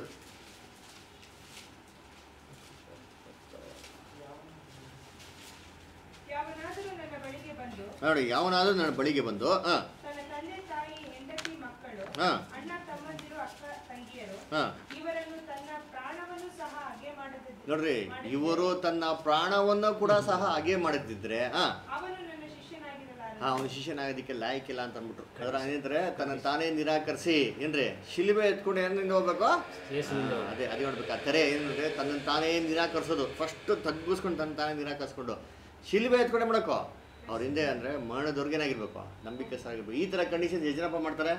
ಯೋಚನೆ ಮಾಡಿರ್ತೀರಿ ಲೋಕತಂತ್ರ ಸಭೆಗಳಲ್ಲಿ ಈ ಥರ ತನ್ನ ತಾನೇ ನಿರಾಕರಿಸ್ಬೇಕು ಯೇಸು ಕುಸುಮ್ಗೆಲ್ಲ ತ್ಯಾಗ ಮಾಡಬೇಕು ಅಂದರೆ ಮುಂದಿನ ವಾರ ಯಾರು ಏನಾಗಿರಲಿಲ್ಲ ಹಾಂ ಒಬ್ಬರು ಇಲ್ಲ. ನಿಮ್ಮ ಹತ್ತು ಪರ್ಸೆಂಟ್ ಹಾಕಿ ನೂರು ಪರ್ಸೆಂಟ್ ಬರ್ತಂದ್ರೆ ಏನು ಮಾಡ್ತೀವಿ ನಾವು ಇನ್ವೆಸ್ಟ್ ಮಾಡ್ತೀರಿ. ಇನ್ವೆಸ್ಟ್ಮೆಂಟ್ ಮಾಡ್ತಿರಲಿಲ್ಲ ಶೇರ್ಸು ಡಿಬೆಂಚರು ಅಥವಾ ಬ್ಯಾಂಕಲ್ಲಿ ಬಡ್ಡಿ ಬಿಡ್ತೀರಿ. ಇದೇ ಥರ ಅದಕ್ಕೆ ಫಸ್ಟ್ ಅದಕ್ಕೆ ಫಸ್ಟು ಜನಗಳಿರೋದೆಲ್ಲ ಫಸ್ಟ್ ಹಂಗೆ. ಏನು ಮಾಡೋಕ್ಕಾಗಲ್ಲ? ಪಾಪ ಮನುಷ್ಯನ ವೀಕ್ನೆಸ್ ಅದು. ಅದರ ಈ ಮನುಷ್ಯನ ವೀಕ್ನೆಸ್ ಇಟ್ಕೊಂಡು ಮೋಸ ಮಾಡ್ತಾರಲ್ಲ ಅವ್ರಿಗೆ ಇನ್ನೇನು ಹೇಳೋಣ ಹೇಳಿ ಅಯ್ಯೋ ಅಂತ ಹೇಳ್ತಾರೆ ಬೈಬಲಲ್ಲಿ ಅದ್ರ ಅದೇ ನೋಡ್ಬೇಕಾದ್ರೆ ಏನ್ರಿ? ಫಸ್ಟ್ ಕಂಡೀಷನ್ ಅಂತ ಅಂದ್ಬಿಟ್ರು ತನ್ನ ತಾನೇ ನಿರಾಕರಿಸಿ ಶಿಲ್ಬೆ ಎತ್ಕೊಂಡು ಯಾರಿಂದ ಹೋಗ್ಬೇಕು? ಈ ತರ ಕಂಡೀಷನ್ ಎಲ್ಲರ ಮಾಡಕ್ಕೆ ಸಾಧ್ಯ ಅದಕ್ಕೆ ನೋಡ್ಬೇಕಾದ್ರೆ ಲೇವಿಗಳು ಎಲ್ಲರೂ ಯಾಜಕರಾಗೋದಕ್ಕೆ. ಸಾಧ್ಯ ಇಲ್ಲ. ಯಾಕಂದ್ರೆ ಲೇವಿಗಳಿಗೂ ಯಾಜಕರಿಗೂ ಒಂದು ವ್ಯತ್ಯಾಸ ಇತ್ತು. ಲೇವಿಗಳು ಅಂಗಳದಲ್ಲಿ ಇರ್ತಾ ಇದ್ರು ಎಲ್ಲಾ ಕೆಲಸ ಮಾಡೋರು. ಆದ್ರೆ ಅವ್ರಿಗೆ ಬಲಿ ಕೊಡಕ್ಕೆ ಪರ್ಮಿಷನ್ ಕೊಡ್ತಾ ಇರಲಿಲ್ಲ ದೇವರು. ಬಲಿ ಯಾರು ಮಾತ್ರ ಕೊಡ್ಬೇಕಾಗಿರ್ತದೆ ಯಾಜಕರು ಮಾತ್ರ. ಯಾವ ಯಾಜಕರು ಬಲಿ ಕೊಡ್ತಾರೆ ಅವ್ರಿಗೆ ಮಾತ್ರ ಪರಿಶುದ್ಧ ಸ್ಥಳದಲ್ಲಿ ಹೋಗೋದಕ್ಕೆ ಪರ್ಮಿಷನ್ ಇಲ್ಲ ಅಂದ್ರೆ ಅಂಗಳದಲ್ಲಿ ಮಾಡಿ ನೀವೆಲ್ಲ ಕೆಲಸ ಮಾಡಿ ಏನು ಬೇಕೋ ಅವ್ರಿಗೆ ಹೆಲ್ಪ್ ಮಾಡಿ ಅಂತ ಹೇಳ್ತಾರೆ ಅಷ್ಟೇ ಹತ್ರ. ಅದಕ್ಕೆ ನೋಡ್ಬೇಕಾದ್ರೆ ನಾವು ಜಸ್ಟ್ ವಿಶ್ವಾಸಿಗಳಾಗಿದ್ರೆ ಸಾಲಲ್ಲ. ನೆಕ್ಸ್ಟ್ ಒಂದು ಲೆವೆಲ್ಗೆ ಹೋಗ್ಬೇಕು. ಏನಾಗಬೇಕು? ನಮ್ಮ ನಾವೇ ಸ್ಯಾಕ್ರಿಫೈಸ್ ಮಾಡಕ್ಕೆ ಹೋಗ್ಬೇಕು. ಅದರ ಜೀವನ ತ್ಯಾಗ ಮಾಡಂಗಿರ್ಬೇಕು.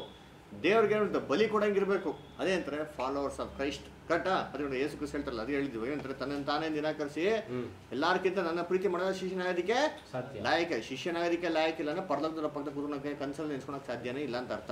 ಅದರ ಓದಿ ರೋಮಾಪುರದಲ್ಲಿ ಹನ್ನೆರಡು ಒಂದು. ಏನೋ ಕನ್ಸಲ್ಲಿ ನೆನ್ಸ್ಕೊಂಡು ಆ ಜಾಲಿಯಾಗಿರ್ಬೇಕಷ್ಟೇ ನೋಡ್ರಿ ಅದೇ ಸಹೋದರರೇ ಹಾಂ ಹಾ. ನೋಡಿ ಹೇಳ್ತಾರೆ, ದೇವರ ಕನಿಕರವನ್ನು ನಿಮ್ಮ ನೆನಪಿಗೆ ತಂದು, ಹಾಂ. ಹಾ. ನೋಡ್ರ, ನಿಮ್ಮನ್ನು ಬೇಡಿಕೊಳ್ಳೋದು ಏನಂದ್ರೆ ಇದು ಫೋರ್ಸ್ ಅಲ್ಲ, ಇದು ಕಂಪಲ್ಸನ್ ಅಲ್ಲ. ಬೇಡಿಕೊಳ್ಳೋದು ರಿಕ್ವೆಸ್ಟ್ ಏನಂತಂದ್ರೆ, ಹಾ ನೀವು ನಿಮ್ಮ ನಿಮ್ಮ ದೇಹಗಳನ್ನು ನೀವು ನಿಮ್ಮ ನಿಮ್ಮ ದೇಹಗಳನ್ನು ದೇವರಿಗೆ ಮೀಸಲಾಗಿಯೂ ದೇವರಿಗೆ ಮೀಸಲಾಗಿಯೋ ಮೆಚ್ಚುಗೆ ಆಗಿಯೋ ನೋಡ್ರಾ ಸಜೀವ ಯಜ್ಞವಾಗಿ ಅರ್ಪಿಸಿರಿ. ನೋಡ್ರ ದೇವ್ರಿಗೆ ಮಾಡಿ ಸಜೀವ ಯಜ್ಞವಾಗಿ ಏನು ಮಾಡಿದೀವಿ? ಅರ್ಪಣೆ ದೇಹವನ್ನು ಸಜೀವ ಯಜ್ಞವಾಗಿ ಏನು ಮಾಡಿದೀವಿ? ಅಂದ್ರೆ ಲಿವಿಂಗ್ ಸ್ಯಾಕ್ರಿಫೈಸ್ ಜೀವಂತವಾಗಿ ಇರ್ಬೇಕಾದ್ರೆ ನಿಮ್ಮ ಜೀವ ಹೆಂಗಿರ್ಬೇಕು ಅಂದ್ರೆ ಜೀವಿತ ತ್ಯಾಗಮಯವಾದಂತ ತ್ಯಾಗಮಯವಾದಂಥ ಒಂದು ಜೀವಿತವಾಗಿರ್ಬೇಕು. ಇದನ್ನ ಸ್ಯಾಕ್ರಿಫೈಸ್ ಮಾಡಿ. ಅಲ್ವರ? ಇದನ್ನ ಸ್ಯಾಕ್ರಿಫೈಸ್ ಮಾಡಿ ಅಂದರೆ ಜನ ಥರ ಸತ್ಯದಲ್ಲಿ ಯೋಚನೆ ಮಾಡ್ತಿರ್ತೀರಿ ಅದರ ಇದೆಲ್ಲ ಓದೋಣ ಇದ್ರ ಬಗ್ಗೆ ಇನ್ನೂ ಡೀಟೇಲ್ಸ್ ಎಲ್ಲ ಇದೆ ಅದರ ಅದು ನೋಡ್ಬೇಕಾದ್ರೆ ಮೆಜಾರಿಟಿ ಪೀಪಲ್ ಇದು ಇಂಪಾರ್ಟೆನ್ಸೇ ಕೊಡೋಕೆ ಹೋಗಲ್ಲ ಎಲ್ಲ ತ್ಯಾಗ ಅಂತ ಹೇಳ್ಕೊಂಬಿಟ್ಟಾರೆ ಅಂತಂದರೆ ಊರೆಲ್ಲ ಹೋಗ್ಬಿಟ್ಟು ಸತ್ಯ ಸ್ವಾರ್ಥ ಸಾರ್ಬಿಟ್ರೆ ಇದೆ ಅಂತೆ. ತ್ಯಾಗ. ಇದು ಹೋಗಿ ಸಾರದ ಸತ್ಯ ಹೇಳಿದ್ರೆ ಪರವಾಗಿಲ್ಲ. ಹೇಳೋದೆಲ್ಲ ಬರೀ ಬಂಡಲ್ಲು. ಹಾಂ? ಎಲ್ಲ ಸುಳ್ಳುಗಳು. ಅದರ ಆಗ ಸಜ್ಜೀವ ಅರ್ಪಣೆ ಆಗಿರಲಿಲ್ಲ ಹಾಂ ಆಗಿರಲ್ಲ ನಾವು ಹೇಳದ್ನ ಎಲ್ಲ ಬಂಡನೆ ಹ್ಞೂ ಅಲ್ಲ ಬರ್ಬೇಕಾದ್ರೆ ಫಸ್ಟು ಆರಂಭ ಮಾಡ್ಬೇಕಾದ್ರೆ ಸಭೆ ಆರಂಭ ಮಾಡುವಾಗ ಸೈಕಲಲ್ಲಿ ಬರ್ತಾರೆ. ಅವಾಗ ದೊಡ್ಡ ದೊಡ್ಡ ಸಾಕ್ಷಿಗಳು ಹೇಳ್ತಾರೆ ನಾನು ಸೈಕಲಲ್ಲಿ ಬಂದೆ ಹೊಟ್ಟೆ ಊಟ ತಿನ್ನಕ್ಕಿರಲಿಲ್ಲ ಅಂದ್ಬಿಟ್ಟು ಇವಾಗ ಹೆಂಗಿದೀನಿ ಟೇಬಲ್ ಎಲ್ಲ ಬರೀ chicken biryani mutton biryani kebab fish fry ಇದೆ. ಅವಾಗ ಸೈಕಲ್ ಎಲ್ಲ ಇವಾಗ ಇನೋವಾಲ್ ಬರ್ತಾ ಇದ್ದೀನಿ. ನೆಕ್ಸ್ಟ್ ಬಿ ಎಂ ಡಬ್ಲ್ಯೂ ಬರ್ತೀನಿ ಅಂತ ಮೀನಿಂಗು ಹಾಂ ಅದಕ್ಕೆಲ್ಲ ದುಡ್ಡು ಯಾರು ಕೊಟ್ರಿ? ಬಡ್ಡಿ ಕೊಟ್ರಿ ಅಂತ ಅಂದ್ಬಿಟ್ಟು. ಅದ್ರ ಹಂಗಾರೆ ಯೋಚನೆ ಮಾಡ್ರಿ ಇವ್ರಿಗೆ ಬರೋ ದುಡ್ಡಲ್ಲಿ ಕೊಟ್ಟೇನಲ್ಲ ದೇವ್ರು ಕೊಟ್ಟಿರುತ್ತೆ ಹಂಗೆ ದೇವ್ರು ತೀಸ್ಕೊಳ್ಳಿ ರೇಟಿಗೆ ಅನ್ಬೇಕು ಜನಗಳು ಇವಾಗ ಆಗಿರೋ ಮೆಂಟಾಲಿಟಿ ಹೆಂಗೆ ನೋಡಿದ್ದೀರಿ ಅಲ್ವಾ ಇವಾಗ ಇರೋದು ಮೇ ಸೆಟಪ್ ಇರೋದು ಹಂಗೆ. ಕರೆಕ್ಟಾ ಯಾಕಪ್ಪ? ಏಸು ಖುಷಿ ಅಂತಂದ್ರೆ ನಿಮಗೆ ಉಚಿತವಾಗೇ ನೀವು ಸಿಕ್ಕಿದೆ. ನೀವೇ ಮಾಡಿ ಉಚಿತವಾಗಿ. ಹಾಂ ಹಾ ಯಾಕಪ್ಪ? ಯಾರಪ್ಪ ಉಚಿತವಾಗಿ ಸೇವೆ ಮಾಡೋಕ್ಕಾಗಲ್ಲ? ಅಲ್ವರ? ಹಾಂ ಹಾಂ ಹಾಂ ಅಂಬಳಿಗೆ ಅಷ್ಟೇ ಅಷ್ಟೇ. ಅಷ್ಟನ್ನ ಮಾತ್ರ ತಿನ್ಬೇಕು. ಅದಕ್ಕೆ ಚಿಕನ್ ಬಿರಿಯಾನಿ ತಿನ್ನು ಅಂತ ಹೇಳಿಲ್ಲ. ಅಲ್ವರ? ಆಮೇಲೆ ಏನ್ರಿ, ಅಪೋಸ್ಟ್ಲು ಪೋಲ್ ಏನು ಕೆಲಸ ಮಾಡಿದ್ರು? ಅವರು ಟೆಂಟ್ ಕೆಲಸ ಮಾಡ್ಬಿಟ್ಟು ಬಡತನದಲ್ಲಿ ತನಗಿದಂತ ಬಡತನದಲ್ಲಿ ಇನ್ನೊಬ್ರಿಗೆ ಏನು ಮಾಡೋರು ಅವ್ರಿಗೆ? ಸಹಾಯ ಮಾಡೋರು. ಆ ಥರ ಒಂದು ಸ್ಯಾಕ್ರಿಫಿಷಿಯಲ್ ಲೈಫ್ ಏನಾಗಿರ್ಬೇಕು ಇರಬೇಕು. ಅಲ್ರ ಅದೇ ನೋಡ್ಬೇಕಾದ್ರೆ ಹೇಳ್ತಾರೆ ಈ ಟರ್ಮ್ಸ್ ಆ್ಯಂಡ್ ಕಂಡೀಷನ್ ಎಷ್ಟು ಜನ ಮೀಟ್ ಮಾಡ್ತಾರೆ ಅಂದರೆ ಮೆಜಾರಿಟಿ ಪೀಪಲ್ ಅದಕ್ಕೆ ನೋಡ್ಬೇಕಾದ್ರೆ ಇಂಥವ್ರು ಮಾತ್ರ ಎಲ್ಲಿ ಪ್ರವೇಶಿಸಲಿಕ್ಕೆ ಸಾಧ್ಯ? ಮಹಾಪುರುಷ ಪರಿಶುದ್ಧ ಸ್ಥಳ. ಪರಿಶುದ್ಧ ಸ್ಥಳ. ಇಲ್ಲ ನಾ ಎಲ್ಲಿರ್ತಾರೆ? ಆಚ ಕಡೆ? ಆ ಅಂಗಳದಲ್ಲಿ. ಅಂಗಳದಲ್ಲೂ ವಾಕ್ಯ ಇದೆ ಇಲ್ಲ ಅಂತಿಲ್ಲ. ಅಂಗಳದಲ್ಲೂ ವಾಕ್ಯ ಇದೆ ಅಂಗಳದಲ್ಲೂ ತ್ಯಾಗ ಇದೆ ಬಲಿ ಇದೆ. ಅಂದ್ರೆ ಅದಗೂ ಇದಕ್ಕೂ ತುಂಬಾ ವ್ಯತ್ಯಾಸ ಇದೆ. ಇವಾಗ ಏನಂತ ನೋಡೋಣ ಅಂತ ನೋಡಿದ್ರಿ ಇಲ್ಲಿ ಒಳಗಡೆ ಹೋಗಿದ ತಕ್ಷಣ ಮುಖ್ಯವಾಗಿ ಎರಡು ಐಟಮ್ಗಳಿತ್ತು ಎಲ್ಲ ಕ್ಯಾಂಡಲ್ ಸ್ಟಿಕ್ಕು ಬ್ರೆಡ್ ಆ ದುಬ್ಬ ಬಿಟ್ಟೆ ಆಮೇಲೆ ನೋಡೋಣ. ಅದರ ಫಸ್ಟ್ ಇದ್ದಿದ್ದೇನಂದ್ರೆ ಕ್ಯಾಂಡಲ್ ಸ್ಟಿಕ್ಕು ಯೋಚನೆ ಮಾಡಿರ್ತೀನಿ ಈ- ಈ ಗೋಡೆ ಎಲ್ಲ ಫುಲ್ ಕ್ಲೋಸ್ ಆಗ್ಬಿಟ್ಟಿದೆ ಅಂತ ಫುಲ್ ಬರೀ ಗೋಡ್ಲೆ.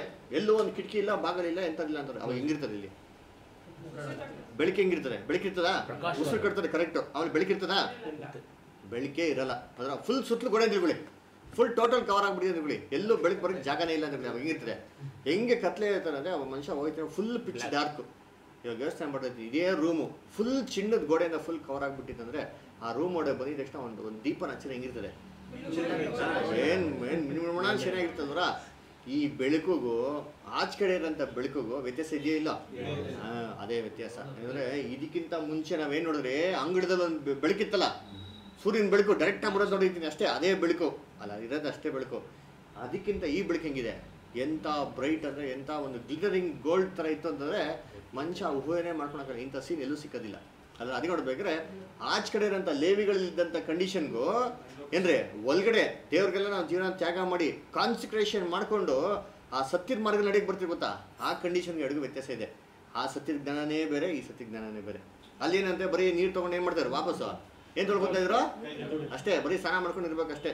ಆದರೆ ಅದೇ ಹೇಳ್ತಲ್ಲ, ಬೈಬಲ್ ಹೇಳ್ತಲ್ಲ, ಅಪೋಸ್ಟ್ಲ ಪೋಲ್ ಓದಿದ್ರಾ ಹಾಂ ನೋಡಿರ್ತೀರಿ ಈ ಬ್ರೂಸಲ್ಲಿ ಓದಿರ್ತೀರಿ book of Hebrews book of ಈಬ್ರೂಸಲ್ಲಿ chapter six chapter six verse one ಆದ್ದರಿಂದ ನಿರ್ಜೀವ ಕರ್ಮಗಳ ಮೇಲಿನ ನಂಬಿಕೆಯನ್ನು ಬಿಟ್ಬಿಟ್ಟು ನೋಡ್ರಿ ನಿರ್ಜೀವ ಕರ್ಮಗಳ ಮೇಲಿನ ನಂಬಿಕೆಯನ್ನು ಬಿಟ್ಬಿಡಿ. ಫಸ್ಟ್ ಹೇಳ್ತಾರೆ ನೋಡಿ. ಏನೋ ನಿರ್ಜೀವ ಕರ್ಮಗಳು ಒಂದೊಂದು ಮೇಲೆ ಅಂತ ನಂಬಿಕೆಗಳು ಅದೇ ಹೇಳ್ತಾರಲ್ಲ. ಅಯ್ಯೋ ವಿಗ್ರಹಾರ್ಧನೆ ಮಾಡ್ಬಿಡಪ್ಪ ಅದಕ್ಕೆ ಮಾಡ್ಬೇಡ ನೈವೇದ್ಯ ಮಾಡ್ಬೇಡ ಗಣೇಶ ಹಬ್ಬ ಎಲ್ಲ ದೂರ ಇಟ್ಬಿಡು. ಇದೇ ಹೇಳೋದಲ್ಲ. ಏನಂದ್ರೆ ಇದು ಜನರಲ್ ಆಗಿರೋಂಥ ಟೀಚಿಂಗ್ ಇದು ನಿರ್ಜೀವ ಕರ್ಮಗಳಿಂದ ನಂಬಿಕೆಯನ್ನು ಬಿಟ್ಬಿಡು. ಆಮೇಲೆ ನೆಕ್ಸ್ಟ್ ದೇವರಲ್ಲಿಯೇ ನಂಬಿಕೆ ಇಡಬೇಕಾದದ್ದು. ಹ್ಮ್ ದೇವರ ಮೇಲೆ ಏನ್ ಮಾಡ್ಬೇಕು ನೀವು? ನಂಬಿಕೆ ಇಡಬೇಕು. ನೆಕ್ಸ್ಟ್ ನೋಡಿ ಏನ ಸ್ನಾನ ಆಮೇಲೆ ಹಾ, ಉಪದೇಶಗಳು ಹಾ. ಸತ್ತವರಿಗೆ ಪುನರುತ್ಥಾನ. ಹಾ ಸತ್ತವರಿಗೆ ಪುನರುತ್ಥಾನ. ನಿತ್ಯವಾದ ನ್ಯಾಯ ತೀರ್ಪು ನಿತ್ಯವಾದ ನ್ಯಾಯ ತೀರ್ಪು ಹಾ. ಉಂಟೆಂಬುದು ಇವುಗಳನ್ನು ಪದೇ ಪದೇ ಅಸ್ಥಿವಾರವಾಗಿ ಹಾಕದೆ ಹ್ಮ್. ಕ್ರಿಸ್ತನ ವಿಷಯವಾದ ಪ್ರಥಮ ಬೋಧನೆಯನ್ನು ಕುರಿತು ಹ್ಮ್. ಇನ್ನೂ ಮಾತನಾಡದೆ ಹಾ ಕ್ರಿಸ್ತನ ನಿಮಿತ್ತವಾಗಿ ಅಂತ ಪ್ರಥಮ ಬೋಧನೆಗಳೇ ಇನ್ನು ಇದನ್ನ. ಇದ್ ಮೇಲೆ ಮಾತಾಡಕ್ ಹೋಗ್ಬಾರ್ದು. ಹೇಳಿದ್ನೇ ಹೇಳ್ತಾ ಇದ್ರೆ ಎಳೆ ಮಕ್ಳ. ಯೋಚನೆ ಮಾಡಿ ಇವಾಗ ಸತ್ಯಕ್ಕೆ ಬಂದಿದ್ದೆ. ಕ್ರಿಶ್ಚಿಯನ್ ಅಂತ ಯೇಸು ಕೃಷ್ಣ ನಂಬಿ ಎಷ್ಟು ವರ್ಷ ಬಂದಿದ್ದೆ ಸತ್ಯಕ್ಕೆ? ಹತ್ತು ವರ್ಷ. ಆಯ್ತು ಇಪ್ಪತ್ತು ವರ್ಷ ಆಗಿರ್ತಾರೆ ಇನ್ನು ಅದನ್ನೇ ಹೇಳ್ತಾ ಇದ್ರೆ ಹಾ ಬರೀ ನ್ಯಾಯ ತೀರ್ಪು ನ್ಯಾಯ ತೀರ್ಪು ವಿಶ್ವಾಸ ಇಡಿ ನಂಬಿಕೆ ಇಡಿ ಬೆಳೀರಿ ಕ್ರಿಸ್ತಲ್ಲಿ ಬೆಳೀರಿ ಇನ್ನೇ ಹೇಳಕ್ ಕೂತಿರಿ ಎಳೆ ಮಕ್ಳು ತರ ಹಾ ಇವಾಗ ನಾವೇಂತಾರೆ ಒಂದು ಮಗು ಹುಡ್ತಾ ಹೋಗ್ತೀರಿ ಮಗು ಹುಟ್ಬೇಕಾದ್ರೆ ಎಳೆ ಮಗುಗೆ ಏನು ಕೊಡ್ತೀರಿ ಫಸ್ಟ್ ಹಾಲು. ಕೊಡ್ತೀರಿ. ಅದರ ಅದು ಮಗು ಒಂದು ಎರಡು ವರ್ಷ ಆಮೇಲೆ ಏನು ಕೊಡ್ತೀರಿ? ಸ್ವಲ್ಪ ಗಟ್ಟಿಯಾದ ಆಹಾರ ಕೊಡ್ತೀರಿ ಅದರ ಹಂಗೆ ಹೋಗ್ತಾ ಹೋಗ್ತಾ ಐದು ವರ್ಷ ಆರು ವರ್ಷ ಏನ್ ಕೊಡ್ತೀರಿ? ಸ್ವಲ್ಪ ಬಲವಾಗಿರೋಂಥ ಆಹಾರ. ಅಂದ್ರ ಅದೇ ಎಂಟು ಒಂಬತ್ತು ಹತ್ತು ವಯಸ್ಸಿಗೆ ಬಗ್ಗೆ ಏನು ಮಾಡ್ತೀವಿ ಅದಕ್ಕೆ ಅದು ಏಜ್ ತಕ್ಕಂತೆ ಆಹಾರಗಳನ್ನೇ ಮಾಡ್ತೀರಿ. ಚೇಂಜ್ ಮಾಡ್ತೀರಿ. ಯೋಚನೆ ಮಾಡಿ ಹತ್ತು ಇಪ್ಪತ್ತು ವರ್ಷ ಆದ್ರೂ ಬರೀ ಹಾಲನ್ನೇ ಕೊಡ್ತಾ ಇದ್ರೆ? ಹೆಂಗಿರ್ತದೆ? ಹೆಂಗಿದ್ರೆ ಪೆದ್ರ ಇರ್ತಾರೆ. ಅದರ ಬೆಡ್ ಚಿಪ್ಕೊಂಡು ಹಿಂಗಿರ್ತಾರಲ್ಲ ಅದು ಹೇಳ್ತಾರೆ ಅಪೋಸ್ಟ್ ಬಲ್ಲೇ ಬೆಳ್ಕೊಂಡು ಐದನೇ ಅಧ್ಯಾಯದಲ್ಲಿ ಓದಿಂತೀನಿ. ಐದನೇ ಅಧ್ಯಾಯದಲ್ಲಿ ಲೆವೆಂತ್ ವರ್ಸ್ ಹಾ ನೋಡಿ ಈ ವಿಷಯದಲ್ಲಿ ಹೇಳ್ಬೇಕಾದ್ರೆ ಏನಿದೆ ಬಹಳ ಉಂಟಂತೆ. ಅದರ ನಮಗೂ ಹೇಳ್ಬೇಕು ಅಂದ್ರೆ ತುಂಬಾ ಐತಿ ಜಾಸ್ತಿ ಹೇಳಿದ್ರೆ ಓಡೋಗ್ಬಿಡ್ತೀರಾ ಅಂತ ಭಯ. ನೆಕ್ಸ್ಟ್ ಆಮೇಲೆ. ಹಾ. ನಿಮ್ಮ ಕಿವಿಗಳು ಹಾ. ಹಾ ನಿಮ್ಮ ಕಿವಿಗಳು? ಹಾ ಕಿವಿಗಳು ಏನಾಗಿದೆ? ಮಂದವಾದ ಹೇಳೋದೇನಾಗಿದೆ ಕಷ್ಟ ಯಾಕಂದ್ರೆ ಮನುಷ್ಯನಿಗೆ ಸತ್ಯ ಹೇಳ್ಬಿಟ್ರೆ ಆಯ್ತು ಹೇಳಿ ಅವನು ಹಾ ಕಷ್ಟ ಆಗ್ಬಿಡ್ತದೆ. ಕಾಲವನ್ನು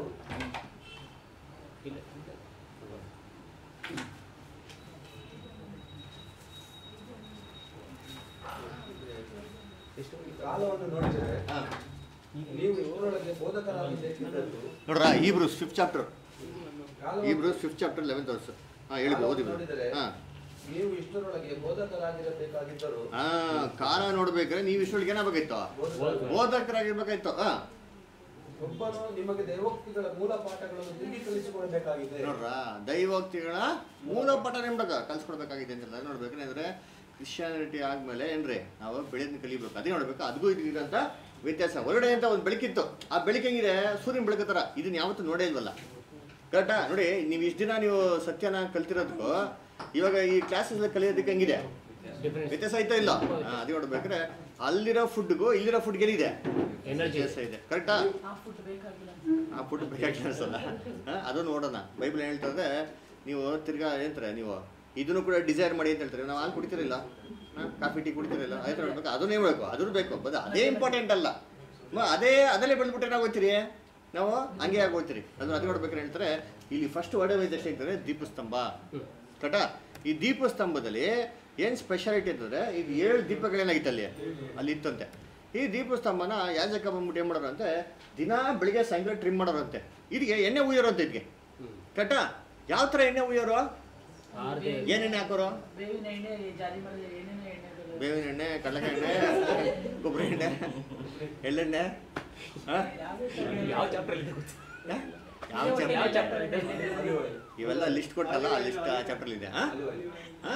ಹಾ ಇದೀಗೆ Olive oil. ಸ್ಪೆಷಲ್ ಆಗಿ ತಯಾರಿಸಂತ ಒಂದು ಎಣ್ಣೆ ಇತ್ತು. ಅದರ ಒಲಿವ್ ಆಯಿಲ್ ಮೇನ್ ಇಂಗ್ರೀಡಿಯಂಟ್ ಅಂದ್ರೆ ಒಲಿವ್ ಆಯಿಲ್ ಓಕೆನಾ ಅಭಿಷೇಕ ತೈಲ ಅಂತ ಸಿದ್ಧ ಮಾಡೋರು. ಅದಕ್ಕೆಲ್ಲ ಬೈಬಲ್ ಐತೆ. ಅಭಿಷೇಕ ತೈಲನ ಸಿದ್ಧ ಮಾಡ್ಬೇಕಾದ್ರೆ ಇಂತಿಂಥದ್ದೆಲ್ಲ ಹಾಕ್ಬೇಕು ಅಂತ. ಅದ್ರ ಆ ಥರದ್ದು ಒಂದು ಎಣ್ಣೆನ ಏನು ಮಾಡೋದಂತೆ ಒಲಿವ್ ಎಣ್ಣೆನ ಇದನ್ನ ಹಾಕೋರು ಅದರ ಈ ಒಂದು ದೀಪಕ್ಕೆ ಹಾಕೋರು. ಈ ಒಲಿವ್ ಎಣ್ಣೆಯಿಂದನೇ ಏನ್ ಮಾಡೋರು, ಹಳೆ ಕಾಲದಲ್ಲಿ ಎಲ್ಲಾರನ್ನ ಅಭಿಷೇಕ ಮಾಡೋರು. ಈ ರಾಜನ ಅಭಿಷೇಕ ಮಾಡೋದಾಗ್ಲಿ, ಯಾಜಕನ ಅಭಿಷೇಕ ಮಾಡೋದಾಗ್ಲಿ, ಮಹಾಯಾಜಕನ ಅಭಿಷೇಕ ಮಾಡೋದಾಗ್ಲಿ, ಇದನ್ನೆಲ್ಲದಕ್ಕೂ ಅಭಿಷೇಕ ಮಾಡೋದಕ್ಕೆ ದೇವರು ಯಾವ ಎಣ್ಣೆ ಯೂಸ್ ಮಾಡ್ತಾರೆ ಆ ಕಾಲ ಅಂದರೆ, ಈ ಒಂದಂದ್ರೆ ಒಲಿವು ಎಣ್ಣೆ. ಅಂದ್ರೆ ಹಂಗಾರೆ ಈ ಒಲಿವ್ ಎಣ್ಣೆ ಅಂತಂದ್ರೆ ಬೈಬಲ್ನಲ್ಲಿ ಏನಕ್ಕೆ ಒಂದು ಸೂಚನೆ ಅಂತಂದ್ರೆ, ಏನ್ರಿ? ಅಭಿಷೇಕ, ಪವಿತ್ರಾತ್ಮನ ಅಭಿಷೇಕಕ್ಕೆ ಏನ್ರಿ? ಸೂಚನೆ ಕರೆಕ್ಟಾ? ಓದಿದ್ದೀನಿ ಕೀರ್ತನೆ ನೂರ ಮೂವತ್ತ್ಮೂರು ಎರಡು. ಕೀರ್ತನೆ ನೂರ ಮೂವತ್ತ್ಮೂರು ಎರಡು.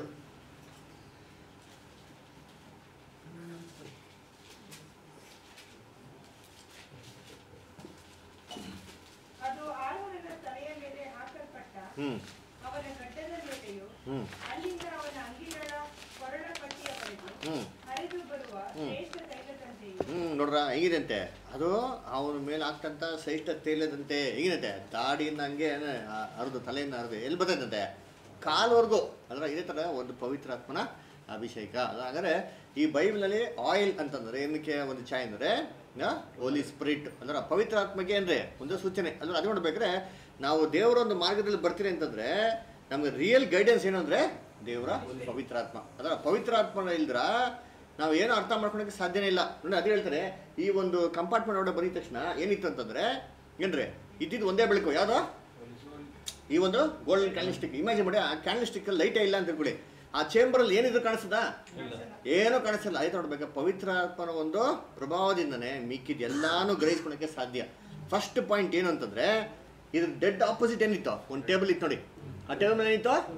ಎಸ್ ಅದರ ನೋಡಿ ಆ ಶೂ ಬ್ರೆಡ್ ಇತ್ತು ನೋಡಿದ್ದೀನಿ ಅದರ ಈ ಶೂ ಬ್ರೆಡ್ ಅದರ ಬ್ರೆಡ್ ಅದರ ಆ ಬ್ರೆಡ್ ಅಂದ್ರೆ ಏನರ್ಥ ದೇವರ ಶರೀರನ ಆ, ದೇವರ ಶರೀರನಾ? ಬೈಬಲ್ ಏನಿದೆ ನೆಕ್ಸ್ಟು ಒಂದು ಶರೀರ ಕರೆಕ್ಟ್ ನೆಕ್ಸ್ಟು ಬೈಬಲಲ್ಲಿ ರೊಟ್ಟಿ ಅಂದರೆ ಏನೇನು ಕಂಪೇರ್ ಮಾಡ್ತಾರೆ? ಒಂದು ವಾಕ್ಯಕ್ಕೆ ಅದರ ಜೀವ, ರೊಟ್ಟಿ ನಾನೇ ಅಂತ ಬಿಟ್ರ ಇನ್ನೊಂದು ಏನಂದ್ರೆ ಮನುಷ್ಯ ಏನು ರೊಟ್ಟಿ ಮಾತ್ರದಿಂದ ಬದುಕೋದಲ್ಲ ದೇವ್ರ ಮಾತಿಂದ ದೇವ್ರ ಬಾಯಿಂದ ಬರುವಂತ ಪ್ರತಿಯೊಂದು ಮಾತಿನ ಪ್ರಕಾರ ಏನ್ ಮೀನಿಂಗ್ ಅಂತಂದ್ರೆ ಬೈಬಲಲ್ಲಿ ರೊಟ್ಟಿ ಅಂತಂದ್ರೆ ಏನ್ರಿ, ದೇವರ ವಾಕ್ಯ. ಕಟ ಮ್ಯಾಥ್ಯೂ ಫೋರ್ ಫೋರ್ ಅಲ್ಲಿ ಬರ್ತಾರೆ ನೋಡಿ, ಅಂತೀನಿ. ಅಲ್ವರ? ಅದೇ ನೋಡ್ಬೇಕಾದ್ರೆ ದೇವರ ಒಂದು ವಾಕ್ಯ. ದೇವರ ವಾಕ್ಯನ ಅರ್ಥ ಮಾಡ್ಕೊಬೇಕು ಅಂದ್ರೆ ನಮ್ಗೆ ಏನ್ ಬೇಕು? ಹೋಲಿ ಆತ್ಮ ಬೇಕು. ಪವಿತ್ರಾತ್ಮ ಬೇಕು ಪವಿತ್ರಾತ್ಮ ಇಲ್ದ್ರೆ ದೇವಕ್ಕೆ ಅರ್ಥ ಮಾಡ್ಕೊಳಕ್ಕೆ ಸಾಧ್ಯನೇ ಇಲ್ಲ. ಸಾಧ್ಯನೇ ಇಲ್ಲ. ಅದ್ರ ಅದು ನೋಡ್ಬೇಕಾದ್ರೆ ದೀಪಸ್ ದೀಪ ಕಂಬದ ಮುಖಾಂತರ ಏನ್ ಕಾಣಿಸ್ತಿತ್ತು ಕಾಣಿಸ್ತೈತೆ ಕ್ಲೀನ್ ಆಗಿ? ಈ ಮೇಜ್ ಮೇಲೆ ರೊಟ್ಟಿ ಏನಾಗ್ತದೆ ಕ್ಲೀನ್ ಆಗಿ? ಕಾಣಿಸ್ತಾ ಇತ್ತು. ಆ ದೀಪನೇ ಇಲ್ಲ ಅಂದ್ರೆ ಬೆಳಕೆ ಇಲ್ಲ ಅಂತ ಹೇಳಿ ಆ ಮೇಜ್ ಮೇಲೆ ರೊಟ್ಟಿ ಏನ್ ಕಾಣಿಸ್ತದೆ? ಬರೀ ಮೇಜ್ ಕಾಣಿಸ್ತದೆ ರೊಟ್ಟಿ ಕಾಣಿಸ್ತದ? ಏನು ರೊಟ್ಟಿನೇ ಕಾಣಿಸಲ್ಲ. ರೊಟ್ಟಿ ಎಷ್ಟಿತ್ತು? ಈ ಕಡೆ ಎಷ್ಟಿತ್ತು? ಆರು. ಆ ಕಡೆ? ಎಷ್ಟಾಯ್ತು? ಹನ್ನೆರಡು. ಹನ್ನೆರಡು. ಆರು ಆರು. ಎಷ್ಟಾಯ್ತು? ತಿರ್ಗಾ ಹೇಳ್ತೀನಿ. ಆರು ಆರು ಎಷ್ಟಾಯ್ತು? ಹಾಂ ಅರವತ್ತಾರು. ಅಂದ್ರೆ ಆರು ಆರು ಎಷ್ಟು ಟೋಟಲ್ ಅಂತ ಕೇಳೋಣ ಅವಾಗ ಕೇಳಿ ಟೋಟ್ಲು ಇವಾಗ ಎಷ್ಟು ಕೇಳಿದೆ? ಆರು ಪ್ಲೇ ಆರು ಮತ್ತು ಆರು ಎಷ್ಟಾಯ್ತು? ಅರವತ್ತಾರು ಅರವತ್ತಾರು ಅಂದೇನು ಕಟ್ಟ ನೋಡ್ರಿ ಅದು ಬೈಬಲ್ ಅರವತ್ತಾರು ಪುಸ್ತಕನೇ ಇರೋದಂತ ಏನು ಪ್ರೂಫ್ ಅಂದ್ರೆ ಇದು. ಅಲ್ಲ ರೋಮನ್ ಕ್ಯಾಥಲಿಕ್ ಹೇಳ್ತಾರೆ ಇನ್ನ ಜೋಡಿಸಿ ಅಂದ್ರೆ ಎಲ್ಲಿ ಜೋಡಿಸ್ ಅಲ್ಲಿ ಜೋಡಿಸ್ಬೇಕಾಯ್ತು ಪಾಪ ದೇವರು ಜೋಡಿಸಿದ್ರೆ ಜೋಡಿಸ್ಬೇಕು. ಅಲ್ಲ ಕರೆಕ್ಟಾ ಕರೆಕ್ಟಾ ಎಷ್ಟಿರೋದು ಇವಾಗ? ಅರವತ್ತಾರು ಪುಸ್ತಕ. ಈ ಅರವತ್ತಾರು ಪುಸ್ತಕನ ಅರ್ಥ ಮಾಡ್ಕೊಬೇಕು ಅಂದ್ರೆ ನಮ್ಗೆ ಏನ್ ಬೇಕು? ಪವಿತ್ರ ಆತ್ಮ ಪವಿತ್ರಾತ್ಮ ಬೇಕು. ಪವಿತ್ರಾತ್ಮ ಇಲ್ದ್ರ ಅರ್ಥ ಮಾಡ್ಕೊಳಕ್ಕೇನಿಲ್ಲ. ಸಾಧ್ಯನೇ ಇಲ್ಲ. ಅಲ್ವರ? ಅದೇ ನೋಡ್ಬೇಕಾದ್ರೆ ಇವತ್ತು ಎಷ್ಟೋ ಜನಗಳಿಗೆ ಫಸ್ಟ್ ಆಫ್ ಆಲ್ ಬೈಬಲ್ ಅರ್ಥ ಆಗಲ್ಲ. ಏನಕ್ಕೆ ಅಂದ್ರೆ ಏನಿಲ್ಲ? ಹ್ಞೂ ಅದೇ ಒಂದು ಸೈನ್ ಅದರ ಅದಕ್ಕೆ ಬೈಬಲ್ ಅರ್ಥ ಮಾಡ್ಕೊಡೋದು ಹೆಂಗೆ ಅಂತ ಬೈಬಲ್ ಹೇಳ್ತಾರೆ ಅಂತೀನಿ ಏಷ್ಯಾದಲ್ಲಿ ಓದಿ. ಮೂವತ್ನಾಲ್ಕು. ಏಷ್ಯಾದಲ್ಲಿ ಮೂವತ್ನಾಲ್ಕು ಹದಿನಾರು ಯೆಹೋವನ ಶಾಸ್ತ್ರದಲ್ಲಿ ಹಾಂ. ಹಾಂ, ಹೆಂಗೆ ಓದ್ಬೇಕಂತೆ? ಹಾಂ, ದೇವ್ರ ಬೈಬಲ್ ಹುಡುಕಿ ಓದ್ಬೇಕು. ಹೆಂಗಪ್ಪ ಹುಡ್ಕೋದನ? ಎಷ್ಟು ಓದ್ರು ತಲೆಗೆ ಹತ್ತ ಇಲ್ವಲ್ಲ ಬದರ ಅಂತಂದ್ರೆ ಹೆಂಗೆ ಓದನ ಬೈಬಲ್ ಹುಡುಕಿ ಹುಡುಕಿ ಹುಡುಕಿ ಹೆಂಗೆ ಓದನಪ್ಪ? ಕರೆಕ್ಟಾ ಹಾಂ. ಹಾಂ, ಇವುಗಳಲ್ಲಿ ಯಾವುದು ಇಲ್ಲದಿರೋದು. ಆಮೇಲೆ? ಎಲ್ಲವೂ ಜೊತೆ ಜೊತೆಯಾಗಿರುವವು ಹಾಂ ಎಲ್ಲವೇನಾಗಿರ್ತಂತೆ ಜೊತೆ ಆಗಿರ್ತದೆ ಆಮೇಲೆ ಎಷ್ಟು ಹಾಂ. ಹಾಂ, ಇದನ್ನ ಸೇರ್ಸೋದು ಯಾರಂತೆ? ಈ ಬೈಬಲ್ನ ಕ್ಲೀನ್ ರಿವೀಲ್ ಮಾಡೋದು ಯಾರು ಅಂತಂದ್ರೆ ಪವಿತ್ರಾತ್ಮ ಪವಿತ್ರಾತ್ಮ ಇಲ್ದಿರ ಸತ್ಯವೇದನ ಯಾರು ಅರ್ಥ ಮಾಡ್ಕೊಂಡು ಸಾಧ್ಯನೇ ಇಲ್ಲ. ಅದರ ಅದೇ ನೋಡ್ಬೇಕ್ರೆ ಚೇತನ್ ಕೂಡ ಬೈಬಲ್ ಹೇಳ್ತಾನೆ, ನಾನು ಏನು ನೋಡ್ದಲ್ಲ. ಚೇತನ್ ಏನು, ವಚನ ಮೇಲೆ ವಚನಗಳು ಕುಸಿಂಗ್ ಹೇಳಿದ್ದು. ಆದ್ರೆ ಅದು ಯೇಸು ಕುಸಿ ಮಾಡಿದ್ರು? ಆ ವಚನದ ಪ್ರಾಪರ್ ಅರ್ಥ ಹಿಡಿದ್ರು ನೋಡಿದ್ದೀನಿ ಅದರ ಅವಾಗೇನಾಯ್ತು ಜನಗಳಿಗೆ ಜನಗಳಿಗೂ ಕ್ಲಿಯರಾಗಿ ಗೊತ್ತಾಯ್ತು. ಅದರ ಅದೇ ನೋಡ್ಬೇಕಾದ್ರೆ ಬರೀ ಬೈಬಲ್ನ ಎಂದ್ರೆ ಓದ್ಬಿಟ್ರೆ ಸರಲ್ಲ. ಬೈಬಲ್ನ ಕರೆಕ್ಟಾಗಿ ಏನು ಮಾಡ್ತಾವ? ಅರ್ಥ ಮಾಡ್ಕೊ ಅದೇ ಹೇಳ್ತಾರೆ ಕರ್ತನ ಯಹೋವನ ಶಾಸ್ತ್ರದಲ್ಲಿ ಹುಡುಕಿ ಏನು ಮಾಡಿ? ಓದಬೇಕು. ಸುಮ್ಮನೆ ಹಂಗೆ ಹೋದ್ರೆ ಆಯ್ತದ? ಹಾಂ? ಹೆಂಗೆ ಓದಬೇಕು? ಟಾಪಿಕ್ ಬಗ್ಗೆ ಟಾಪಿಕ್ ನೋಡಿ ಎಷ್ಟು ಟಾಪಿಕ್ ನಾವು ಓದಿರಿ ಎಷ್ಟು ಸಬ್ಜೆಕ್ಟ್ಸ್ ಓದಿರಿ ಆ ಸಬ್ಜೆಕ್ಟ್ ಮೇಲೆ ಸಬ್ಜೆಕ್ಟ್ ಓದ್ತಾ ಓದ್ತಾ ಇದೆ ನಿಮಗೆ. ಎಲ್ಲ ಪಾಯಿಂಟ್ಸ್ಗಳು ಕ್ಲಿಯರ್ ಆಗ್ತಾ ಇದೆಯಾ? ಒಂದೊಂದೇ ಪಾಯಿಂಟ್ಸ್ಗಳು ಕ್ಲಿಯರ್ ಆಗ್ತಾ ಹೊಡಿತೀನಿ ಹೆಂಗಿದೆ ಆ ಥರ ಓದಬೇಕು. ಟಾಪಿಕಲ್ಲಿ ಸ್ಟಡಿ ಮಾಡಿದ್ರೆ ಫ್ರೂಟ್ಫುಲ್ ಒಂದೊಂದೇ ಟಾಪಿಕ್ ಎತ್ತಿ ಓದ್ರೆ ನಮ್ಗೆ ಏನಾಗ್ತದೆ? ಬೈಬಲ್ ಇದ್ರ ಬಗ್ಗೆ ಏನು ಹೇಳ್ತಾರೆ? ಸಂಪೂರ್ಣವಾಗಿ ಅಂತ ಪಿಕ್ಚರ್ ಆಗ್ತದೆ ನಮಗೆ? ನಮ್ಗೆ ಗೊತ್ತಾಗ್ತದೆ. ನೋಡ್ಬೇಕು ಇದು ಅರ್ಥ ಮಾಡ್ಕೊಬೇಕಾದ್ರೆ ಪವಿತ್ರಾತ್ಮ ಬೇಕು. ಅದರ ಪವಿತ್ರಾತ್ಮ ಇಲ್ದಿರ ನಮ್ಗೆ ಅರ್ಥ ಮಾಡ್ಕೊಂಡು ಸಾಧ್ಯನೇ ಇಲ್ಲ. ಓದಿ ಇನ್ನೊಂದು ವಚನ ಓದಿ. ಏಷ್ಯಾದಲ್ಲಿ ಇಪ್ಪತ್ತೆಂಟನೇ ಅಧ್ಯಾಯ. ಒಂಬತ್ತು ಮತ್ತು ಹತ್ತನೇ ವಚನ.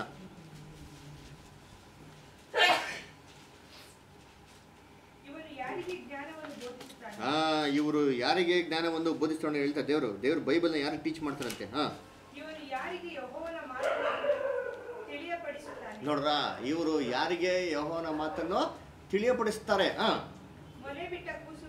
ಹಾ. ಎದೆ ಬಿಟ್ಟ ಮಕ್ಕಳಿಗೋ. ನೋಡ್ರ ಮೊಲೆ ಬಿಟ್ಟ ಕೂಸುಗಳಿಗೋ ಎದೆ ಬಿಟ್ಟ ಮಕ್ಕಳಿಗೋ ಅಂತ ಹೇಳ್ತಾರೆ. ಏನ್ ಮೀನಿಂಗು ಈ ಹಾಲು ಕುಡಿಯೋದನ್ನ ಬಿಟ್ಟಿರ್ಬೇಕು. ಯಾವ ಹಾಲು ಓದಲ್ಲ ಇಬ್ರು ಸಲಿ. ಏನ್ರಿ? ಹಾಲು ಬೋಧೆಗಳನ್ನ ಕುಡಿಯೋದನ್ನ ಯಾರು ಬಿಟ್ಟಿರ್ತಾರೋ ಅದು ಬಿಟ್ಬಿಟ್ಟು ಗಟ್ಟಿಯಾದ ಮಾಂಸ ತಿನ್ಬೇಕು ಅಂತ ಯಾರಿಗೆ ಆಸೆ ಇರ್ತದೋ ಅವ್ರಿಗೆ ಏನ್ ಮಾಡೋದು ಇವಾಗ? ಯಹೋನ ಮಾತನ್ನು. ತಿಳಿಸೋದು ಅಲ್ವರ? ಇಲ್ಲ ಬರೀ ನೀರು ಕುಡ್ಕೊಂಡು ನೀರು ಕುಡ್ಕೊಂಡು ಆಯ್ತು ಪಾಸ್ ಬಿಡಬೇಕಂತ ಅಲ್ಲಿ ನೋಡು ಅಲ್ಲಿ ಗಂಗಾಳ ಇದೆ. ನೀಟಾಗಿ ಎಲ್ಲ ಏನು ಮಾಡು ನೀನು? ಕ್ಲೀನಾಗಿ ತೊಳ್ಕೊಂಬಿಟ್ಟು ಆರಾಮಾಗಿ ಏನು ಅದು ಚೆನ್ನಾಗಿ ನೀರು ಕುಡ್ಕೊಂಡ್ಬಿಟ್ಟು ಏನು ಮಾಡು ಅಲ್ಲೇ? ಸಂತೋಷವಾಗಿ ಮಲ್ಗಿಬಿಡು ಅಂತ ಹೇಳ್ತಾರೆ. ಅಲ್ವರ?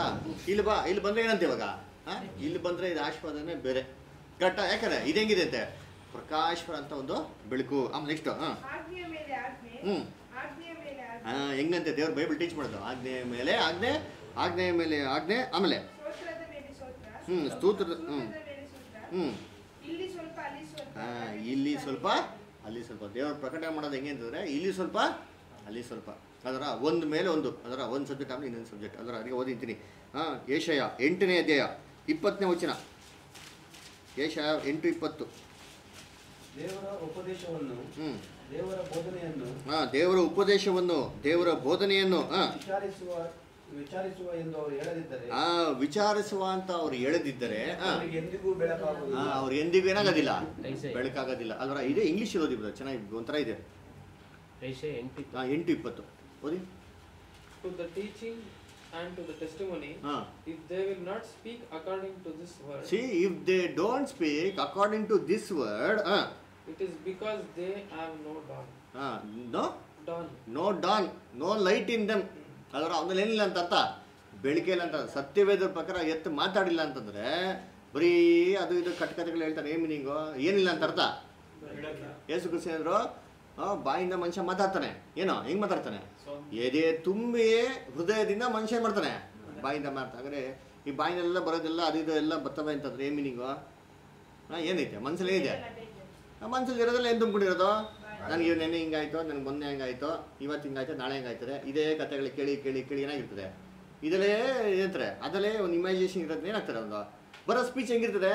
ಬೈಬಲ್ ಇರಬೇಕು. ಬೈಬಲ್ ಎಷ್ಟು ನೋಡಿ ಅರವತ್ತಾರು ಪುಸ್ತಕದಲ್ಲಿ ಏನೆಲ್ಲ ಕಾರ್ಯಗಳು ಕೊಟ್ಟವ್ರೆ. ನಾವು ಲೈಫಲ್ಲೇ ನೆನ್ಸ್ಕೊಂಡಿಲ್ಲ. ಅಂತಂತ ರಹಸ್ಯ ಹೇಳಿ ಮಾಡೋ ದೇವ್ರ ಬೈಬಲಲ್ಲಿ ಇದನ್ನ ಏನು ಮಾಡಬೇಕು?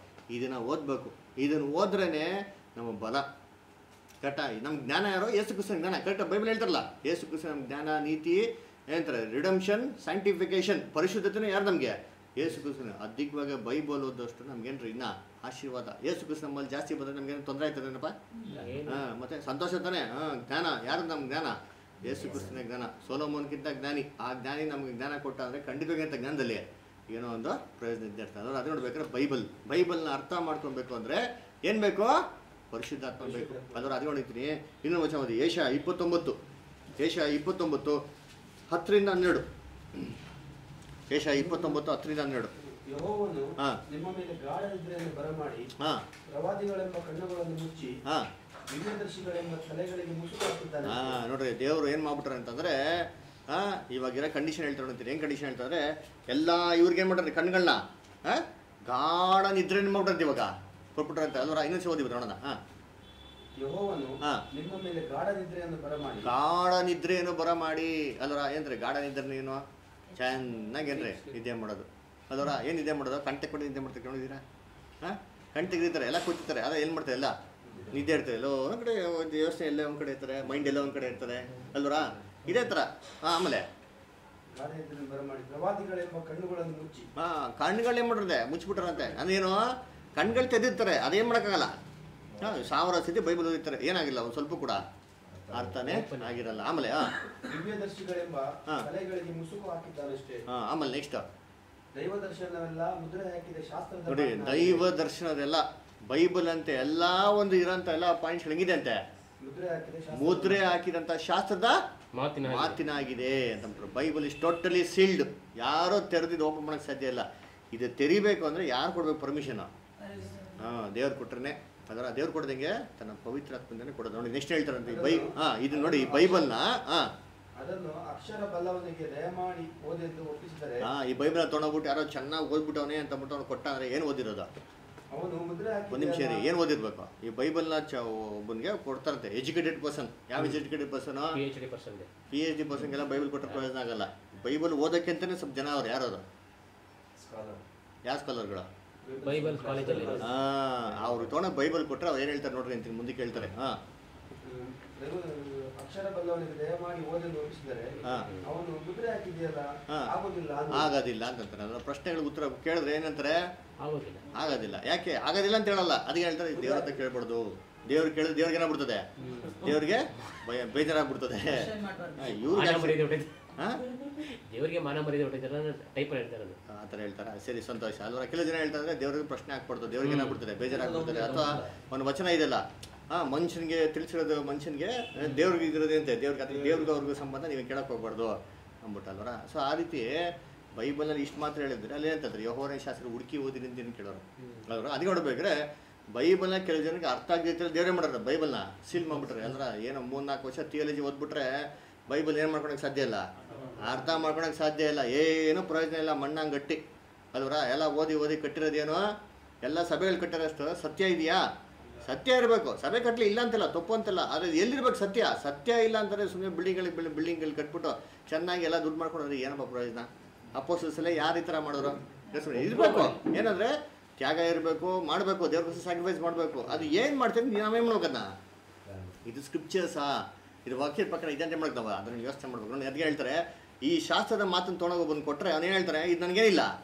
ಏನು ಸಿಂಪಲ್ ಆಗಿ ಹೋಗಿ ಕೇಳಿ ಅಂತೀನಿ? ಎಲ್ಲಿ ನಾನು ಹೇಳೋದಲ್ಲ. ಏನಂತಾರೆ ಸ್ತ್ರೀ ಸಂತತಿ ಯಾರು ಅಂತ ಕೇಳ್ರಿ ಅಂತೀನಿ. ಫಸ್ಟ್ ಹೇಳೋದು ಏಸು ಕ್ರಿಸ್ತು ಅಂತ ಅಂದ್ಬಿಡ್ತಾರೆ. ನೀವು ಒಂದು ನಾಲ್ಕೈದು ಕ್ವಶನ್ ಹಾಕಿ ಅಂತೀನಿ ಹೇಳ್ತಾರೆ? ಅವಾಗ ಅದು ಉತ್ತರನೇ ಕೊಡೋಕ್ಕಾಗಲ್ಲ. ಅವ್ರು ಏನು ಹೇಳ್ತಾರೆ? ಹಾಂ, ಅದೇ ಕರೆಕ್ಟು ಸ್ತ್ರೀನ ಸಂತತಿ ಅಂದಮೇಲೆ ಅದರ ಆಶೀರ್ವಾದ ಬರಬೇಕಲ್ಲ. ಯಾಕೆ ಬಂದಿಲ್ಲ? ಸೇದಂತಲ್ಲ, ಇನ್ನೂ ಜಜ್ಜಿಲ್ಲ. ಕರೆಕ್ಟಾ ಇವಾಗ ನೋಡಿ ನೆನೆ ನಿಮಗೆಲ್ಲ ಇಷ್ಟು ಪಾಯಿಂಟ್ ನೋಡಿಸ್ತೆ ಅಲ್ವರ? ಇವಾಗ ಅದರಲ್ಲಿ ಒಂದು ಕ್ವಶನ್ ಕೇಳ್ತೀನಿ, ಕೇಳಿ. ಇವಾಗ ಏಸು ಕ್ರಿಸ್ತು ಬಂದ್ಬಿಟ್ಟು ಸೇತಾನ ಜಸ್ತಾರೆ ಅಂತ ಬೈಬಲ್ ಇದೆ. ಕರೆಕ್ಟ್ ಐತೆ ತಾನೆ? ಎಲ್ಲೈತೆ. ಅದು ಇಲ್ವಾ? ಐ. ಸರಿ ಏಸು ಕ್ರಿಸ್ತು ಸೇತಾನ ನಾಶ ಮಾಡ್ತಂತ ವಚನ ಇದೆಯಾ? ಎಲ್ಲಿದೆ? ಮಾಡ್ತಾ ಏನಂತ.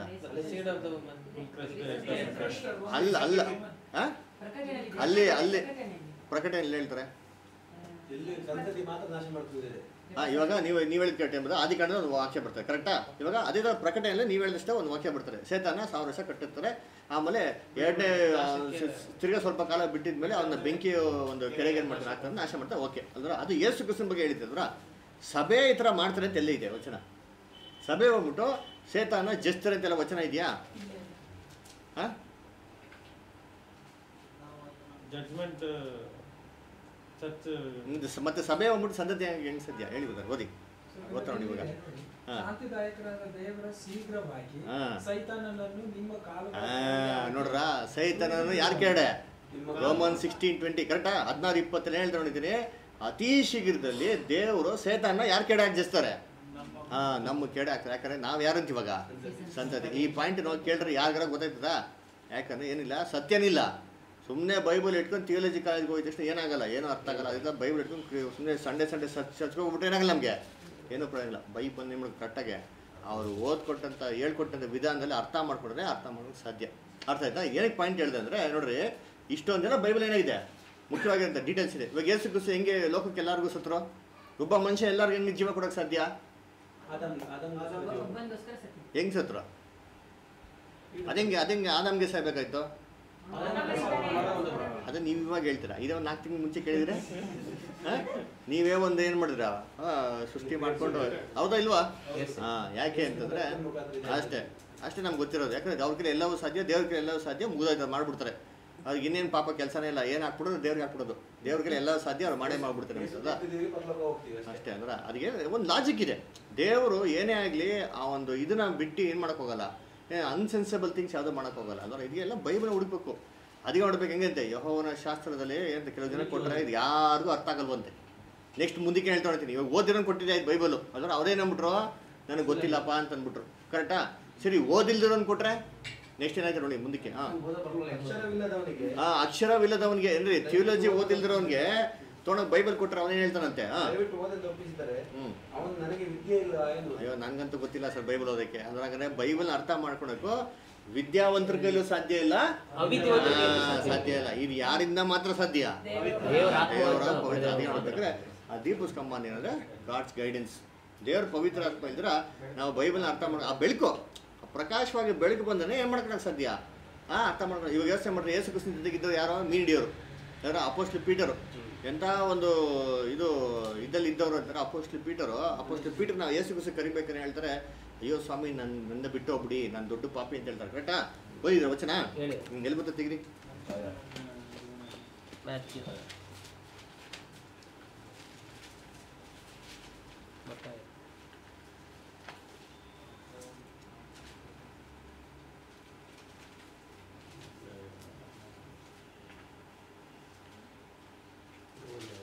ಹ್ಞೂ ಮತ್ತೆ ಹದಿನಾರು ಹ್ಞೂ Luke fifth chapter eighth verse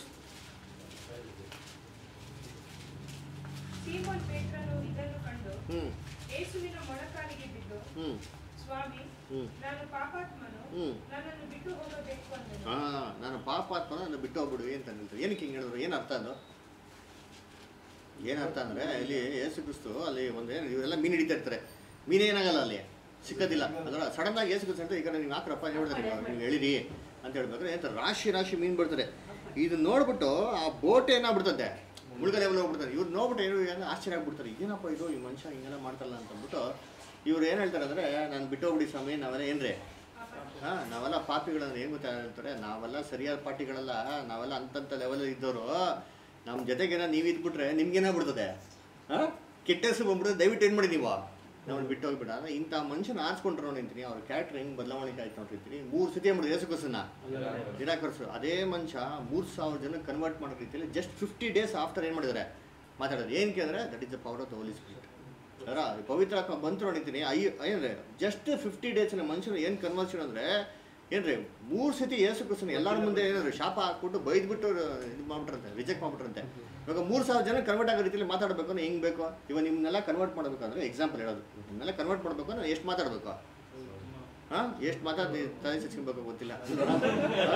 ಇದು ಮೂರು ಸಾವಿರ ಜನ ಅಟ್ ಎ ಟೈಮ್ ಏನ್ರಿ ಒಂದು ಸ್ಪೀಚಲ್ಲಿ ಕನ್ವರ್ಟ್ ಆಗಬೇಕು ಅಂದರೆ ಅವ್ರು ಹೆಂಗೆ ಮಾತಾಡಬೇಕು? ಏನು ಬೋಲ್ಡ್ನೆಸ್ಸು ಏನು ಕರೇಜು ಹೋದ್ರೆ ಅಪ್ಪಸ್ಲು ಗುರುತುಗಳು ಈಗ ಹೇಳ್ತಾರೆ ಮಹಿಮೇಳಂತ ಕರ್ತನ್ ನೀವೇ ಸಹಿಸಾಕ್ಬಿಟ್ರಿ ಅಂತ ಹೇಳ್ತಾರೆ. ಅದರ ಹೆಂಗ್ ಕೋಪ ಬಂದಿರಬೇಕು?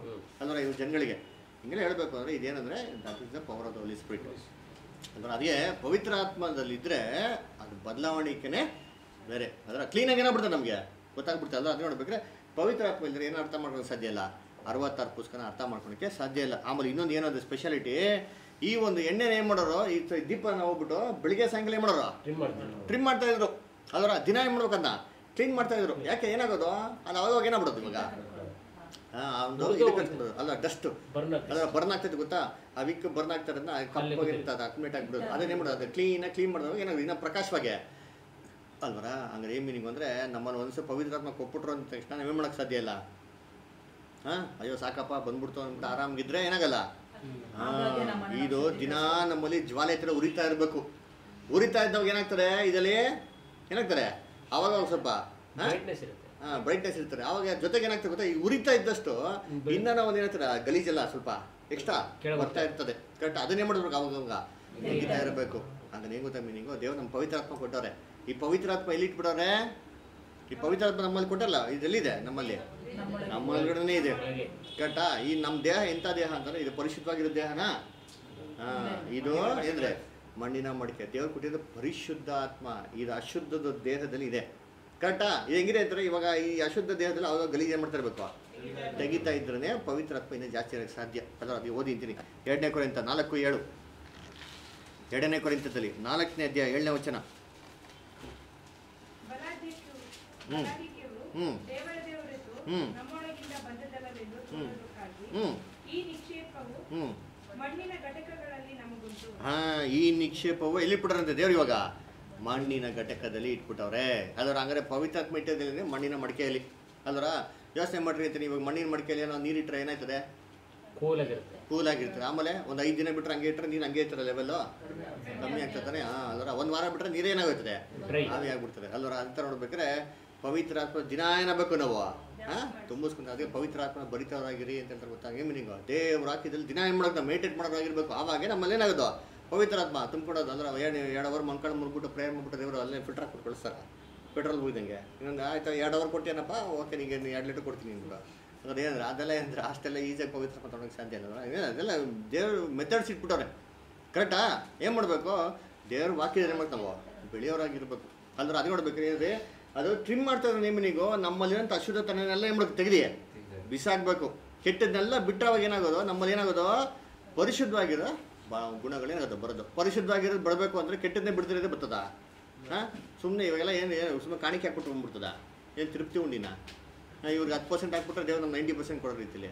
ಇಲ್ಲ ಇಲ್ಲ. ಅದ್ರಾಗ ಏನಂದರೆ ಅದಕ್ಕೆ ದೇವ್ರ ಒಂದು ಮಾರ್ಗ ನೋಡಿ ಇನ್ನೊಂದು ಓದಿ. Second Peter sorry first Peter two nine ನೋಡಿ. ಫಸ್ಟ್ ಪೀಟರ್ ಟೂ ನೈನ್ ಹ್ಞೂ ಹ್ಞೂ ಹ್ಞೂ ನೋಡಿ ದೇವರ ಗುಣಾತಿಶಯಗಳನ್ನು ಪ್ರಚಾರ ಮಾಡುವಂತ ಹಾಂ. ದೇವರಾದುಕೊಂಡ ಜನಾಂಗವು. ರಾಜವಂಶ ವಂಶಸ್ಥರಾದ. ಯಾಜಕರು ಮೀಸಲಾದ ಜನವು ದೇವರ ಸ್ವಕೀಯ ಪ್ರಜೆಯೂ ಆಗಿದ್ದೀರಿ. ಆ, ದೇವರ ಸ್ವಕೀಯ ಪ್ರಜವಾಗಿದ್ದೀರಿ ಆಚ ಕಡೆ ಏನು ಮಾಡ್ತಾರೆ ಬರೀ ನೀರೇ ತೊಳ್ಕೊಳ್ತಾ ಇದ್ದಾರೆ ಬರೀ ಔಟ್ವರ್ಡ್ ಇಲ್ಲೇ ಅಂತ ಇಂಟರ್ನಲ್ ಪ್ಯೂರಿಫಿಕೇಶನ್ ಒಳಗಡೆ ಅಂತ ಗುಣಗಳೇ ಮಾಡೋದು ನಾವು. ನಾವು ಚೇಂಜ್ ಮಾಡ್ಕೊಬೇಕು. ಬರೋ ಅದಕ್ಕೆ ನೋಡ್ಬೇಕು ಹೇಳ್ತೀನಿ ಈ ಥರ ಏನಂತಾರೆ ಇದು? ಕೆಲಸ ಮಾಡೋರು. ಇದೇನೋ ಯಾವಾಗ? ಬೆಳಿಗ್ಗೆ ಸಾಯಂಕಾಲ. ಅಂದ್ರೆ ಏನು ಮೀನಿಂಗು ಕಂಟಿನ್ಯೂಸ್ ಡೈಲಿ ಅದರ every day morning and evening ಮಾಡ್ತಾನೆ ಇರಬೇಕು. ಅದರ ನಮ್ಮಲ್ಲಿ ಪ್ಯೂರಿಫಿಕೇಶನ್ ಯಾವಾಗ ಮಾಡಬೇಕು? ದಿನನಿತ್ಯ ಮಾಡಬೇಕು. ಅದರ ನಾವೆಲ್ಲ ಏನು ಮಾಡ್ತೀರಿ? ಪ್ರೇಯರ್ ಮಾಡ್ತೀರಿ. ಯಾವಾಗ ಮಾಡ್ತೀರಿ? ಹಾಂ? ಬೆಳಿಗ್ಗೆ ಒಂದು ಸತಿ, ಆಮೇಲೆ ನೆಕ್ಸ್ಟು ಸಂಜೆ. ಅದೇ ಹಿಂದೂಸ್ಗಳು ಪೂಜೆ ಮಾಡ್ತಾ ನೋಡಿ. ಅದರ ಬೆಳಿಗ್ಗೆ ಇದ್ರೆ ಒಂದು ನೈವೇದ್ಯ, ರಾತ್ರಿ ಇರಬೇಕು ಅವಾಗ ಏನು ಮಾಡೋದು? ಜೋಜ ಮಾಡಿ ಮಲಸ್ಬಿಡೋದು. ಅಲ್ವರ ಹಾಂ? ಈ ಥರ ಮಾಡ್ತಾ ಅಂದರೆ ಏನಂದರೆ ನಮ್ಮ ಮನುಷ್ಯ ಇದೆಲ್ಲ ಪ್ರೇಯರ್ ಸಬ್ಜೆಕ್ಟಲ್ಲಿ ಓದೋಣ. ಅದರ ನಮ್ಮ ಆ್ಯಟಿಟ್ಯೂಡ್ ಯಾವಾಗ ಹೆಂಗಿರ್ಬೇಕು ಅಂದರೆ ಪ್ರೇಯರ್ ಅಂತ ಇದರಲ್ಲಿ ಇರಬೇಕು ದಾನಿಯಲ್ಲಿ ಸತಿ ಪ್ರೇಯರ್ ಮಾಡಿದ್ರ? ಹಾಂ? ಮೂರು ಸತಿ ದಾವಿದು ದಾವಿದ ಎಷ್ಟು ಸತಿ ಮಾಡಿದ್ರು? ಮಾಡಿ ಹಾಂ? ಮಧ್ಯರಾತ್ರಿ ನಾವು ಮಾಡಿದ್ರ? ಎಷ್ಟು ಸತಿ ಮಾಡಿದ್ರು? ಹಾಂ? ದಾವಿದು ಮೂರು ಸತಿ ಐದು ಸತಿನಾ ಹಾಂ ದಾವಿದು ಏಳು ಸತಿ ದಾನಿಯಲ್ಲೂ ಮೂರು ಸತಿ ಅಲ್ವರ? ಸೊ, ನೋಡ್ಬೇಕಿದ್ರೆ ಓದೋಣ ಪ್ರೇಯರ್ ಸಬ್ಜೆಕ್ಟಲ್ಲಿ, ಅಲ್ವರ? ಅದೇ ನೋಡ್ಬೇಕಾದ್ರೆ ನಮ್ಮ ಮನಸ್ಸು ಯಾವಾಗ ದೇವ್ರಿಗೆ ಒಪ್ಪಿಸ್ಕೊಡೋಂಥ ರೀತಿಲಿ ಏನಾಗಿರ್ಬೇಕು? ಇರಬೇಕು. ಓಕೆನಾ? ಅವಾಗ ಏನಾಗೋದು? ಪವಿತ್ರ ಆತ್ಮದಿಂದ ಬರ್ತಾರಾಗೋದು ನೆಕ್ಸ್ಟ್ ಪಾಯಿಂಟ್ ನೋಡಿದ್ದೀನಿ ಇಲ್ಲಿ ಅಲ್ಲಿ ಏನಾಯ್ತು ಅಂದರೆ ಯಾಜಕ ಬಂದ್ಬಿಟ್ಟು ಏನು ಮಾಡೋರಂತೆ ದಿನ, ಆ? ಅಲ್ಲಿ ಬೆಳಿಗ್ಗೆ ಸಾಯಂಕಾಲ ಬಂದಾವಾಗಲ್ಲ ದೀಪನೆಲ್ಲ ಟ್ರಿಮ್ ಮಾಡ್ಬಿಟ್ಟು ಏನು ಮಾಡ್ತಾ ಇದ್ದ? ಆ ಧೂಪ ವೇದಿ ಮೇಲೆ ಏನು ಮಾಡ್ತಾ ಇದ್ದ? ಹೋಗ್ಬಿಟ್ಟು ಅವನು. ಆ ಧೂಪನ ಹಾಕ್ತಾ ಇದ್ದ. ಹೆಂಗೆ ಧೂಪ ಆಗ್ತಾ ಇದ್ದ ಅಂದರೆ ಈ ರೊಟ್ಟಿ ಮೇಲಿರೋಂಥ ಸ್ವಲ್ಪ ಒಂದು ಹಿಡಿಯಷ್ಟು ಏನು ಮಾಡ್ತಾ ಇದ್ದ ಅವನು? ತಗೊಂಡು ಆ ಕೆ ಒಂದು ಕೆಂಡನ ಸಾರಿ ಕೆಂಡ ಅಂತೀನಿ ಸಾಂಬಾಣಿನ ತಗೊಂಡು ಆ ಇನ್ಸೆನ್ಸ್ನ ತಗೊಂಡು ಏನು ಮಾಡ್ತಾ ಇದ್ದ ಆ ಧೂಪನ, ಆ ಧೂಪ ವೇದಿ ಮೇಲೆ ಆಗ್ತಾ ಇದ್ದ. ಎಷ್ಟೋ? ಒಂದು ಇಡಿಯಷ್ಟು ಆ ಒಂದು ಧೂಪ ಏನಾಗ್ತೈತೆ ಅಂದರೆ, ಹಂಗೆ ಹಾದೋಗಿ ಎರಡನೇ ತರೆ ಮುಖಾಂತರ ಹೋಗ್ಬಿಟ್ಟು ಏನಾಗ್ತದೆ? ಆ ಪರುಷ, ಮಹಾಪುರುಷ ಸ್ಥಳ ಫುಲ್ ತುಂಬ್ಕೊಂಡ್ಬಿಡ್ತಾ ಇತ್ತು. ಅಲ್ದ್ರ ಹಂಗಾರೆ ಅವ್ರು ಏನು ಮಾಡ್ತಾರೆ ಅಂದರೆ ಆ ಧೂಪ ಏನು ಮಾಡ್ತಾರೆ ಒಂದು ಇಡೀ ತಗೊಂಡೋಗ ತೊಗೊಂಡೋಗಿ ಆಗ್ತಾಯಿದ್ರು ಅಲ್ಲರ ಹಂಗಾರೆ ಏನು ಮೀನಿಂಗ್ ಅದು? ಅಂದರೆ ದೇವರ ಒಂದು ಪವಿತ್ರಾತ್ಮ ಇದರಿಂದ ನೀವು ದೇವರ ವಾಕ್ಯನ ಅರ್ಥ ಮಾಡ್ಕೊಂಡಿದ್ಮೇಲೆ ನಮ್ಮಲ್ಲಿ ಒಳ್ಳೆ ಗುಣಗಳೇನಾಗ್ತದೆ ಅಲ್ಲಿ ಬೆಳೀತಾರೆ. ಅದರ ಈ ಒಳ್ಳೆ ಗುಣಗಳನ್ನ ದೇವ್ರೇನು ಮಾಡ್ತಾರೆ ಅಂದರೆ ದಿನ ಬೆಳಿಗ್ಗೆ ಸಾಯಂಕಾಲ ಅಗ್ನಿಗೆ ಹಾಕ್ಬಿಟ್ಟು ಏನು ಮಾಡ್ತಾರೆ ಅಲ್ಲಿ? ಅಲ್ಲಿ ಪರೀಕ್ಷೆ ಮಾಡ್ತಾರೆ. ಅದರ ಹೆಂಗೆ ಶೋಧಿಸ್ತಾರೆ ಅಂತಂದರೆ ಈ ಅಗ್ನಿ ಪುಟ್ಟಕ್ಕೆ ಹಾಕ್ಬಿಟ್ಟು ಏನು ಮಾಡ್ತಾರೆ ನಮ್ಮನ್ನ ನಮ್ಮನ್ನ ಶೋಧಿಸ್ತಾರೆ. ಅದರ ಅದೇ ಹೊಡ್ಬೇಕಾರೆ ಎಲ್ಲಿಗೆ ಹಾಕೋದು? ಫಯರ್ ಅದ್ರ ನಮ್ನ ಏನು ಮಾಡ್ತಾರೆ? ನಮ್ಮನ್ನ ನಮ್ಮ ವಿಶ್ವಾಸ ಏನಕ್ಕೆ ಈಗ ಶೋಧಿಸ್ತಾರೆ? ಅಗ್ನಿಗೆ ಹಾಕ್ಬಿಟ್ಟು ಐತಲ್ಲ ಹಾಂ, ಅದರ ನೋಡ್ಬೇಕು ಅಗ್ನಿಗೆ ಹಾಕ್ಬಿಟ್ಟು ಏನು ಮಾಡ್ತಾರೆ? ಶೋಧಿಸ್ತಾರೆ. ಹೆಂಗೆ ಅಂತಂದರೆ ಒಂದು ಇಡಿಯಷ್ಟು ಕರೆಕ್ಟಾ ಒಂದು ಇಡಿಯಷ್ಟು ಅಂದ್ರೆ ಮೀನಿಂಗು ನನ್ನ ಇಡೀ ಇದೆ ನೋಡ್ತೀನಿ ಇವಾಗ ನನ್ನ ಇಡಿಯಲ್ಲಿ ನಾನು ಇಷ್ಟು ಇಷ್ಟು ಎತ್ಕೊಂಡ್ರೆ ಏನಾಗ್ತಾರೆ ನನ್ನ ಕೆಪಾಸಿಟಿ ತಕ್ಕಂತ ಬರ್ತಾರೆ. ಅದು ಅದೇ ಥರ ಈಗ ಬರ್ದವ್ರು ಏನೋ ಒಂದು ಒಂದು ಇಡಿ ಎತ್ತು ಎತ್ಕೊಂಡ್ರೆ ಅವ್ರಿಗೆ ಎಷ್ಟು ಬರ್ತಾರೆ ಅವ್ರ ಕೆಪಾಸಿಟಿ ಎಷ್ಟು ಅದ್ರ ಅದೇ ಥರ ಒಂದು ಚಿಕ್ಕ ಮಗು ಬಿಟ್ಟು ಅವ್ನು ಇಡಿ ಎಷ್ಟು ಎತ್ಕೊಂಡ್ರೆ ಅವ್ನಿಗೆ ಎಷ್ಟು ಬರ್ತಾರೆ. ಅವ್ನ ಕೆಪಾಸಿಟಿ ಎಷ್ಟು ಇದೇ ಥರ ನೋಡ್ಬೇಕಾದ್ರೆ ಅವ್ರವ್ರ ಕೆಪಾಸಿಟಿ ಏನಿದೆಯೋ ಆ ಲೆವೆಲ್ಗೆ ಏನು ಮಾಡೋದು ದೇವ್ರವ್ರಿಗೆ? ಪರೀಕ್ಷೆ ಮಾಡೋದು ಅದರ ಕೆಪಾಸಿಟಿ ಮೀರಿ ಏನು ಮಾಡೋಕ್ಕಲ್ಲ ಯಾವತ್ತು ದೇವರು. ಶೋಧನೆ ಶೋಧನೆನೋ ಮಾಡೋದಕ್ಕೆ ಹೋಗಲ್ಲ. ಅದರ ಏನಕ್ಕೆ ಪರೀಕ್ಷೆ ಮಾಡ್ತಾ ಅಂದ್ರೆ ನಾವು ಕಳ್ಸ್ಕೊಂಡಿರೋದೆಲ್ಲ ಯಾವ ಥರ ಒಂದು ಗುಣಗಳು ಬೆಳೆಸ್ಕೊಂಡಿದ್ದೀರಿ ಅಂತ ಅಂದ್ಬಿಟ್ಟು ಪರೀಕ್ಷೆ ಮಾಡಕ್ಕೆ ಏನು ಮಾಡ್ತಾರೆ ದೇವರು? ಇದನ್ನೆಲ್ಲ ಟೆಸ್ಟ್ ಮಾಡ್ತಾರೆ ಅಂತಲ್ವರ ಅದಕ್ಕೆ ಓದಿಂತೀನಿ ವಚನಗಳು. ಅಲ್ವರ? ಕೊರಿಂತದಲ್ಲಿ ಓದಿಂತೀನಿ ಮೊದಲನೇದು first Peter four to four twelve ಓದಿ. ಒಂದನೇ ಪೇತ್ರ ನಾಲ್ಕು ಹನ್ನೆರಡು ಓದಿ. ಒಂದನೇ ಪೇತ್ರ ನಾಲ್ಕು ಹನ್ನೆರಡು ಓದಿ. ಹ್ಞೂ ಹಾಂ ನೋಡ್ರಾ? ಏನ್ರಿ ನಮ್ಮನ್ನ ಶೋಧನೆಗಾಗಿ ಇದು ಮಾಡೋದಕ್ಕೋಸ್ಕರ ಬೆಂಕಿ ಹಾಕ್ದಾಗ ಏನು ಮಾಡಕ್ಕೆ ಹೋಗ್ಬಿಡಿ ನೀವು? ಆಶ್ಚರ್ಯ ಪಡಕ್ಕೆ ಹೋಗ್ಬೇಡಿ. ಇದೆಲ್ಲ ಏನ್ರಿ? ಇದೆಲ್ಲ ಕಾಮನ್ ಅದರ ದೇವ್ರು ನಮ್ಮ ಸೆಲೆಕ್ಟ್ ಮಾಡೋರು ಅಂದರೆ ನಮ್ಮನ್ನ ಪರೀಕ್ಷೆ ಮಾಡೇ ಮಾಡ್ತಾರೆ. ಅದಕ್ಕಾಗಿ ನಾವು ಸರ್ಪ್ರೈಸ್ ಆಗಲೇಬಾರ್ದು. ನೆಕ್ಸ್ಟ್ ಆಮೇಲೆ. ಏನೋ ಆಗ್ಬಿಡ್ತಪ್ಪ. ದಿಢೀರ್ ಅಂತ ಅಂದ್ಬಿಟ್ಟು ಏನು ಮಾಡಕ್ಕೆ ಹೋಗ್ಬಿಡಿ? ಯೋಚನೆ ಮಾಡಕ್ಕೆ ಹೋಗ್ಬಿಡಿ ಅಂತ ಹೇಳ್ತಾರೆ. ಆಮೇಲೆ. ಆದರೆ ನೀವು ಎಷ್ಟರ ಮಟ್ಟಿಗೆ ಕ್ರಿಸ್ತನ ಬಾಧೆಗಳಲ್ಲಿ ಪಾಲು ಪಾಲುಗಾರರಾಗಿದ್ದೀರೋ ಅಷ್ಟರ ಮಟ್ಟಿಗೆ ಅಷ್ಟರ ಮಟ್ಟಿಗೆ ಏನಾಗಬೇಕು ಸಂತೋಷ ಉಳ್ಳವರಾಗ್ರಿ ಹಾಂ ಅಲ್ವರ? ಏನು ನಮಗೆ ದಿಢೀರಂತ ಕಷ್ಟ ಬಂದ್ಬಿಟ್ರೆ ತೊಂದರೆ ಬಂದ್ಬಿಟ್ಟು ಏನು ಮಾಡ್ತೀವಿ ಫಸ್ಟು ಫಸ್ಟ್ ದೇವತೆ ಏನು ಕೇಳೋದು? ಹಾಂ ಫಸ್ಟ್ ವರ್ಡ್ ಅಯ್ಯೋ ದೇವ್ರೆ. ಇದೇ ತಾನೆ ಅಯ್ಯೋ ಏನಕ್ಕೆ ಹಿಂಗೆ ಆಗೋಯ್ತು? ಹಾಂ ಬೈಬಲ್ ಏನು ತೊಂದರೆ? ಏನು ಆಶ್ಚರ್ಯ ಪಡ್ಬೇಡ್ರಪ್ಪ. ಯಾವಾಗಾರ ಹಿಂಗೇನೋ ಬಂದಾಗ ದೇವ್ರೆ ಥ್ಯಾಂಕ್ಸ್ ಬಿಟ್ಟಿದ್ಯಾ? ಹಾಂ ಇದಲ್ಲಿ ಏನು ಪಾಠ ಕಲಿಬೇಕು ಹೇಳ್ಕೊಡೋ ದೇವ್ರ ಅಂತ ಯಾವಾಗಾರ ಯಾರೋ ಲೈಫಲ್ಲಿ ಕೇಳಿತೀರಾ ಎದೆ ಮೇಲೆ ಇಟ್ಕೊಂಡು ಹೇಳ್ರಿ ಅಂತೀನಿ. ಒಬ್ಬರು ಜನ್ಮದಲ್ಲಿ ಏನು ಮಾಡಿರಲ್ಲ ಕೇಳಲ್ಲ. ನಾವು ಕೇಳೋದೇನೋ ಅಯ್ಯೋ ದೇವ್ರ ಹಿಂಗೆ ಆಗೋಯ್ತು. ಫಸ್ಟ್ ಇದನ್ನೇ ಮಾಡು ನನಗೆ. ಕಾಪಾಡು ಕಾಪಾಡು ಕಾಪಾಡು ಕಾಪಾಡು. ಈ ದೇವರೇ ಬಿಟ್ಟವ್ರೆ ಅಂದ್ಬಿಟ್ಟು ಸ್ವಲ್ಪ ಕೂಡ ಏನು ಮಾಡಲ್ಲ ಅವ. ಹಾಂ ಯೋಚನೆ ಮಾಡೋಕೆ ಹೋಗಲ್ಲ. ಕರೆಕ್ಟಾ ಇವಾಗ ಶೆಡ್ರಾಕ್ ಮೆಷಕ್ ನಾ ಹೋಗಿ ಆ ಒಂದು ಏಳರಷ್ಟು ಉರಿ ಅಂತ ಬೆಂಕಿಲಿ ಹಾಕಿದ್ದು ಯಾರೋ? ಅವ್ರು ಹಂಗೆ ಕೇಳ್ಕೊಂಡ್ರ. ಅಯ್ಯೋ, ದೇವರೇ ಹೋಯ್ತಾ ಇದ್ದೀನಿ ದೇವರೇ ಹೋಯ್ತಾ ಇದ್ದೀನಿ ನೋಡೋದು ನೋಡ್ತಾ ಇರೋ ನೋಡ್ತಾ ಇರೋ, ಹೋಯ್ತಾ ಇದ್ದೀನಿ ಸ್ವಲ್ಪ ನೋಡ್ಕೊ. ನಾನು ಕಾಪಾಡ್ಬಿಡು ಅಂತ ಹೋದ್ರ? ಏನು ಹೇಳ್ತಾರೆ ರಾಜನ ಹತ್ರ? ದೇವ್ರು ನಮ್ಮನ್ನು ಕಾಪಾಡ್ತಾರೆ. ಕಾಪಾಡಿದ್ರು ಸರಿ. ಅದರ ನಾವು ಮಾತ್ರ ಏನು ಮಾಡೋದಿಲ್ಲ. ಅಲ್ಲಿ ಹೋಗ್ಬೇಕಾರೆ ಅಯ್ಯೋ, ದೇವ್ರೆ, ಹಿಂಗೆ ಹೋಯ್ತಾ ಇದ್ದೀನಿ ಇವಾಗಾರ ಕಂಡುಬಿಡು ದೇವ್ರೆ. ಅಲ್ಲೋಗಿ ಗೊತ್ತಾಗಲ್ವಾ ನಿಂಗೆ ಅಂತ ಕೇಳ್ಕೊಳೋದ್ರ ಆ ಥರ ವಿಶ್ವಾಸ. ಅದೇ ಅದೇ ಟೆಸ್ಟ್. ಅದರ ಏನು ಟೆಸ್ಟು ಅಂತಂದರೆ, ಆ ಏನು ಸ್ಪೆಷಾಲಿಟಿ ನೋಡಿದ್ದೀನಿ ಇವ್ರು ಧೈರ್ಯವಾಗಿ ಹೋಗ್ಬಿಟ್ರು ಬೆಂಕಿಯೊಳಗೆ. ಅದರ ರಾಜ ಏನು ಮಾಡ್ದ? ಕೈ ಕೈ ಕಟ್ಟಾಕ್ಬಿಟ್ಟು ಹೋಗ್ಬಿಟ್ಟ. ದಟ ಇವ್ರು ಒಳಗಡೆ ಹೋಗಿದ ತಕ್ಷಣ ಏನಾಯ್ತು? ಫೋರ್ ಮೆಂಬರ್ಸ್ ಹಾಂ ಒಳಗಡೆ ಹೋಗಿದ ತಕ್ಷಣ ಇವ್ರ ಕೈ ಕಟ್ಟಿದ್ರು ಗೊತ್ತಾ? ಕೈ ಏನಾಗ್ಬಿಡ್ತು. ಕೈ ಬಿಚ್ಚೋಯ್ತು ಅದೇ ಥರ ದೇವ್ರು ನಮ್ಗೆ ಹಾಕಂತ ಶೋಧನೆಯಲ್ಲಿ ಹಾಕೋದು ಒಳ್ಳೇದಕ್ಕೇನೆ. ನಾವೇನು ಭಯ ಅಂತ ನೆನೆಸ್ಕೊಂಡಿರ್ತೀರೋ ಆ ಭಯದಿಂದ ಏನು ಮಾಡ್ತಾ ಗೊತ್ತಾ ದೇವ್ ನಮಗೆ? ಬಿಡುಗಡೆ ಫ್ರೀಡಮ್ ಇಷ್ಟು ದಿನ ಏನೋ ಭಯದಲ್ಲಿ ಇರ್ತೀರಿ ಅಲ್ಲಿ ಹೋಗಿದ ತಕ್ಷಣ ದೇವ್ರು ಲಿಬರ್ಟಿ ಕೊಡ್ತಾರೆ. ಮೊದಲಕ್ಕಿಂತ ಇವಾಗ ಇನ್ನ ಏನ್ ಮಾಡೋದು ದೇವ್ರನ್ನ ನಾವು ಈಸಿಯಾಗಿ ಆರಾಧನೆ ಮಾಡ್ಬೋದು. ಅದಕ್ಕೋಸ್ಕರ ದೇವ್ರ ನಂಗೆ ಹಾಕೋರೆ. ಅದಕ್ಕೆ ದೇವ್ರಿಗೆ ಮಾಡಬೇಕು? ಸ್ತೋತ್ರ ಹೇಳ್ಬೇಕು ಅದೇ ಹೇಳ್ತಾ ಈ ಥರ ಬಿದ್ದಿರೋದಕ್ಕೆ ನೀವೇನು ಮಾಡ್ರಿ ದೇವ್ರಿಗೆ?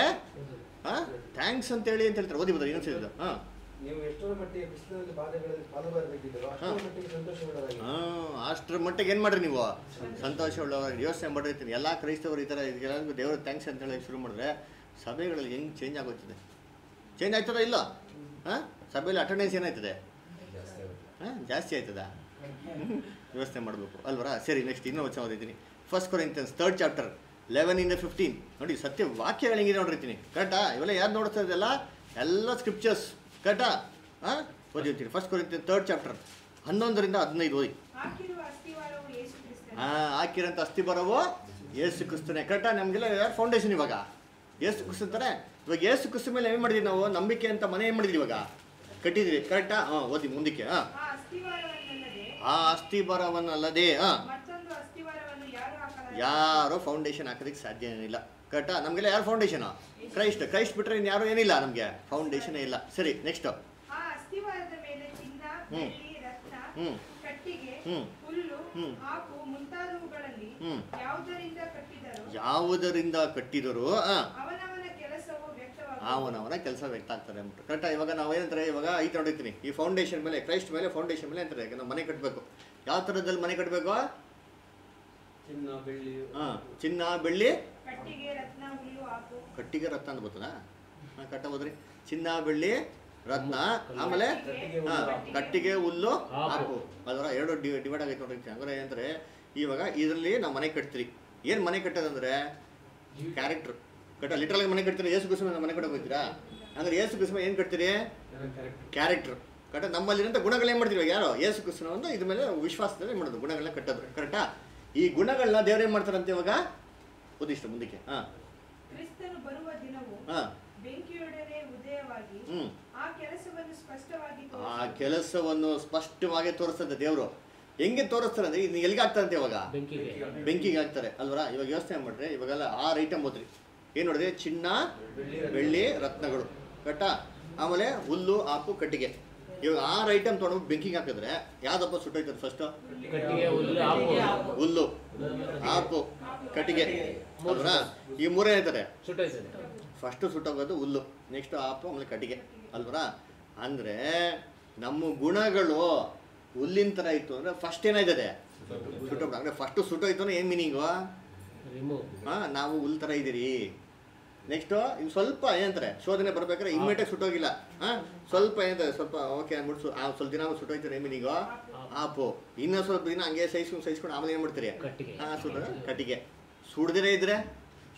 ಹಾ ಚಿನ್ನ ಇವಾಗ ಚಿನ್ನ ಬೆಂಕಿಗೆ ಹಾಕ್ರೆ ಹೆಂಗಿರ್ತದೆ ನೋಡಲ್ಲ ರೂಮ್ ಎಲ್ಲ ಫುಲ್ ಬೆಳಕ್ ಹಾಕ್ಬಿಟ್ಬಿಟ್ಟ ಅಂದರೆ ಚಿನ್ನ ಚಿನ್ನದ ರೂಮಲ್ಲಿ ಬೆಂಕಿ ಹೆಚ್ಚಿನ ಹೆಂಗಿರ್ತದೆ ಹಾ ಅದೇ ಕ್ಯಾರೆಕ್ಟರ್ ಅದರ ಬೆಂಕಿ ಪುಟ್ಟಕ್ಕೆ ಹಾಕ್ಬೇಕಾದ್ರೆ ದೇವ್ರ ಮಕ್ಕಳು ಹೆಂಗಿರ್ಬೇಕು ಗೊತ್ತಾ? ಪ್ರಕಾಶವಾಗಿ ಹೆಂಗಿರ್ಬೇಕು? ಉಳಿಬೇಕು ಬೆಳಿಗ್ಗೆ ಅಂತಾನೆ ಮಾಡ್ಬೇಕು. ಹೊಳಿಬೇಕು ಅದರ ಉಪವಾಸ ಮಾಡ್ಕೊಂಡು ಎಣ್ಣೆ ಹಾಕ್ಕೊಂಡು ಅಯ್ಯೋ ದೇವ್ರೆ ನಾಲ್ಪತ್ತು ದಿವಸ ಅಯ್ಯೋ ಇವು ದೇವ್ರೆ ಏನು ಕೇಳ್ಕೊಂಡು ಏನಾಯ್ತದೆ? ಹಾಂ ದೇವ್ರಿಗೆಲ್ಲ ಅಷ್ಟು ಹಿಂಸೆ ಕೊಟ್ರೆ. ಹಾಂ ಇದೆಲ್ಲ ಬಂದಿರೋದು ಯಾರಿಂದ?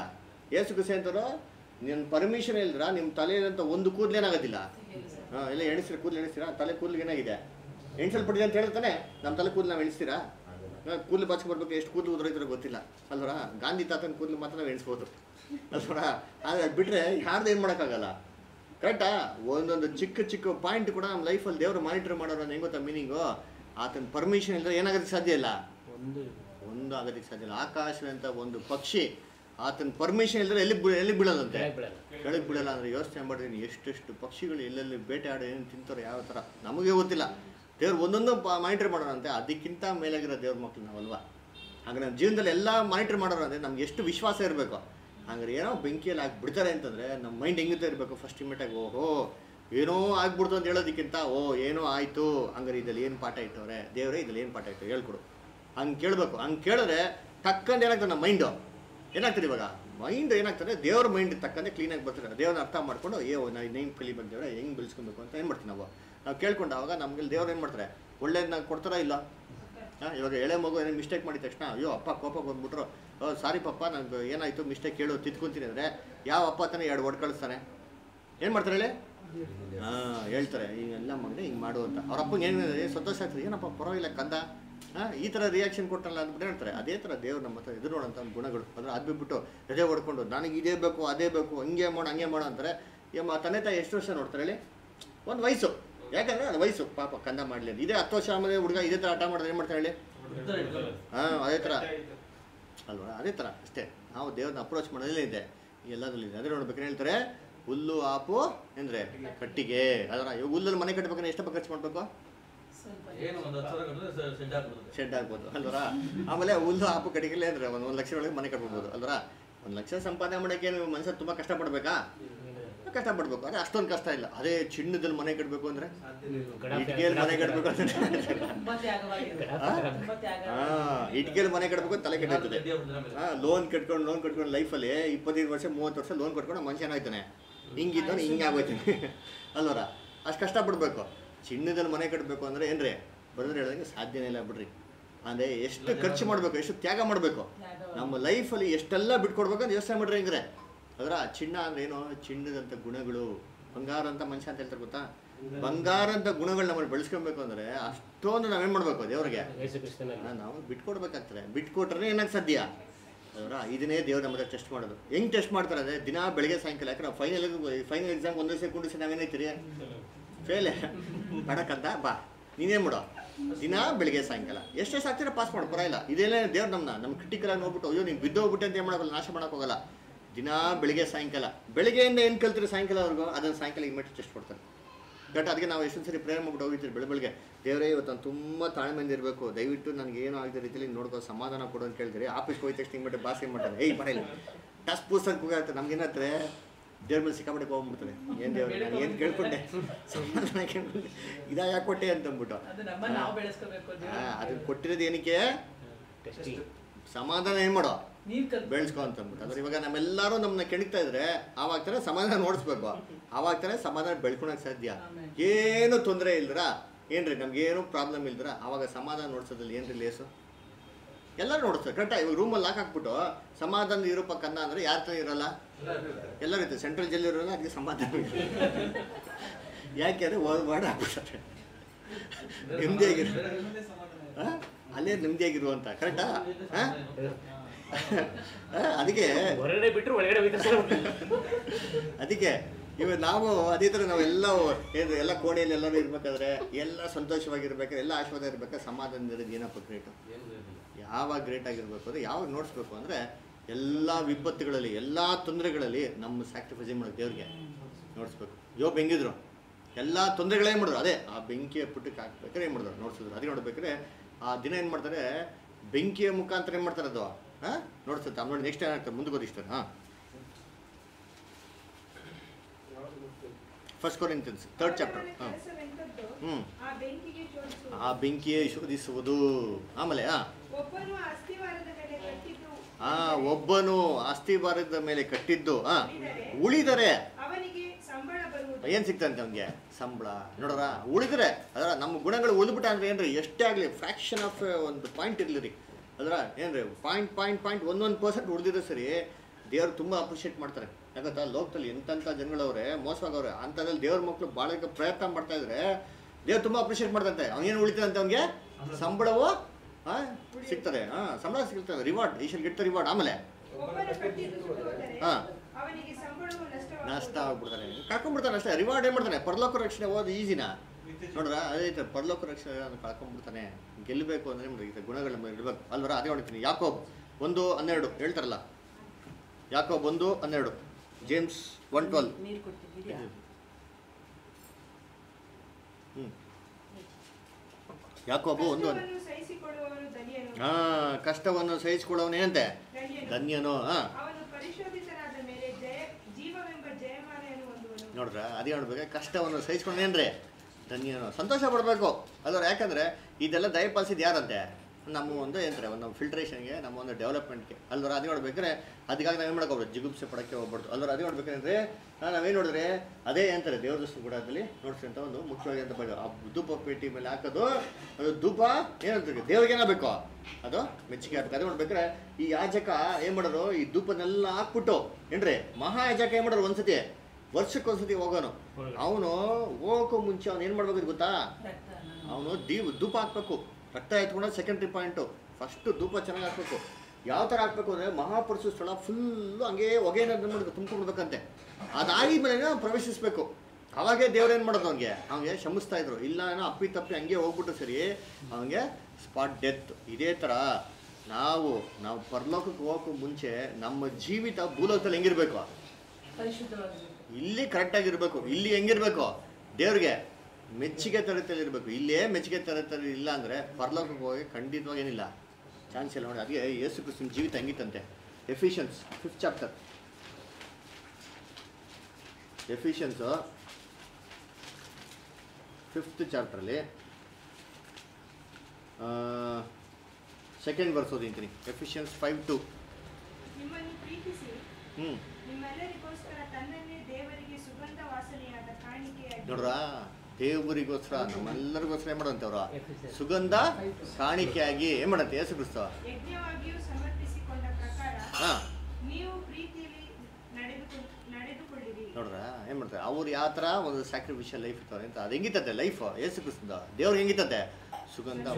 ಇದೇ ಥರ ನಾವು ನಮ್ಮ ಎಂತಾರೆ. ತಂದೆ ದೇವತೆ ಹೋಗಕ್ಕೆ ಮುಂಚೆ ನಮ್ಮ ಜೀವಿತ ಹೆಂಗಿರ್ಬೇಕು ಇಲ್ಲಿ? ಒಳ್ಳೆ ಸುಗಂಧ ವಾಸನೆ ಆಗಿರ್ಬೇಕು. ಅಲ್ವರ ಅದೇ ನೋಡ್ಬೇಕು ಯಾರು ನೋಡ್ಬಿಟ್ಟ ಅಯ್ಯೋ ಇವನ. ಇವನ್ನೆಲ್ಲ ಅಪ್ಪಿ ತಪ್ಪಿ ಹೋಗ್ಬಿಟ್ಟೇನೋ ಅಂತ ಯಾರು ಹೇಳ್ಬಾರ್ದು. ಇವ್ರು ಹೋದ್ರ? ನಿಜವ ನೋಡಪ್ಪ ಇವರೇ ಕರೆಕ್ಟ್ ಅಂತ ಹೇಳಂಗಿರ್ಬೇಕು ಆದ್ರೆ ಅದೇ ನೋಡ್ಬೇಕೇನ್ರಿ ಏನ ಆ ಒಂದು ಇನ್ನೊಂದು ಏನಂದ್ರೆ ಆ ಮಹಾಪರಿಶುದ್ಧ ಸ್ಥಳದ ಮೇಲೆ ಆ ಮಂಜುಷ ಒಂದು ಇತ್ತಲ್ಲ ಆ ಜಾಗದ ಏನಂತ ಒಂದು ಮಹಿಮೆ ಬರ್ತೈತಂತೆ. ಏನು ವಿಶೇಷವಾಗಿರೋಂಥ ಒಂದು ಮಹಿಮೆ ಅಂದರೆ ಶಕಿನಾ ಗ್ಲೋರಿ ಅಂತ ಹೆಸರು ಅದೇನು ಸೂಚಿಸ್ತಾ ಇತ್ತಂದ್ರೆ ದೇವರ ಪ್ರಸನ್ನತೆ. ಕರೆಕ್ಟಾ ಹಾಗಾದ್ರೆ ಇದೇನು ಮೀನಿಂಗ್ ಅಂತಂದ್ರೆ ನಾವು ಭೂಲೋಕದಲ್ಲಿ, ಏನ್ರಿ? ಈ ತರ ಎಲ್ಲ ನಮ್ಮ ಜೀವಿತ ಇದ್ದಿದ್ಮೇಲೆ ದೇವರ ಪ್ರಸನ್ನತೆಗೆ ಹೋಗೋದಕ್ಕೆ ಸಾಧ್ಯ. ಅಲ್ವರ? ಅರ್ಥ ಆಯ್ತಾ? ನೋಡಿದ್ರಿ ಸುಮ್ಮನೆ ಏನೋ ಇಲ್ಲಿಂದ ಬಂದ್ಬಿಟ್ಟು ಒಡೆ ಬಂದ್ಬಿಟ್ಟೆ. ನಾನು ಕ್ರಿಸ್ತ ವಿಶ್ವಾಸ ಬಂದ್ಬಿಟ್ರೆ ಅಂದ್ಬಿಟ್ಟು ಇಲ್ಲಿ ಹೋಗಿ ಹೆಂಗ್ ಹೋಗ್ಬೇಕು ನೋಡಿದ್ರೆ ತಾನೇ ತಗ್ಗಿಸ್ಕೊಂಡು ಅದರ ಶಿಲ್ಬೆ ಎತ್ಕೊಂಡು ಅದರ ಮರಣದುರ್ಗನಾಗಿರ್ಬೇಕು ನಂಬಿಕೆ ನಂಬಿಕಸ್ಥರಾಗಿರ್ಬೇಕು. ನಂಬಿಕಸ್ಥರ ಇವಾಗ ಮರಣದುರ್ಗ, ಅಲ್ವರ? ಅವಾಗೆ ಇಂಥ ಜೀವ ಜಯ ಅದಕ್ಕೆ ಅಪ್ಪಷ್ಟು ಹೇಳ್ತಲ್ಲ ನಾವು ಒಳ್ಳೆ ಹೋರಾಟನೇ ಮಾಡಿದ್ದೀನಿ? ಹೋರಾಡಿದ್ದೀನಿ. ಆತರ ಜೀವ ಮತ್ತು ಜಯ ನನಗೆ ಮಾಡಿದೆ ದೇವರು ಇಟ್ಟಿದ್ದಾರೆ ಅಂತ ಅದ್ರ ಬೇಕಾದ್ರೆ ಅವಾಗೇ ದೇವರ ಸನ್ನಿಧಾನದಲ್ಲಿ ಹೋಗೋದಕ್ಕೆ ನಾವು ಸಾಧ್ಯ. ಅಂದ್ರೆ ಅದೇ ನೋಡ್ಬೇಕಾದ್ರೆ ಆ ಮಹಾಪರಿಷತ್ ಸ್ಥಳದಲ್ಲಿ ಏನಿತ್ತಂದ್ರೆ ಒಂದು ಏನಿದೆ? ಒಂದು ಮಂಜೂಷ ಪೆಟ್ಟಿ ಇತ್ತು. ಅದರ ಆ ಮಂಜೂಷ ಪೆಟ್ಟಿ ಮೇಲೆ ಇತ್ತಂದ್ರೆ ಒಂದು ಕೃಪಾಸನ ಇತ್ತು. ಅದರ ಆಮೇಲೆ ಈ ಮಂಜೂಷ ಪೆಟ್ಟಿ ಹೊರಡಿದ್ದು ಮೂನೆ ಐಟಮ್ ಏನದು ಆರೋನಿನ ಚಿಗುರುಕೋಲು ಆಮೇಲೆ ಚಿನ್ನದ ಒಂದು ಬಟ್ಲಲ್ಲಿ ಒನ್ನ ಆಮೇಲೆ ಹತ್ತು ಆಗ್ನೆಗಳು ವೆರಿ ಗುಡ್ ಅದರ ಇದು ಮೂರಿತ್ತು. ಅದರ ಇದರಲ್ಲಿ ಏನಂದ್ರೆ ಫಸ್ಟ್ ಏನು ನೋಡ್ತೀರಿ? ಆ ಒಂದು ಬಟ್ಲಲ್ಲಿ ಮನ್ನ ಇತ್ತು. ಘಟ ಆಮೇಲೆ ಆರುವಿನ ಚಿಗುರುಕೋಲು. ಆಮೇಲೆ ಧರ್ಮಶಾಸ್ತ್ರ. ಈ ಮೂರು ಏನ ಸೂಚಿಸ್ತದೆ? ಮೊದಲನೇದು ಮನ್ನ. ನೋಡಿ ಮನ್ನ ಇತ್ತಲ್ಲ ಈ ಮನ್ನಾ ದೇವ್ರು ಯಾರು ಕೊಟ್ಟರು ಅಂದ್ರೆ ಇಜ್ರಾಯೇಲಿಗೆ ಕೊಟ್ಟರು ಕಾನಾನ್ ದೇಶದಿಂದ ಅವರು ಕಾನಾನ್ ದೇಶಕ್ಕೆ ಹೋಗ್ತಾ ಇರ್ಬೇಕಾದ್ರೆ ಹಳ್ಳದಲ್ಲಿ ಅದರ ಅವಾಗ ಆ ಮನ್ನ ಕೊಡ್ಬೇಕಾದ್ರೆ ದೇವ್ ಅಂತ ಹೇಳಿದ್ರು ಅವತ್ತಿನ ಮನ್ನ ಏನ್ ಮಾಡಬೇಕು? ಅವತ್ತೇ ನೀವು. ನೀವು ತಿನ್ಬಿಡ್ಬೇಕು. ಇದನ್ನ ಮರುದಿನಕ್ಕೆ ಏನ್ ಮಾಡಕ್ ಹೋಗ್ಬಾರ್ದು ನೀವು. ಇಟ್ಕೊಳಕ್ ಹೋಗ್ಬಾರ್ದು. ಅವತ್ತಿನ ದಿನ ಆಶೀರ್ವಾದ ಏನೇನ್ ಬೇಕೋ ಅದೆಲ್ಲ ಕೊಡ್ತಾರೆ ದೇವರು ಅಂತ ಅಂದ್ಬಿಟ್ರು. ಅಲ್ವರ? ಅದನ್ನ ಮೇ ಮರುದಿನಕ್ಕೆ ಇಟ್ಟರೆ ಅದು ಕೊಳ್ತೋಗ್ಬಿಡ್ತಾ ಇತ್ತು. ಅದಕ್ಕೆ ಅದನ್ನ ಮಾಡ್ಬೇಡ ಅಂತ ಅಂದ್ಬಿಟ್ರು. ಅದರ ಆದರೆ ಈ ಒಂದು ಮನ್ನ ಏನ್ರಿ ಆ ದೇವ್ರ ಸಂ ಗುಡಾರದಲ್ಲಿ ಇಟ್ಟಂತ ಮನ್ನ ಯಾವತ್ತಿನ ಆಗ್ತಾ ಕೆಡ್ತಾ ಇರಲ್ಲ ಕೇಳ್ತಾನೆ ಇರಲ್ಲ ಹಂಗಾರೆ ಏನಿದು ಇದು ಅರ್ಥ ಏನು? ಅಂತ ಯೇಸು ಕುಸ್ ಹೇಳ್ತಾ ತೆಗಿರಿಂತೀನಿ ಜಾನ್ ಸಿಕ್ಸ್ ಚಾಪ್ಟರ್ ಫಾರ್ಟಿ ನೈನಿನ ಫಿಫ್ಟಿ ಒನ್ ಯೋಹನ ಆರನೇ ಅಧ್ಯಾಯ ನಲವತ್ತೊಂಬತ್ತರಿಂದ ಐವತ್ತೊಂದು. ನಿಮ್ಮ ಹಿರಿಯರು ಅಡವಿಯಲ್ಲಿ ಹ್ಞೂ ನಿಮ್ಮ ಹಿರಿಯರು ಮನ್ನಾ ಏನಾದ್ರಂತೆ? ಸತ್ತೋಗ್ಬಿಟ್ರು ಹಾಂ. ಹ್ಞೂ ಹಾಂ ಅದು ತಿಂದ್ರೆ ಏನಾದಿಲ್ಲಂತೆ ಸಾಯೋದಿಲ್ಲ. ಹಂಗಾರೆ ಈ ಕೊಳೆದಿರಂತ ಮನ್ನಾ ಅಂದರೆ ಏನು ಸೂಚಿಸ್ತದೆ? ಹಾಂ ಯೇಸು ಸಮೀನ ಹಾಂ ಏನು ಸೂಚಿಸ್ತಾರೆ ಹಾಂ ಎಂಥ ಜೀವ ಇದು. ನಿತ್ಯ ಜೀವ. ಅದರ ಅಮರತ್ವ ಜೀವ. ಏನ್ರಿ? ಏನ್ರಿ? ಇಮ್ಮಾರ್ಟಾಲಿಟಿ. ಸಾವಿನ ಏನಿಲ್ಲ. ಸಾಧ್ಯತೆನೇ ಇಲ್ದಿರ ಅಂತ ಒಂದು ಜೀವನ ಏನು ಮಾಡ್ತದೆ ಇದು? ಸೂಚನೆ ಮಾಡ್ತದೆ. ಕರೆಕ್ಟಾ ನೋಡಿ ಆ ಮನ್ನ ತಿಂದು ಏನಾಗ್ಬಿಟ್ರು? ಎಲ್ಲರೂ ನಶಿಸೋಗ್ಬಿಟ್ರು. ಎಲ್ಲರಿಗೂ ಮಾಡಬಿಡ್ತು ಆದರೆ ಈ ಮನ್ನ ತಿಂದ್ರೆ ಏನಾಗಲ್ಲ ಯಾವತ್ತು. ಮರಣ ಬರೋಕ್ಕೆ ಸಾಧ್ಯ ಇಲ್ಲ. ಸಾವೇ ಬರೋಕ್ಕೆ ಸಾಧ್ಯ ಅನ್ನುವಂಥದ್ದು ಅದರ ಸಾವಾಮೆ ಅಂತ ಹೇಳ್ತಾರೆ ಗೊತ್ತಾ? ಹಾಂ ಅಮರತ್ವ ಏನು ಮಾಡ್ತಾರೆ? ದೈವಿಕ ಸ್ವಭಾವನ ನಮಗೆ ಕೊಡ್ತಾರೆ ಅಂತ ಓದಿದ್ದೀನಿ ಪ್ರಕಟಣೆ ಎರಡನೇ ಅಧ್ಯಾಯ ಹದಿನೇಳನೇ ವಚನ. Revelation two seventeen Revelation two seventeen ಹ್ಞೂ ಹ್ಞೂ ಹ್ಞೂ ನೋಡ್ರ ಬಚ್ಚಿಟ್ಟಿರುವಂಥ ಮನ್ನವನ್ನೇ ಮಾಡ್ತೀನಿ ಆಹಾರಕ್ಕಾಗಿ ಆ ಲೈಫ್ ಏನು ಮಾಡ್ತೀನಿ ಕೊಡ್ತೀನಿ ಅಂತ ಅದರ ಇನ್ನೂ ವಚನ ಇದ್ದೀನಿ first Corinthians fifteen forty two first Corinthians fifteen chapter forty second verse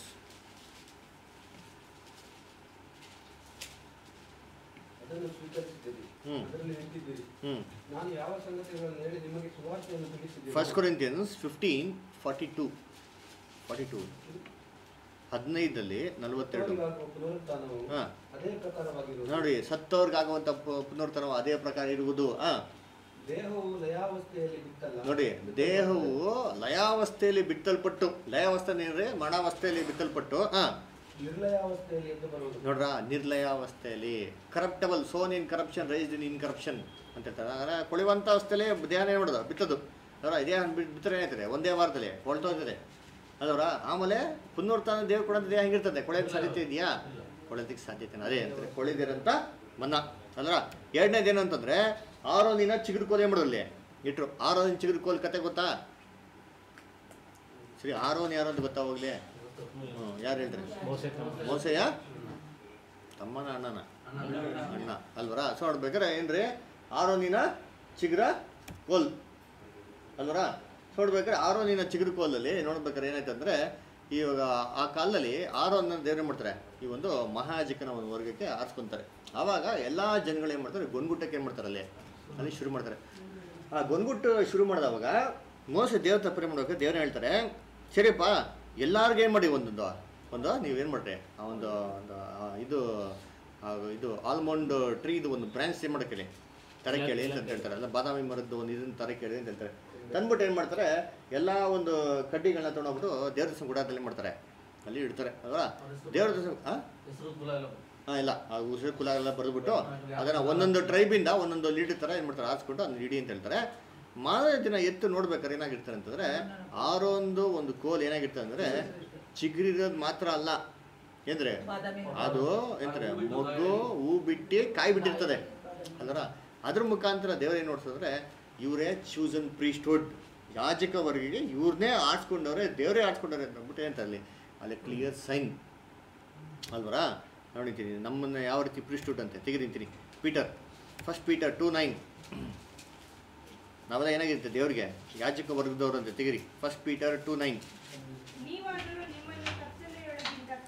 ಹಾಂ. ಹ್ಞೂ ಸೇರಿಸಿದಾತನ ಗುಣಾತಿಶಯಗಳನ್ನು ಪ್ರಚಾರ ಮಾಡುವವರಾಗಿರುವಂತೆ ಹಾಂ. ಹಾಂ ದೇವರು ಆದುಕೊಂಡಂಥ ಜನಾಂಗವು ಹಾಂ. ರಾಜವಂಶ ವಂಶಸ್ಥರಾದ ರಾಜವಂಶಸ್ಥರಾದ ಯಾಜಕರು. ನೋಡ್ರ ಎಂತ ರಾಜವಂಶಸ್ಥರ ಅಂತ ಯಾಜಕರು ಯಾರಂತ ನಾವು? ಅಲ್ಲ ಹಂಗಾರೆ ನಾವು ಯಾಜಕರಾಗಿರ್ಬೇಕಾದ್ರೆ ಅದರಲ್ಲಿ ಏನಂತಾರೆ ಒಂದು ಎರಡು ಪಾಯಿಂಟ್ ಇರಬೇಕು. ಎಂತಾರೆ ಏನಿರಬೇಕು? ಅಲ್ಲಿ ಹೂ ಬಿಟ್ಟಿರಬೇಕು ನೆಕ್ಸ್ಟ್ ಏನಾಗಿರ್ಬೇಕು? ಕಾಯಿ ಇರಬೇಕು. ಅಲ್ಲರ ಏನಂದ್ರೆ ಫ್ಲವರ್ ಇರಬೇಕು ಫ್ರೂಟ್ ಇರಬೇಕು. ಅಲ್ಲರ ಇದೆಲ್ಲ ಮೀನಿಂಗ್ ಇದೆ. ದೇವ್ರ ಚಿತ್ರ ಮುಂದೆ ಕ್ಲಾಸಸ್ ಓದೋಣ. ಅದರ ನೋಡ್ಬೇಕಾದ್ರೆ ಇದೇ ಚೂಸನ್ ಪ್ರೀಸ್ಟುಡ್ ಅಂದರೆ ಚೂಸನ್ ಪ್ರೀಸ್ಟುಡ್ಗೆ ಒಂದು ಸೈನ್ ಅದರ ನೆಕ್ಸ್ಟು ಏನಿರ್ತದೆ ಏನಿರ್ತದೆ ಟೇಬಲ್ ಆ tablet of the law sorry ಅದರ ಎಂಥ ಟೆನ್ ಕಾಮೆಂಟ್ಸ್ ಇತ್ತು. ಅದರ ಲಾ ಅದರ, ಏ, ಧರ್ಮಶಾಸ್ತ್ರದ ಒಂದು ಇದು. ಅದರ, ಇವಾಗ ಈ ಈ ಲೋಕದಲ್ಲಿ ಇವಾಗ ಲಾ ಓದೋರು ಯಾರು ಓದ್ತಾರೆ? ಲಾಯರ್ಗಳು ಅದರ ಲಾಯರ್ಸ್ ಏನಕ್ಕೆ ಲಾ ಓದ್ತಾರೆ? ಅದರ ನೋಡ್ಬೇಕಾದ್ರೆ ಜಡ್ಜ್ ಅದರ ಏನಂದರೆ ಲೋಕದಲ್ಲಿ ಎಲ್ಲ ಜಡ್ಜಸ್ಗಳು ಲಾನ್ ಏನು ಮಾಡಬೇಕು? ತರವಾಗಿ ತಿಳ್ಕೊಂಡಿರ್ಬೇಕಾದ್ರೆ ಇವಾಗ ಸಭೆನ ಕರೀತಾರೆ ದಿನಕ್ಕೆ ಏನಕ್ಕೆ? ಓದಿ. ಫ್ಯೂಚರ್ ಏನು ಮಾಡ್ತಾರೆ ಸಭೆ ಕೆಲಸನ? First Corinthian six two first Corinthian six two ಒಂದನೇ ಕುರಂತ ಆರು ಎರಡು ಮಾಡುವವರೆಂಬುದು ಹ್ಞೂ ಹಾಂ ದೇವ್ರ ಜನರು ಯಾರು ಟ್ರೀಟ್ ಮಾಡ್ತಾರೆ? ಅಂದರೆ ಫ್ಯೂಚರಲ್ಲಿ ಜಡ್ಜಸ್ ಅಂದರೆ ಯಾರು ಅಂದರೆ ಸಭೆ ಅಂದ್ರೆ ಹಂಗ ಇವ್ರು ನ್ಯಾಯಾಧಿಪತಿಗಳಾಗಿ ಇವರು ನ್ಯಾಯ ತೀರ್ಪು ಮಾಡಬೇಕು ಅಂದರೆ ಇವರು ತೀರ್ಪು ಹೆಂಗಿರಬೇಕು? ಹೆಂಗಿರಬೇಕು? ಕರೆಕ್ಟಾಗಿರ್ಬೇಕು ಅದರ ವೇದ ವಾಕ್ಯದ ಪ್ರಕಾರ ಏನಾಗಿರ್ಬೇಕು? ಇರಬೇಕು. ಈ ಕಾಲದಲ್ಲಿ ಏನು ಮಾಡ್ತಾರೆ? ಜಡ್ಜ್ಗಳು ಹೆಂಗವ್ರೆ? ಸೂಟ್ ಕೇಸ್ ತುಂಬ ದುಡ್ಡು ಕೊಟ್ಟರೆ ಅವನೇನಿದೆ ಜಡ್ಜ್ ಹಾಂ? ಜೈಲಲ್ಲಿ ಇರ್ತಾನೆ, ಒಬ್ಬನು ಒಬ್ಬರು ಓಡ ಹಾಕ್ತಾರೆ, ಇನ್ನೊಬ್ರು ಏನು ಮಾಡೋದು? ಇಲ್ಲ ಟೈಪಿಂಗ್ ಮಿಸ್ಟೇಕ್ ಆಗಿದೆ ಸುಮ್ಮನೆ ಒಂದು ಡಿಜಿಟ್ನ ಚೇಂಜ್ ಮಾಡ್ಬಿಟ್ಟು ಏನು ಮಾಡೋದು? ವಾರ್ಡನ್ನ ಬಿಚ್ಕೊಂಡ್ಬಂದ್ಬಿಟ್ರು ಅದರ ಇದೇ ಅಷ್ಟೇ ಸಿಂಪಲ್ ಅಂದ್ರೆ ಈ ಥರ ಎಲ್ಲ ಏನಂತಾರೆ? ತೀರ್ಪುಗಳಿದ್ರೆ ಅದೇ ನೋಡ್ಬೇಕಾದ್ರೆ ವಾಕ್ಯದ ಪ್ರಕಾರ ತೀರ್ಪು ಅದೇ ನೋಡ್ಬೇಕಾದ್ರೆ ದೇವ್ರದ ಸಭೆನ ಕರೀತಾರೆ ಅದು ಮುಖ್ಯವಾಗಿ ಮೂರು ಕೆಲಸಕ್ಕೆ. ನೋಡಿ ಫಸ್ಟು ನಿತ್ಯ ಜೀವ ರಾಜ್ಯಗಳಾಗಿರೋದಕ್ಕೆ ಆಮೇಲೆ ಯಾಜಕರಾಗಿರೋದಕ್ಕೆ. ಆಮೇಲೆ ಏನ್ರಿ? ನ್ಯಾಯಾಧಿಪತಿಗಳಾಗೋದಕ್ಕೆ ಕರೆಕ್ಟಾ ಈ ಮೂರು ಕೆಲಸಕ್ಕೆ ಏನು ಮಾಡ್ತಾರೆ ದೇವ್ರ ಇವತ್ತು ಸಭೆನ ಕರೀತಾ ಇದ್ರಂತ ಓದಿ ಪ್ರಕಟಣೆ, ಇಪ್ಪತ್ತನೇ ಅಧ್ಯಾಯ, ವಚನ ಆರು. ಪ್ರಕಟಣೆ, ಇಪ್ಪತ್ತನೇ ಅಧ್ಯಾಯ, ವಚನ ಆರು ಪ್ರಥಮ ಪುನರುತ್ಥಾನದಲ್ಲಿ ಸೇ- ಸೇರಿರುವವನು ಧನ್ಯನು ನೋಡ್ರ ಪ್ರಥಮ ಪುನರ್ತನದಲ್ಲಿ ಸೇರಿರೋನು ಧನ್ಯನು ಹಾ. ಪರಿಶುದ್ಧನಾಗಿದ್ದಾನೆ ಹಾ. ಇಂಥವ್ರ ಮೇಲೆ ಏನಂತೆ? ಎರಡನೇ ಮರಣದ ಅಧಿಕಾರನೇ ಇಲ್ಲ ಹಾ. ಹೆಂಗಿರ್ತಂತೆ ದೇವರಿಗೂ ಕ್ರಿಸ್ತನಿಗೂ ಯಾಜಕರಾಗಿದ್ದು ಹಾ.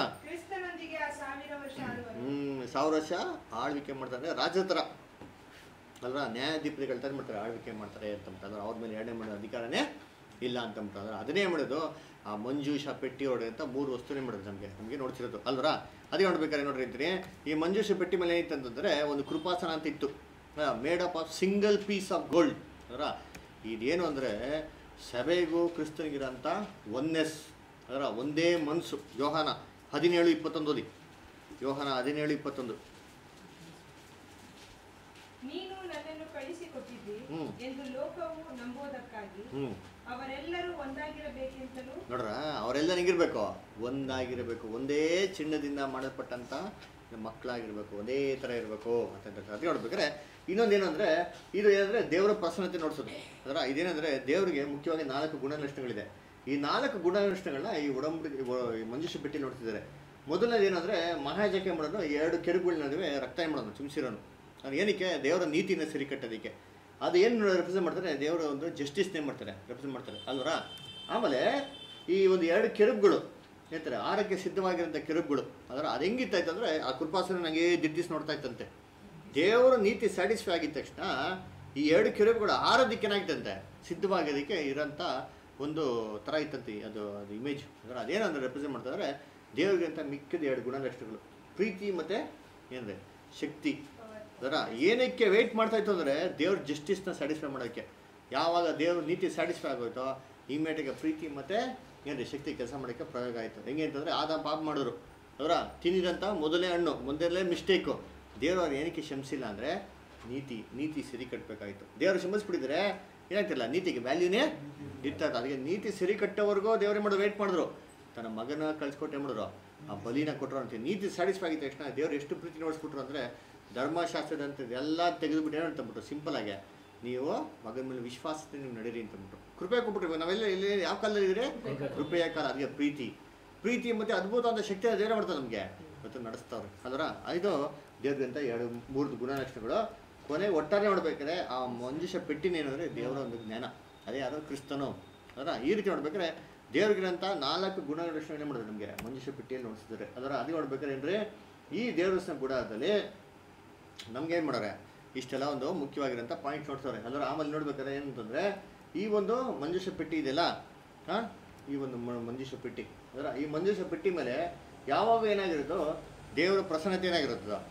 ಅದು ಅಲ್ಲೇ ಇರೋದು. ಯಾವಾಗ ವಿಷಯ ಏನಾಗ್ತಾ ಇತ್ತು? ಅಲ್ವರ ಅದೇ ಮಾಡ್ತಂದ್ರೆ ಈ ಮನುಷ್ಯರ ನಡುವೆ ನೋಡ್ರಿ ಆ ಒಂದು ಫುಲ್ ಗುಡಾರ ಇದೆ ನೋಡಿದ್ದೀನಿ ಏನಂತಾರೆ? ಪಾಳ್ಯ. ಆ ಪಾಳ್ಯದ ನಡುವೆ ಏನಾಗಿತ್ತಿತ್ತು ಇದು? ಇರ್ತಾ ಇತ್ತು. ಅಂದ್ರೆ ಅದೇ ನೋಡ್ಬೇಕಾದ್ರೆ ಏನಂದ್ರೆ ಕ್ರಿಸ್ತನು ಕ್ರಿಸ್ತನ ಸಭೆ ಸಾವಿರ ಹೆಸರು ಆಳ್ವಿಕೆ ಮಾಡಬೇಕಾದ್ರೆ ದೇವರ ಒಂದು ಗುಡಾರ ಎಲ್ಲಿರ್ತಾರೆ? ಮನುಷ್ಯರ ನಡುವೆ ಇರ್ತಾರೆ ಅಂತ ಹೇಳ್ತಾರೆ. ಈ ಪ್ರಕಟಣೆಯಲ್ಲಿ ಒಂದು ವಚನ. ಪ್ರಕಟಣೆ ಇಪ್ಪತ್ತು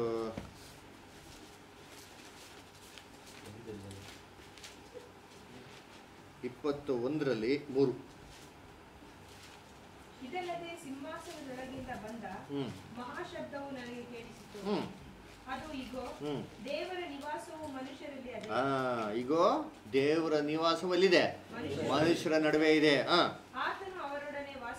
ನೋಡ್ರ ಆತನ ಏನ್ ಮಾಡ್ತಾನೆ? ಅವ್ರ ನಡುವೆ ವಾಸ ಮಾಡುವನು. ನೋಡ್ರ ಹಾ. ದೇವರು ತಾನೇ ನೋಡ್ರ ದೇವ್ರು ಅಂತಾರೆ. ಅವ್ರ ಸಂಗಡ ಇರ್ತಾರೆ. ನೋಡ್ಬೇಕಾದ್ರೆ ಯೇಸು ಕ್ರಿಸ್ತನ ತೆಗಿರೋ ಸಭೆ ಏನಂದ್ರೆ ಏನಂದ್ರೆ ಆ ಒಂದು ದೇವರ ಮಕ್ಕಳು. ಅದರ ಅವನ್ನ ಈ ಕೊನೆಯವರೆಗೂ ಏನಂತಾರೆ ಮಾಡೋದವ್ರಿಗೂ ಹಿಂಬಾಲಿಸೋದು ಅದೇ. ನೋಡ್ಬೇಕಾದ್ರೆ ಇವು ಒಂದೆಲ್ಲ ಕಾರ್ಯಗಳನ್ನ ಏನು ಮಾಡೋದಂದ್ರೆ ದೇವ್ರ ದರ್ಶನ ಕೂಡ ನಮ್ಗೆ ಮಾಡೋದು? ಇದನ್ನ ಕೊಟ್ಟಾರೆ. ಇದೇನೆಂದರೆ ಇದು ಜಸ್ಟ್ ಒಂದು ಒಂದು ಔಟ್ಲೈನ್ ಥರ ಹೇಳಿರೋದು. ಒಂದು ಜಿಸ್ಟ್ ಥರ ಅಂದರೆ ಆ್ಯಕ್ಚುಲಿ ಇದರಲ್ಲಿ ಒಂದೊಂದು ಪಾಯಿಂಟ್ಗಳಿಗೆ ಇದೆ. ತುಂಬ ಆಳವಾಗಿರೋಂಥ ಅರ್ಥಗಳಿದೆ.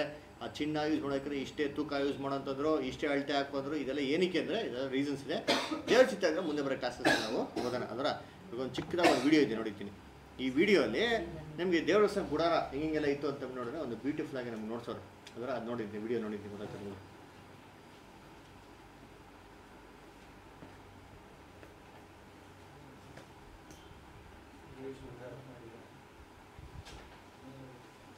ಸೌಂಡ್ ಬರಲ್ವಾ? ಮ್ಯೂಟ್ ಮಾಡಿದ್ದೀರಾ? ರಿಮೋಟ್ ಇಲ್ವಾ? ಇಲ್ಲೇ ಮಾಡ್ಬಿಟ್ಟಾ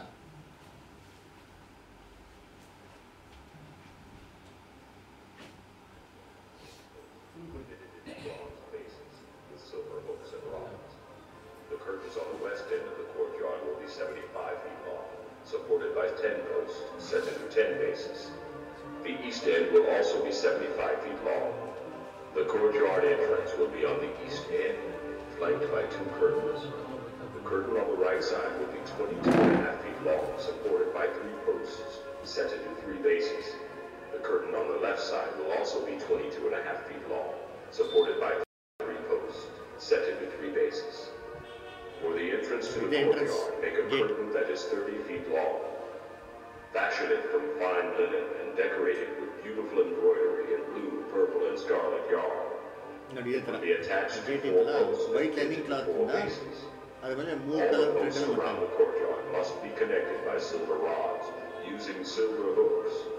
The posts are to be set in solid ಹೇಳ್ದಲ್ಲ bronze ಉಳಿಗಳ bases. ಹಾಕ್ಬಿಟ್ಟು ಈ ಥರ ಇದ್ರಲ್ಲಿ So ಕಟ್ಕೊಳ್ಳೋದು the entire courtyard will be 150 feet long and 75 feet wide, with curtain walls seven and a half feet high, made from fine linen. The bases supporting its walls will be made of bronze. All the articles used in the work of the tabernacle, including all the tent pegs used to support the tabernacle and the courtyard curtains, must be made of bronze. Tell the people of Israel to bring you pure olive oil for the lampstand, so it can be kept burning continually. The lampstand will be placed outside the inner curtain of the most holy place in the tabernacle. Aaron and his sons will keep the lamps burning in the Lord's presence day and night. This is a permanent law for the people of Israel, and it must be kept by all future generations. Yeah, Balipita. using acacia wood to make a square altar, seven and a half feet wide, seven and a half feet long, and four and a half feet high. Make a horn at each of the four corners of the altar, so the horns the altar are all one piece. Overlay the altar and its horns with bronze.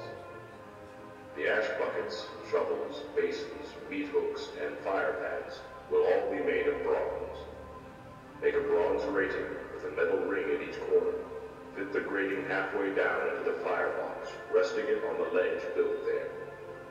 For moving the altar, make poles from acacia wood and overlay them with bronze. To carry it, put the poles into the rings at the two sides of the altar. The altar must be hollow, made from planks. Be careful to build it just as you were shown on the mountain.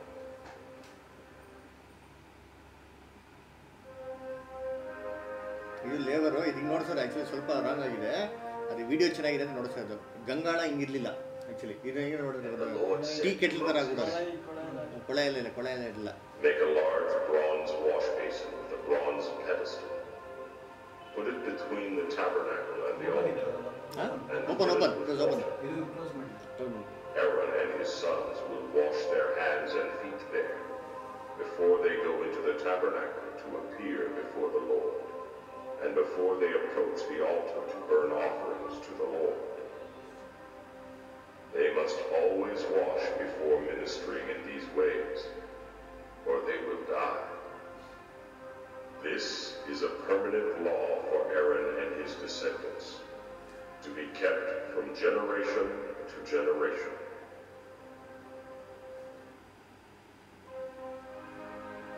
Gracias, the framework of the tabernacle will consist of frames made of acacia wood. Each frame must be 15 feet high and two and a quarter feet wide.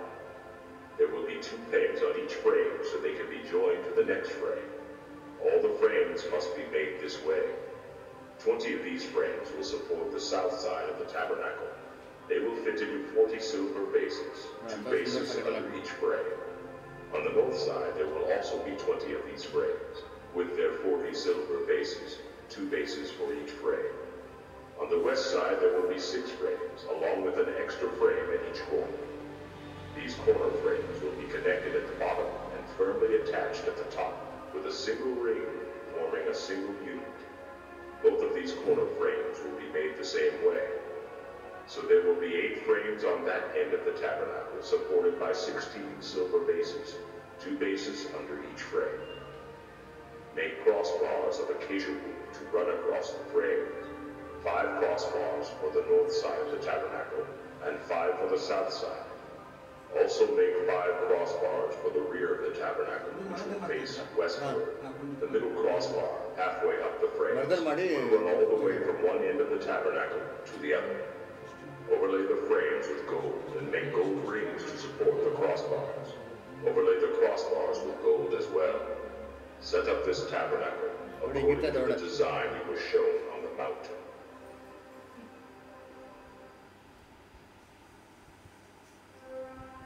ನೋಡಿ ಇದೇ ತೆರೆ ನೋಡಲ್ಲ ಆ ಥರ same gate ಹೆಂಗಿತ್ತು ಅದೇ ಥರ ತೆರೆ ಇರ್ತದೆ Across the inside of the tabernacle hang a special curtain made of fine linen with cherubim skillfully embroidered into the cloth, using blue, ನೋಡಿ ಅಲ್ಲಿ purple, and centre scarlet Hang this inner curtain on gold hooks set into four posts made from acacia wood and overlaid with gold. The posts will fit into the silver bases. When the inner curtain is in place, put the Ark of the Covenant behind it. This curtain will separate the holy place from the most holy place. Then put the Ark's cover, the place of atonement, on top of the Ark of the Covenant, inside the most holy place. Place the table and lampstand across the room from each other outside the inner curtain. The lampstand must be placed on the south side, and the table must be set toward the north. Make another curtain from fine linen for the entrance of the sacred tent, and embroider exquisite designs into it, using blue, purple, and scarlet yarn. Hang this curtain on gold hooks set into five posts made from acacia wood and overlaid with gold. The post will fit into five bronze bases.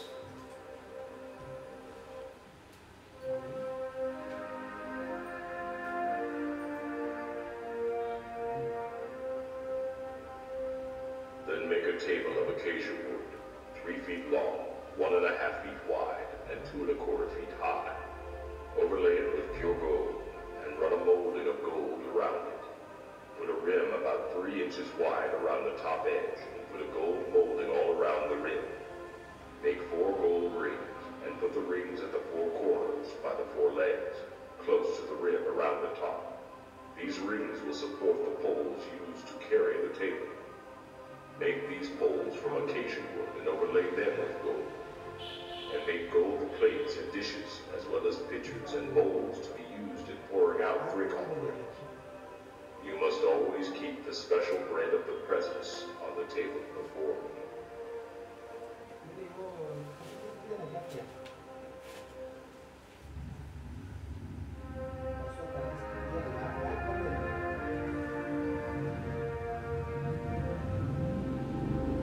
Make a lampstand of pure hammered gold.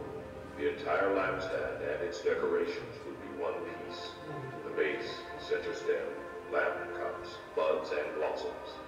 It will have six branches, three branches going out from each side of the center stem. Each of the six branches will hold a cup shaped like an almond blossom, complete with buds and petals. The center stem of the lampstand will be decorated with four almond blossoms, complete with buds and petals. One blossom will be set beneath each pair of branches where they extend from the center stem. The decorations and branches must all be one piece with the stem, and they must be hammered from pure gold. Then make the seven lamps for the lampstand, and set them so they reflect their light forward. The lamp snuffers and trays must also be made of pure gold. You will need 75 pounds of pure gold for the lampstand and its accessories. Be sure that you make everything according to the pattern I have shown you here on the mountain.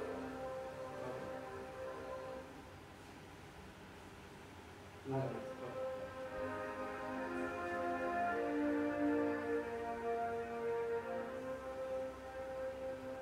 make a small altar out of acacia wood for burning incense.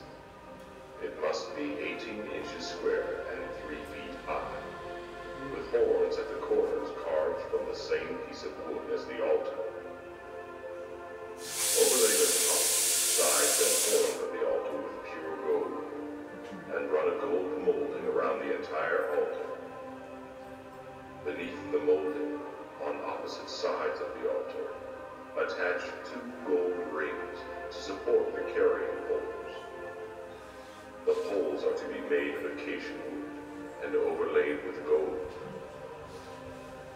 Place the incense altar just outside the inner curtain, opposite the ark's cover, the place of atonement, that rests on the ark of the covenant. I will meet with you there. Every morning when Aaron trims the lamps, he must burn fragrant incense on the altar. And each evening when he tends to the lamps, he must again burn incense in the Lord's presence. This must be done from generation to generation. Do not offer any unholy incense on this altar, or any burnt offerings, grain offerings, or drink offerings. Once a year, Aaron must purify the altar by placing on its horns the blood from the offering made for the atonement of sin. This will be a regular annual event from generation to generation, for this is the Lord's supremely holy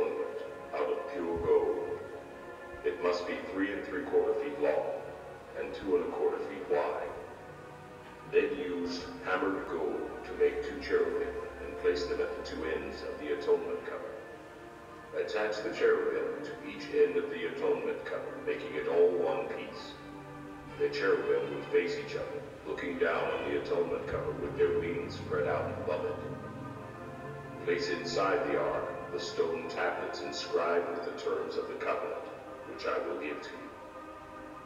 Then put the atonement cover on top of the ark. I will meet with you there and talk to you from above the atonement cover between the gold cherubim that hover over the ark of the covenant.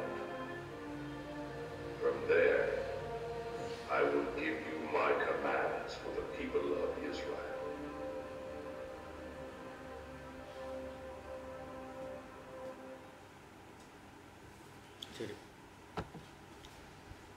ಏನು doubts ಏನಿಲ್ಲಲ್ಲ doubts ಏನಿಲ್ಲ